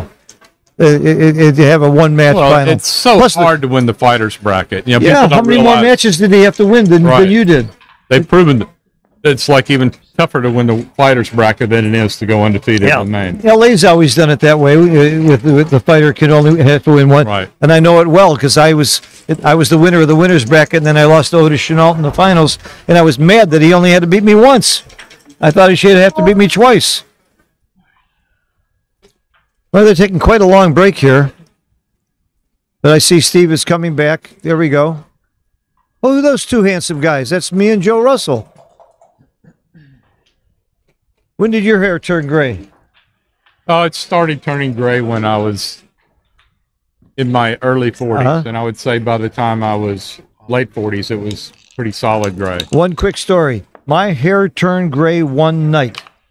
They they say that people do it. I had a fight with my wife, and I woke up the next morning with gray hair. No. I swear to God, almost. How does your hair turn gray? I don't know. There's something chemical that can happen. Doesn't have I'm not. out gray or something. I didn't. It was. It had a little gray in it, and the next day it was almost all gray. One night. It was unbelievable. I, I, I, I researched it. It happens in very rare cases, but it's under stress. Boy, was that stress. Okay, there's no stress like fighting with your wife, which no longer, I no longer have that problem. Okay, back to the match. Are you, according to Joe Russell, who taught me that, Joe Russell, according to Joe Sylvester, who taught me this long ago, at these scores you play gammon, go, gammon, save. When you're this far ahead and this far behind. And the computer back then, when he told me, didn't agree. Snowie didn't agree, but XG does. You you play all your opening moves as if it's gammon go and gammon save, and your cube action too.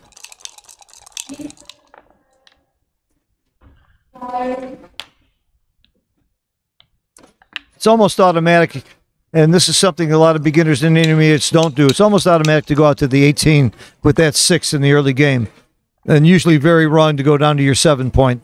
Create new, another blot that is, even if you like to make the seven point, there are rare exceptions, but generally that's wrong.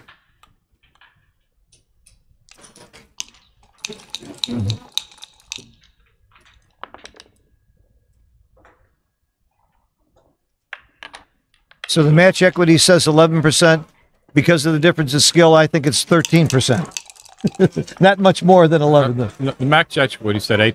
8%. So maybe it's 10%. You know, Then you- we have an even bet. that's right. I mean, Wilcox is better, but not enough to matter that a huge amount. That seems like a fair assessment. Mm-hmm. And I don't know anybody in setting odds and betting that's that I've ever played with that's better than you.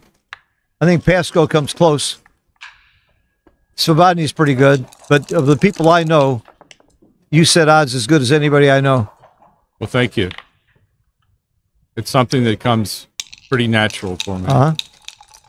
What makes me mad is when we put it in the computer and check it, you're always right. Your settlements in, in money games is and, and uncanny. You're within two tenths of a percent all the time.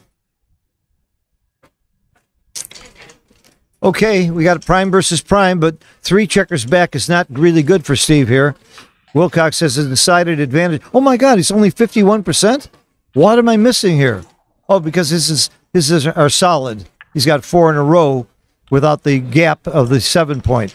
I had no idea that was that big a difference. This is a 50-50 game. I really thought Oh, I really thought Wilcox had a real advantage. getting a swing at a swing at the blot right now. That's the reason. Okay. A free swing. And a swing and, he a miss. Five four pointer. A swing and a miss. That was, That's not really a miss. He also has you know that that that big too that he can point on the Uh-huh. two point. Uh-huh. There weren't many numbers, but All right. So the, it certainly has turned some. There's no way you double when you're winning by this much, is there? no, heavens no. He's got four men Yeah. behind. I mean, three men stuck Yeah. behind a four prime. He he won't double this. It's only Absolutely. a .64 error. Absolutely, he will not double this. Without, I'll guarantee you, he will not double. Well, know, it would be the biggest blunder that Steve's ever made in a tournament, maybe, if he No. doubled. wouldn't be that. Okay, he rolled. Nothing wrong with him stopping to No. think, though. Maybe he's thinking about what, what would get him to a double if he could get there. A hit, a hit and out would get him to a double. I should just keep going to the six point. He wants he wants to keep shooting at that man. Well, he would still be shooting if he moved the two, but not as good, not as well. He dupes ones and threes by staying there, so it isn't that expensive. It isn't that costly to stay there because it dupes the threes also. This is a little bit wrong, not bad, just a little wrong. Three percent. The main thing it was was two blots instead of one. He Now it's right on the edge of a double. The score would stop him. no, this is no double. It was. I, oh, I'm sorry. I, I was looking at the wrong screen. Hmm. I don't know anybody else with a rolling style like Steve's, sort of over the side.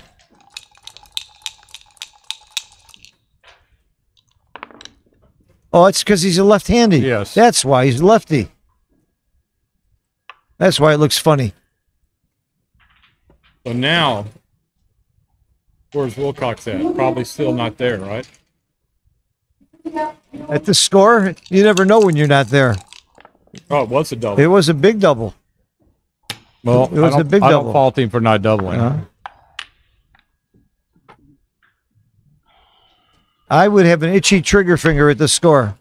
I think I would have found that double. But he's got such a hang up on trying to do the right thing, and I don't. there he goes. Double pass. Big pass. Steve scored it before he turned the cube.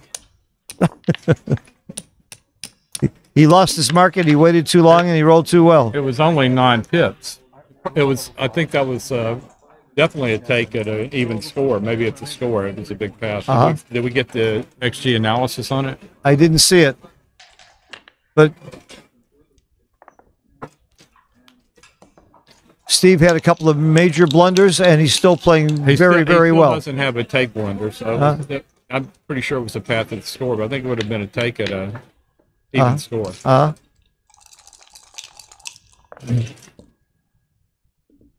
so where are you in this tournament, Joe? You're sitting here for a reason, aren't you? Eliminated. Yeah, that's why you're sitting here. Okay. You're in doubles though. Who are you playing doubles with? Blake. Blake, my buddy Blake. We both stayed at Blake's apartment last week. I had a good story. I, yesterday, I was leading my match eight to five. I lost the last seven games of my match. I got into a sh- chouette last night. I lost the, I lost all six games that I played in the chouette. Oh. Then I played my match today. I lost the first two games in my match, so I was on a Uh, I was on a 15 game in a row loss streak, and finally I got to a position where I had a double pass, and I said I'm going to win my first game. I doubled, and my opponent took. It And I beat you. rolled my 35 to 1 only number that left a shot. and you lost? And I lost. How many games in that in a row? That's 16? That was 16. What's the odds on 16? Come on, you know that. Well, I know I know 10 is a 1001. 2024. Yeah. 11 is 2048. Uh. 12 is four is 4096. 13 is 8192. 14 is 16,380 90 390 92. Yeah. Yeah. So 32,000 to 1. yeah, yeah. 32,000 to 1 and you did it. Plus the odds are are even worse because of your skill level. You were probably better than many of the people that beat you those games. Probably. God. I think All right, my where are we here? My opponent in my intermediate round. Uh-huh. Uh, I'm. It may have been a two to one favorite over, and I That's and I lost eleven to one. it's hard to be a 2 to 1 favorite in an 11 be. point match It against is. anybody. It- it is. Against anybody. He was that bad, huh? Okay. I, am not saying he was that bad. Okay. Yes, you Maybe are. Maybe I shouldn't say that. I know. I know. You don't want to say it, but it could be. And I might have been only eight to Uh. five. Who knows? All right, what's going on with this cube action? Is Steve taking? At this score, I think he's passing. What's the pip count? Twelve pips. Steve's ahead. Twelve pips. Yes. I think it's a clear take, Oh but- yeah. but I think he might pass. No. It's a clear take. He we haven't not seen pass. we haven't seen the analysis, and I'm going to go on a limb and say it's a clear take, and you're going on a limb and saying he's going to take it. I think it's. I think it's only a double because of the score. I wish we could see the analysis. Wish I could hit a button and look at it. He passed. He I, I think it. he's going to have a pass error there. We're about to find out. Oh yeah. Look what happened to the PR. Well, it doesn't show him having another take error though. How can the PR go to 11? Something's something's wrong Something's there. Let wrong. Me go check on this. Some, something's wrong. I don't think we want to disturb the match for this. That's not. The XG analysis is not as important as Okay. leaving. Yeah, I. We're really not supposed to go in that room Well, while I just don't know how his PR went to 11 all Yeah, of a sudden, we'll and to- it doesn't show there being another yeah, take we'll, we'll find out later. I'm I'm curious like you, but we just can't do it right now. Okay. Six four, good roll comes in and hits. Now Wilcox has the decision again based on the score. He's got it.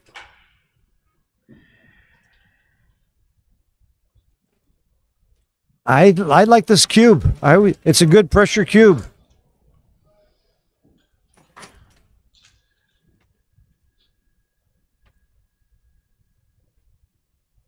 I like this cube.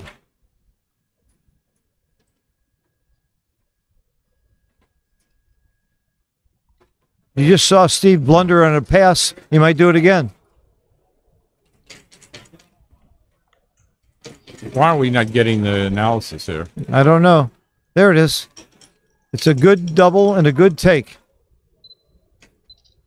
We're not, you know, we're not sure Steve wondered because it didn't. Sh- it doesn't show him having another take error. So I'm not sure what's going on here. Uh huh.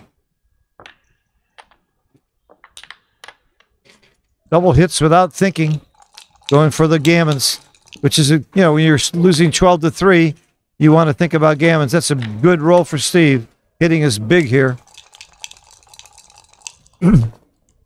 Wonder if any. Oh, double threes. Do you come in and hit? I do. You hit or make the four? I think you hit. Oh, I'm right. XG says hit. No, no. XG says hit. Wilcox we'll anybody get in it. the commentary have anything anything to say? Yeah, I'm, I'm looking at the commentary. If anybody knows about that last cube action with Steve dropped, if anybody saw it, let us know. Nada. Not yet. I don't see anybody intelligent on the stream. Well, Bob Z's got to be there, right? Casper, Jim Painter. I see a lot of intelligent people. I'm kidding, of course. But nobody's giving us an answer. Make the bar? No? Okay, yes. 6 1. I have to admit, I might have made the bar there.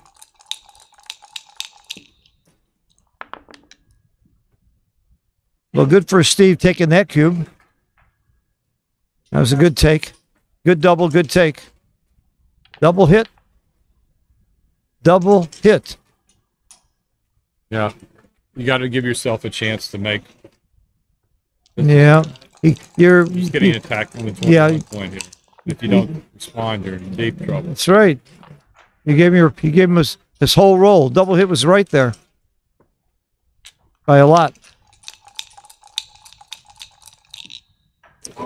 Needs a four.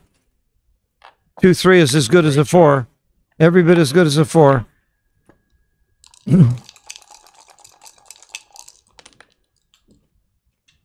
Gonna hit again? Certainly hit. Yep. When you're blitzing, blitz. But you're running out of checkers in the zone now. Getting thin. That's still a good roll. Nice play. Very nice play by Steve. Oh, hit and cover. That's a great roll.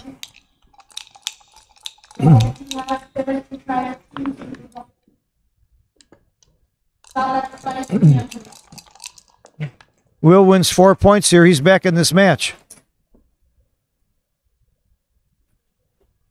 And who did I bet on? I think it was Will, wasn't it? Let's not forget that bet. That's more important than what's going on on the screen here. My ten dollars. You laid nine to one on Will. you can sw- you can switch to. You laid nine to one. You can pick who you bet on right now. I can go seven to one anywhere, any way I want. what a sense of humor! I love it.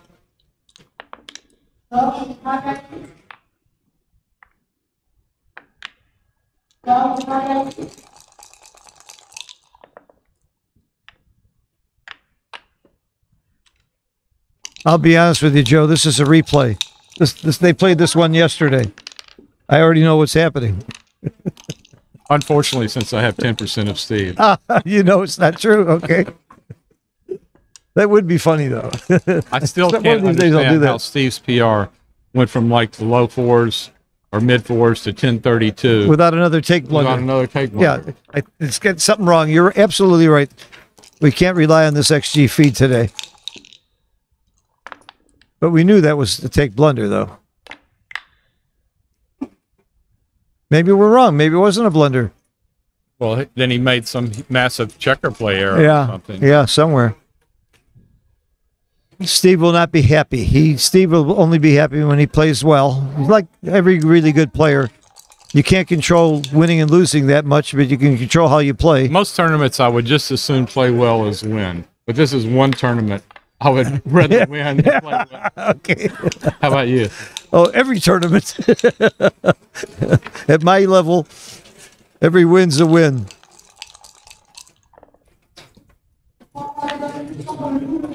I love Carter's response when he won Cyprus and he was That was outplayed. a .01 error. Yep. It was supposed to make the ace point.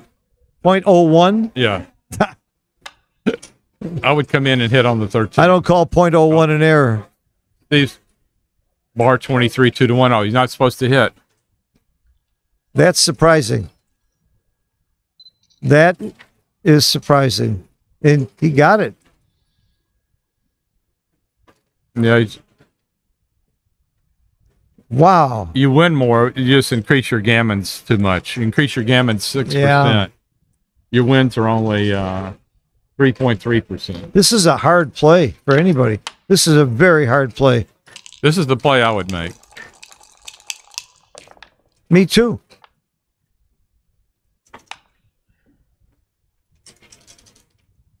I wouldn't know whether to come out to the bar or, or come out to the 16. I had I would have no idea.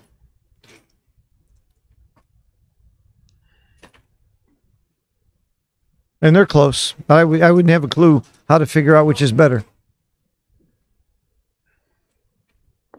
They're close. That's the right play, Bo. No, he came out to the 15. That's the third play.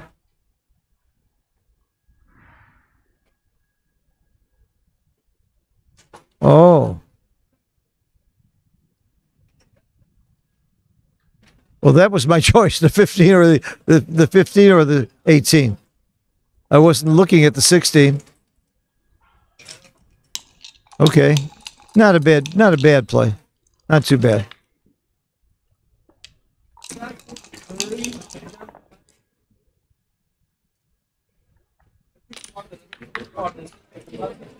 Next time it shows the overall PRs, let me point out something to Okay. you well.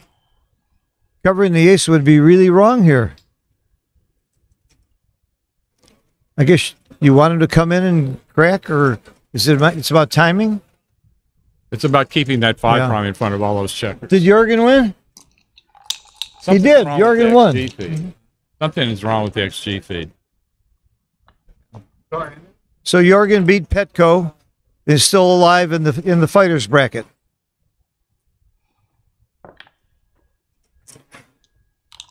So Wilcox is about a close to 50% gammon here.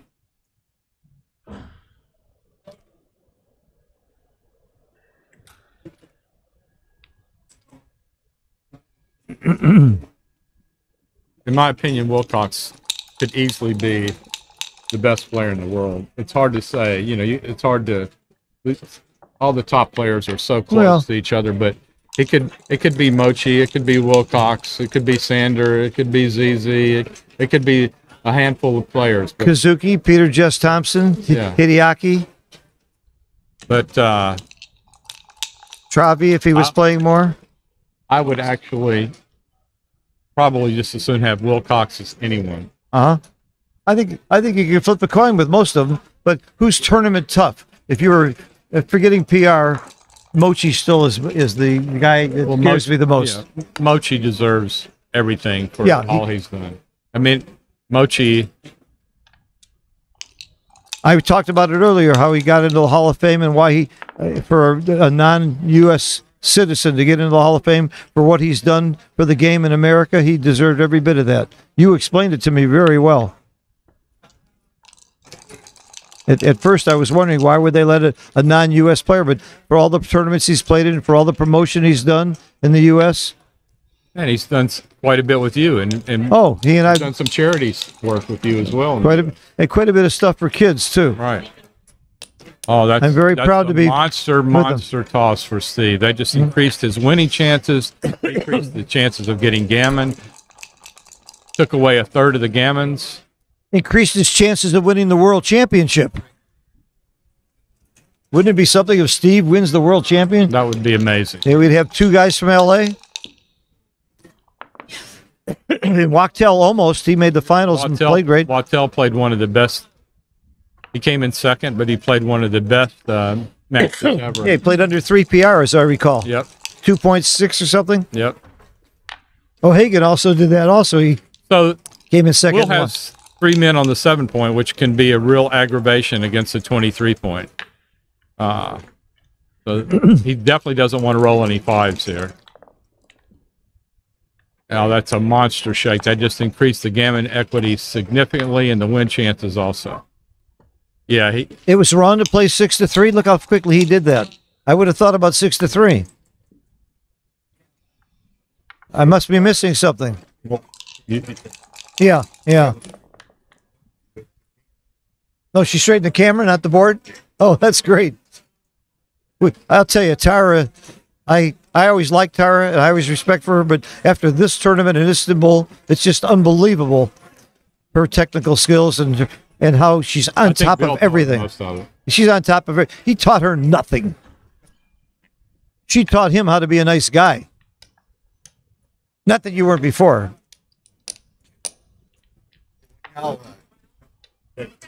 Yeah, I done we know we're shutting it down after this match. Until what time? Okay. There'll be no streaming until 10 p.m. Monte Carlo time after this match, which means I get to rest and have a nice dinner. I might take a. Di- I'm going to take a dip in the pool. What a beautiful place to take a break.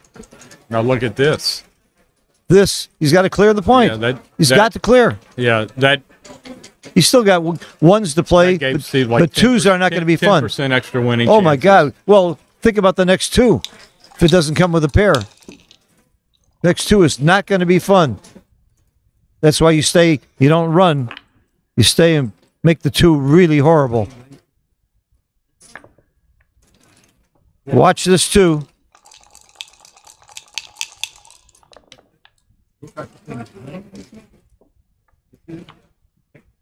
There it is. There's that two. Oh, I should- yeah, I'm sorry. It's okay. All right. Right. What's the delay here? Wilcox bore the four off Okay. instead of to the ace Yeah, queen. yeah. An ace is monstrous here. Monstrous. And he got it. He got it. Wow. Unbelievable. He had a roll of two, he had a roll of one, and now Steve's a big favorite in this Well, game. How many men does Wilcox have off? I can't tell how many stacked checkers there are. I think there's five off. No, there's there's less. There's like oh there's There might only be one off. oh there's more on the yeah. Yeah. There we go. Obviously, there were not five off, or he wouldn't be recubing and getting a quick pass. There's no stack checkers on the ace. There's more stack checkers on the four point. Whether three or four. Oh, there they are. You're right. They were stacked. Oh,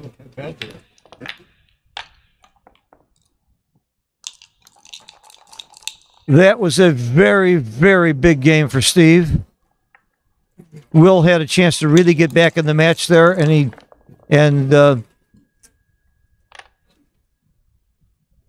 big big turnaround for Steve. If Steve wins the world championship, it was that role that I won't say won it for him, but raised his equity tremendously. By the way, I'm talking a little soon. He's got what another four matches to go at least, maybe five. another four probably. This is this is this is only the third round. Yeah, so it's got eight rounds. You got to win. It, if you have a buy, you have to win eight rounds. Eight So rounds. you have to win five more. Okay. All, all I'm telling you is I would be excited. I'm already excited for Steve. Uh, first of all, he hasn't won. Yeah. The But he, match is not over. but let me tell you something. If he wins the world champion, he might championship, he might buy us breakfast.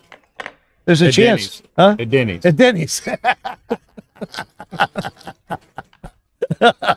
White Castle, here I come. All right, let's take a look at this cube action. Nice double by Wilcox. Clear, clear double, and a big pass, especially at this score. I tell you, Steve and I played golf a lot together, and we used to have a standing bet. Anybody this anybody gets a hole in one wins two hundred dollars from the other guy, Huh? but the guy with the hole in one has to take the other one out to dinner at any restaurant of his choice. Oh, it's it's a losing process then. So Steve Steve got the hole in one. I had to give him two hundred dollars, Uh, but I've held off on my choice for twenty years until the cost of the dinner goes up. well, I beat Akiko one day in L.A. and I took her to dinner at Masahito. Is that what it's called? I, I don't want to tell you what it cost me. The next night she won, and we went to an Ethiopian restaurant. It cost forty dollars to take my son and me out to dinner. The previous night, it cost me easily ten times that much. This is a big pass, especially at this score. There you go, attaboy. Good play. I'll be right back. I feel the rest. Okay, go ahead. Go for me too.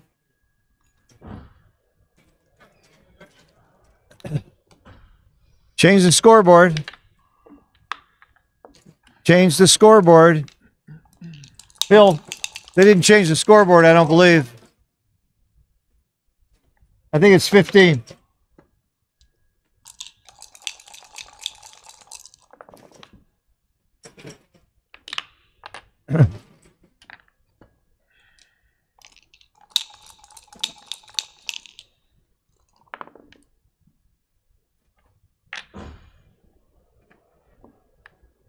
I, I'm pretty sure it should be 15.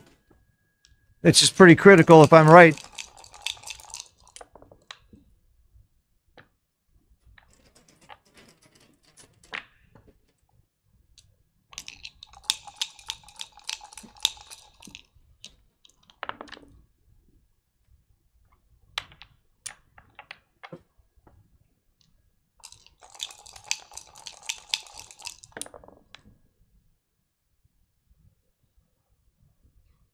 Look at Wilcox playing under three.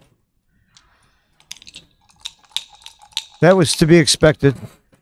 And Steve is not playing the best he's ever played, but he's certainly nothing to be embarrassed about.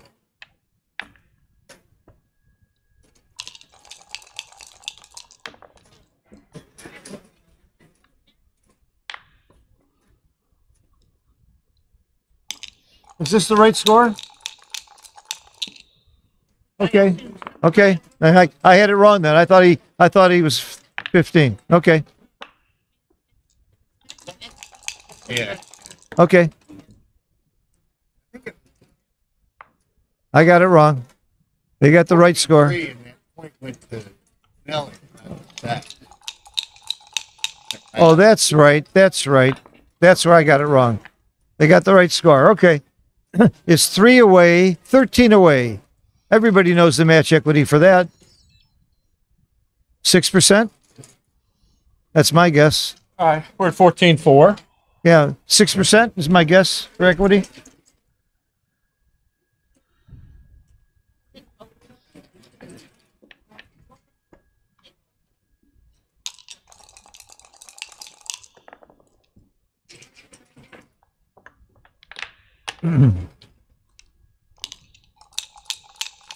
You went to bkgm.com for the match equity table? I have 71 articles on bkgm.com and 12 inter- uh, 16 interviews. My favorite website. Thanks to Tom Keith. Famous for the Keith count and the website. I guess 6%.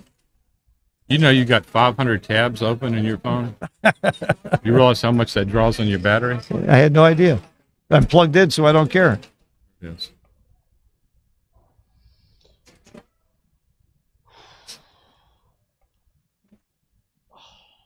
Acc- accidentally closed it.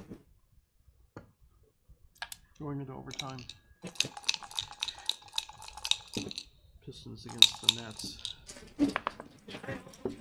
Double threes. Nice roll. He's thinking about the cube. I don't see No, how. No, he's not thinking. Okay. I was saying, I don't see shot. how he could think about the cube. Makes the five point. What else is there? Why would you consider the two point when you can make the five? He's not. Okay. A dance here and you think about the cube. At this score, if you dance, I would give the cube. Dance here, it's, it's a pass. The pass, Yeah. he came in. It still might be a cube. I'm doubling here. If I'm losing four to 14, I'm doubling. Oh, look, it's a pass no matter how he played it, according to XG. It's a double pass.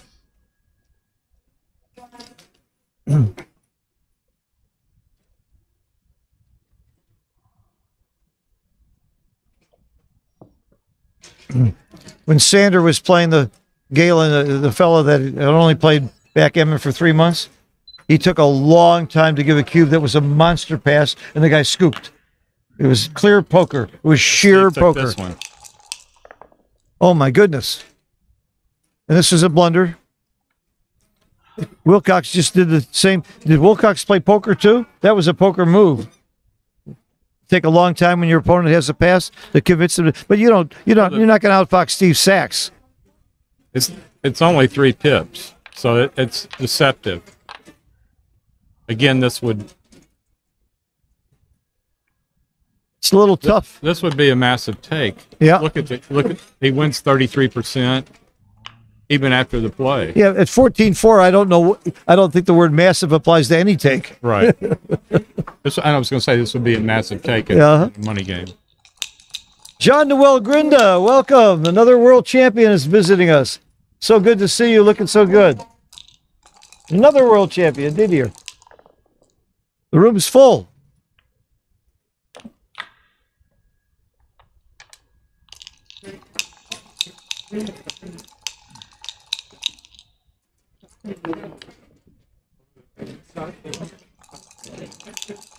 He's being punished for the steak, possibly. Starting to look that way. Do you lift? Do you lift at all? Do you think about lifting?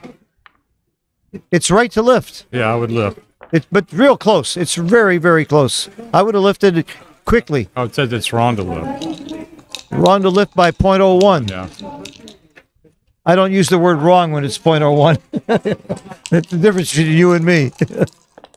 I would have lifted.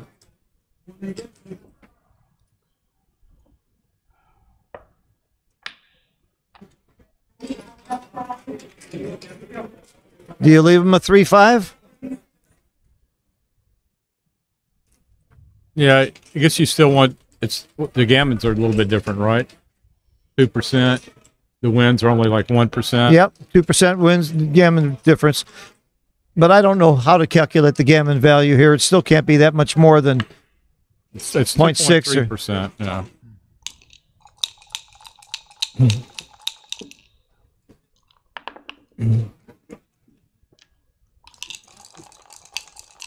Hmm.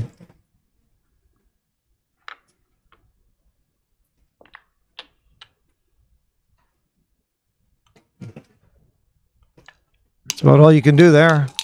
Bring it in.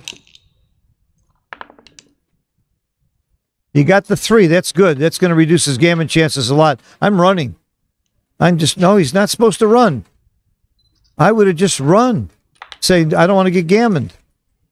But there's enough wins to stay, and I'm surprised. I would yeah, have I'm gotten this surprised. wrong. This, I'm surprised this is big an error to run. Yeah. 0.091 error to run. This type of position, you know, normally you'd stay back, but you're thinking I'm up 14 to 4, 14 to 6 versus 14 to 8 if I get gammon. But uh, what's the difference in the gammons? Oh, good play, Steve. Well done. That was a great play by Steve. I, I guess the score scares me that much to want to be playing too safe. That's the biggest mistake that I say beginners make is playing too safe when they're ahead, and I would have made that beginner mistake.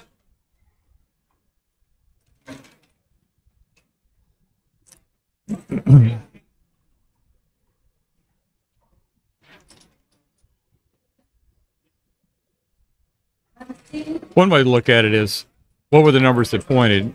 Double twos, three one, double uh, uh, double threes, but three one really wasn't that big a gain because then you'd have three men. You haven't closed out, but you'd have three men on the six point, and and flat on the three four five.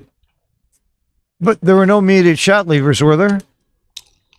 Immediate? I don't think there were. I I needed to look at it a little bit more. I just my gut was No, get I the don't hell think- out of there. I don't think there were. I don't think there were any immediate shot levers, so he's going to have to stay there for at least a couple rolls to, to make it worthwhile. And now, now you're going to run. You're not going to waste pips.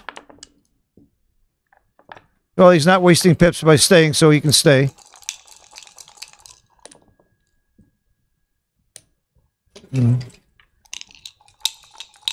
Again, you don't waste pips. I think you run here. If he rolls a high number, oh, you only waste one pip, so you stay. It's right to stay. And he's still probably going to get off the gammon, so it's not that terrible. There are five checkers on the ace, and he's off the gammon probably.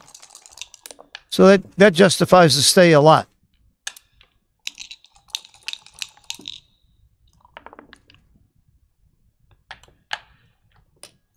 I was doing yes commentary yesterday with David Wells. He went to the same site and looked at the same numbers. Okay. we were doing the same, and we had similar kind of scores. All right, so we're at three away, eleven away. Yep. Let me guess before you do this.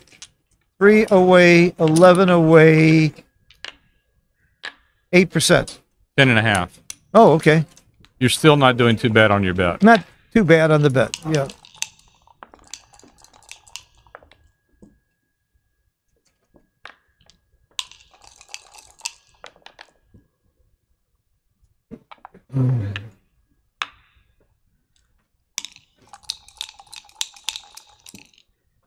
I'm still playing Gammon Go and Gammon Save. It's playing, got to be really aggressive if you're Will. A little more conservative if you're Steve. That's a very good roll for Will. He's the only Wilcox I've ever known. Have you, do you know anybody else named Wilcox? no. no. Not that I can think of. And Snellings. This whole thing sounds very English, isn't it? Or Scottish or something? It must. Curious of the origin.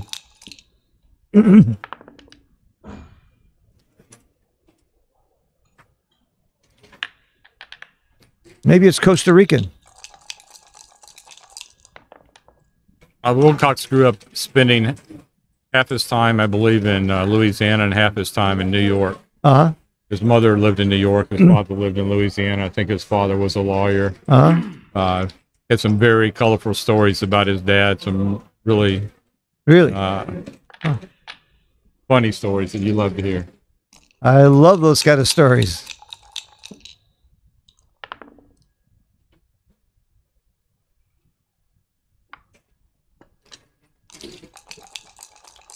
Mochy was uh, doing commentary with me last night. Mochy told me he keeps a running count the entire match. I don't know too many. Matt Cohn-Geier says he does that too. Uh, It would be so distracting for me to do that. It's not. It's not that hard, actually. Well, yeah, John O'Hagan does it too.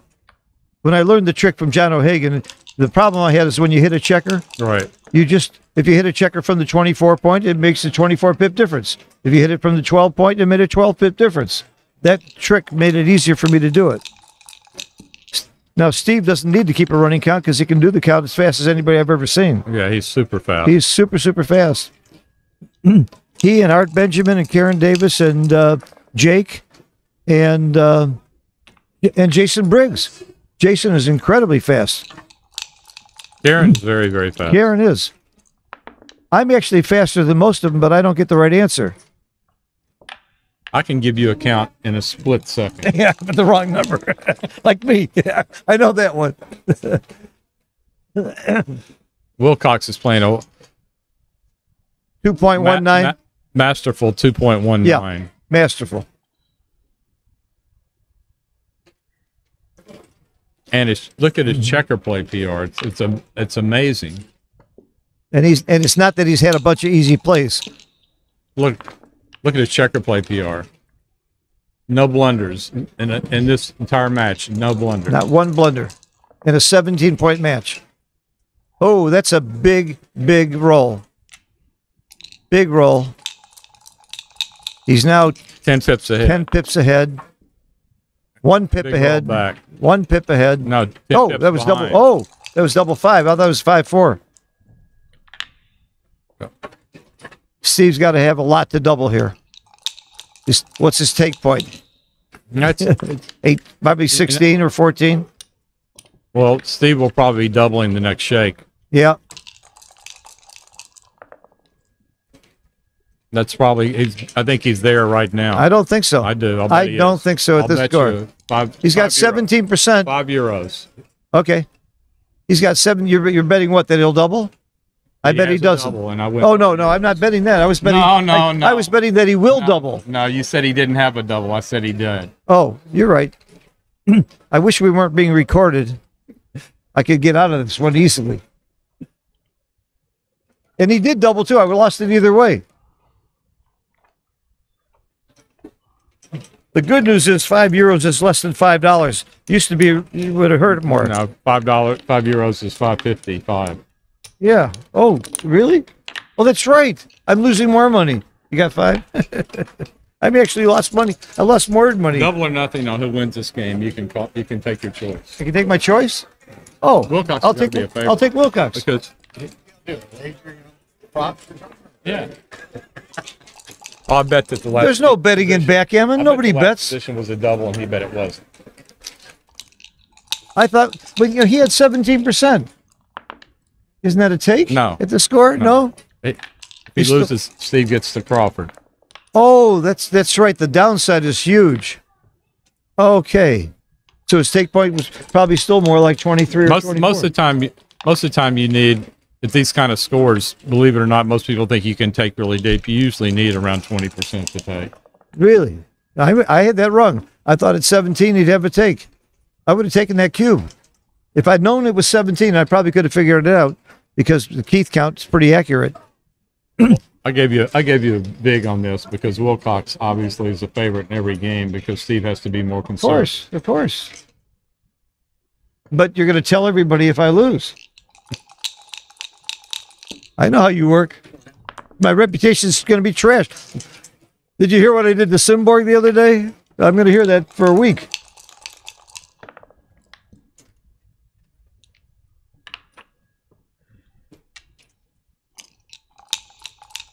Well, Wilcox is certainly favored now. I like my position. I like my bet. Even with the double threes. Make the two He's still a and go to favorite. the seven. Ah. Oh, he was supposed to go to the five, I guess. Okay.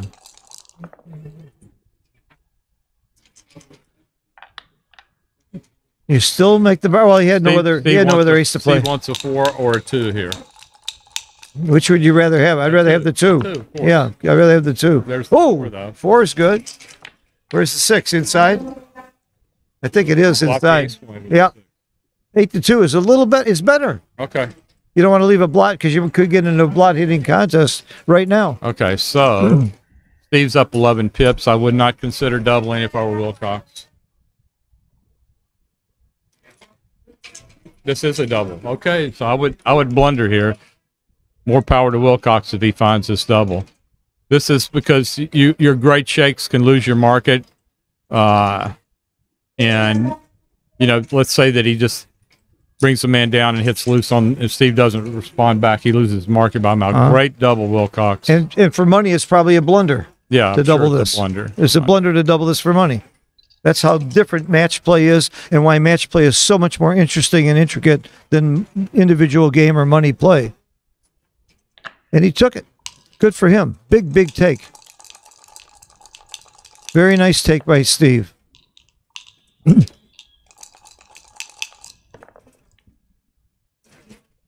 you hit? So, I don't think so. It's too loose with, with the with Steve's board. I, it's too risky. You're right. It's it's not horrible though. It's three percent.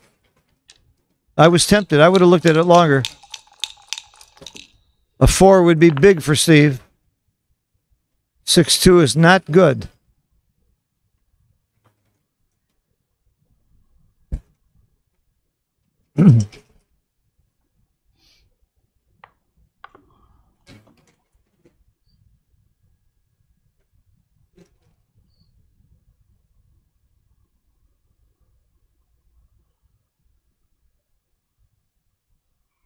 This is a tough play. Yes.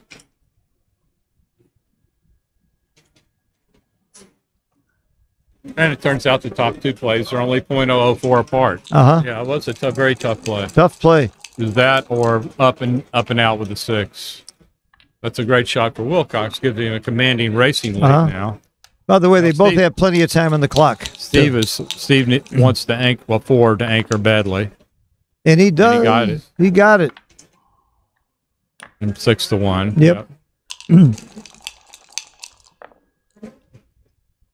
Once Steve can stop worrying about the gammon, he can have a sigh of relief here. But Wilcox is like 55% in this game. He's got a five pip lead, but Steve's on shake. Make the two. I'm, Oh, that's two Steve. down, I'm sorry. Two down. Hey, Steve, I'm sorry. I keep thinking with the baffle box. Who's I, I get mixed up on who's on roll. I'm So uh, we're back to about a 50 50 game here. And there's virtually no cube big. And he should run. You're not giving the cube until it's gin. That's an interesting intellectual question. When does Steve have a recube? Maybe when his opponent has five percent. Steve will never have a recube. Never ever. Never. Because he only needs two points to win. I was seeing. I was seeing if I can get a bet out of you on that one. You're too sharp. I won a bet that way once, by the way. Somebody said, "Oh, I think it's probably four percent." I said, "Oh, "I'll bet you." Who was that? That was Carter.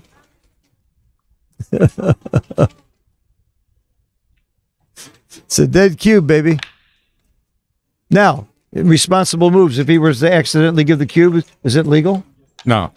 That's part of that would have been legal in the old days, but responsible moves, that's one of the things you can't do is give a dead cube. He stopped the clock. I think he thinks he made an illegal play. Well, the transcriber may be asking him too. Oh, maybe they're asking. Yeah, the transcriber's trying to catch up possibly. it's a tough job transcribing, especially when it's going fast Okay. like this.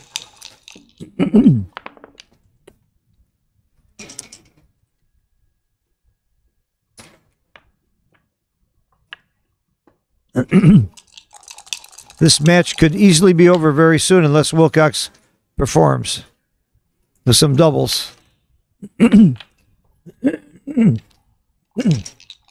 Now, keep in mind, this is the winner's bracket.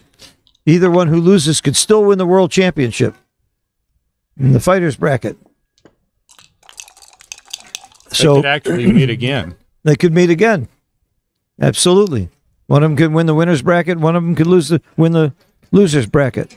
Do they call it the loser's bracket or fighter's bracket? here? Fighters bracket. Fighter's bracket. Losers bracket is a bad name. It is a bad usually name. called the second chance. Second chance. Fighters bracket. I think it's called second chance here now that I remember.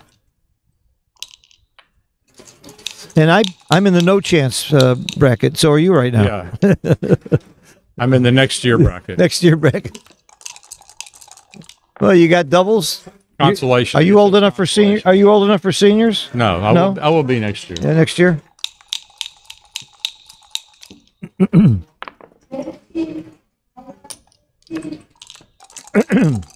Well, Steve's about 80% here. It just went up. Probably went up to 85%. Yeah. Went up to 87.4%. I would use a lot more time on the clock here if I were Steve. Rub it in. he's playing for doubles now. That's the reason for this play. He knows he's probably not going to win unless he rolls doubles, so he's playing for the most doubles he can get. Next time the XG feed comes up, if you'll sum the errors on the right side, see where it says Steve, Yeah, they don't sum to his total errors. I see. I think there was a glitch at the beginning of the ma- match where we had they started the XG again. That's part of the problem. So we're not relying on this XG necessarily to be correct. Correct for the overall level of play. But I will guarantee you that we're going to find out that Wilcox played incredibly well and Steve played very well. Keep in mind, we're looking at two of the best players in the world right here. Steve is up there in that class of one of the better players of the world. He's he's been I think here he's a bull off. He should just play six to four. He's got to roll big doubles, and he needs to get as many men off as he can. I don't. I don't think he could. Typically, you would play five to three here, but I think here he needs to play six to four. He needs a double. you need four. doubles. You need doubles. Big doubles. Yeah. You need big doubles to work. If you're winning, you would play six to you would play six to th- Five to three. five to three, yeah. I mean, double threes is going to be the same number. You got it. You got it. You got your play. Oh, it says six four is wrong. It says four two Four to three two off. and three off. That's playing for really big doubles. Now he's looking at it. This this this caters to double six and double five. but doesn't help your double fours. Well, maybe you're so I would desperate. not know how to measure this. Maybe would- you're so desperate. Yeah. You trade double. You know the, the gain on double six. You sure gain on double five. It also it also is the play that gets two men off the most in X shape. That that has something to do with it as well. Uh huh. Non contact bear off is a lot more complicated than most people think. See how close all of these plays are. Yes. The top three plays are 0.005. Yeah. And he- he's, you know, and he, he's got the, he understands that these are these three plays are really close. He So- knows they're close. He knows he has almost no chance to win this match, and he's giving it everything he's got to get this right. Why? Because he wants to be right. You have to be a perfectionist to play this well. You can't be play this well and not give a damn about your plays. That's true of Joe Russell. That's true of all these top players. It's a matter of pride to get it right. Every single checker play you make and every cube decision is an intellectual exercise, It's like solving a, a puzzle. And that's what he's trying to do right now. That's why this game is so much fun. I would have played six to four, which is the second best play. It's minus point zero zero two. Well, and again, without rolling it out, you might be, you don't know that's right. But all the XG's pretty good at these. Yeah, XG plus plus doesn't would, get these wrong. XG to be right with this. Yeah, on plus plus it gets the, usually gets these right. XG's a little off on some back games and some other complicated things, but not not like this, because it's you know what XG is doing. It's rolling it out 720 times on top of 720 times, which I'm not sure I understand, but it's like uh, it's like a 2100 rollout. oh, that's a very good roll for Steve.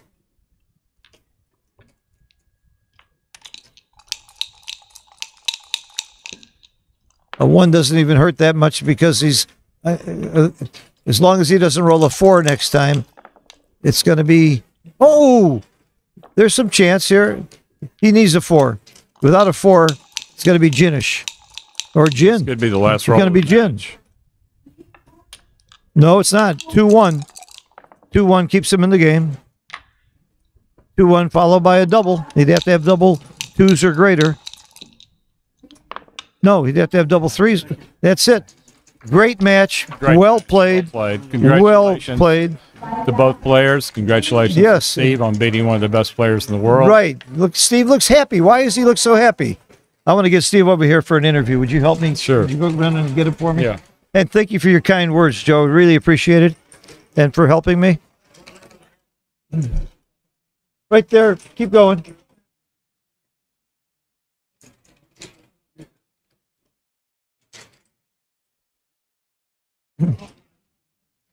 I should almost be interviewing Wilcox too, but he's not going to be in the best mood after losing, I'm sure. Uh, but Steve, I guarantee you, will be in a good mood. I know Steve. He's a very good old friend of mine. He's going to be in a good mood. I would be too after beating what Joe Russell says may be the best player in the world. Certainly one of them.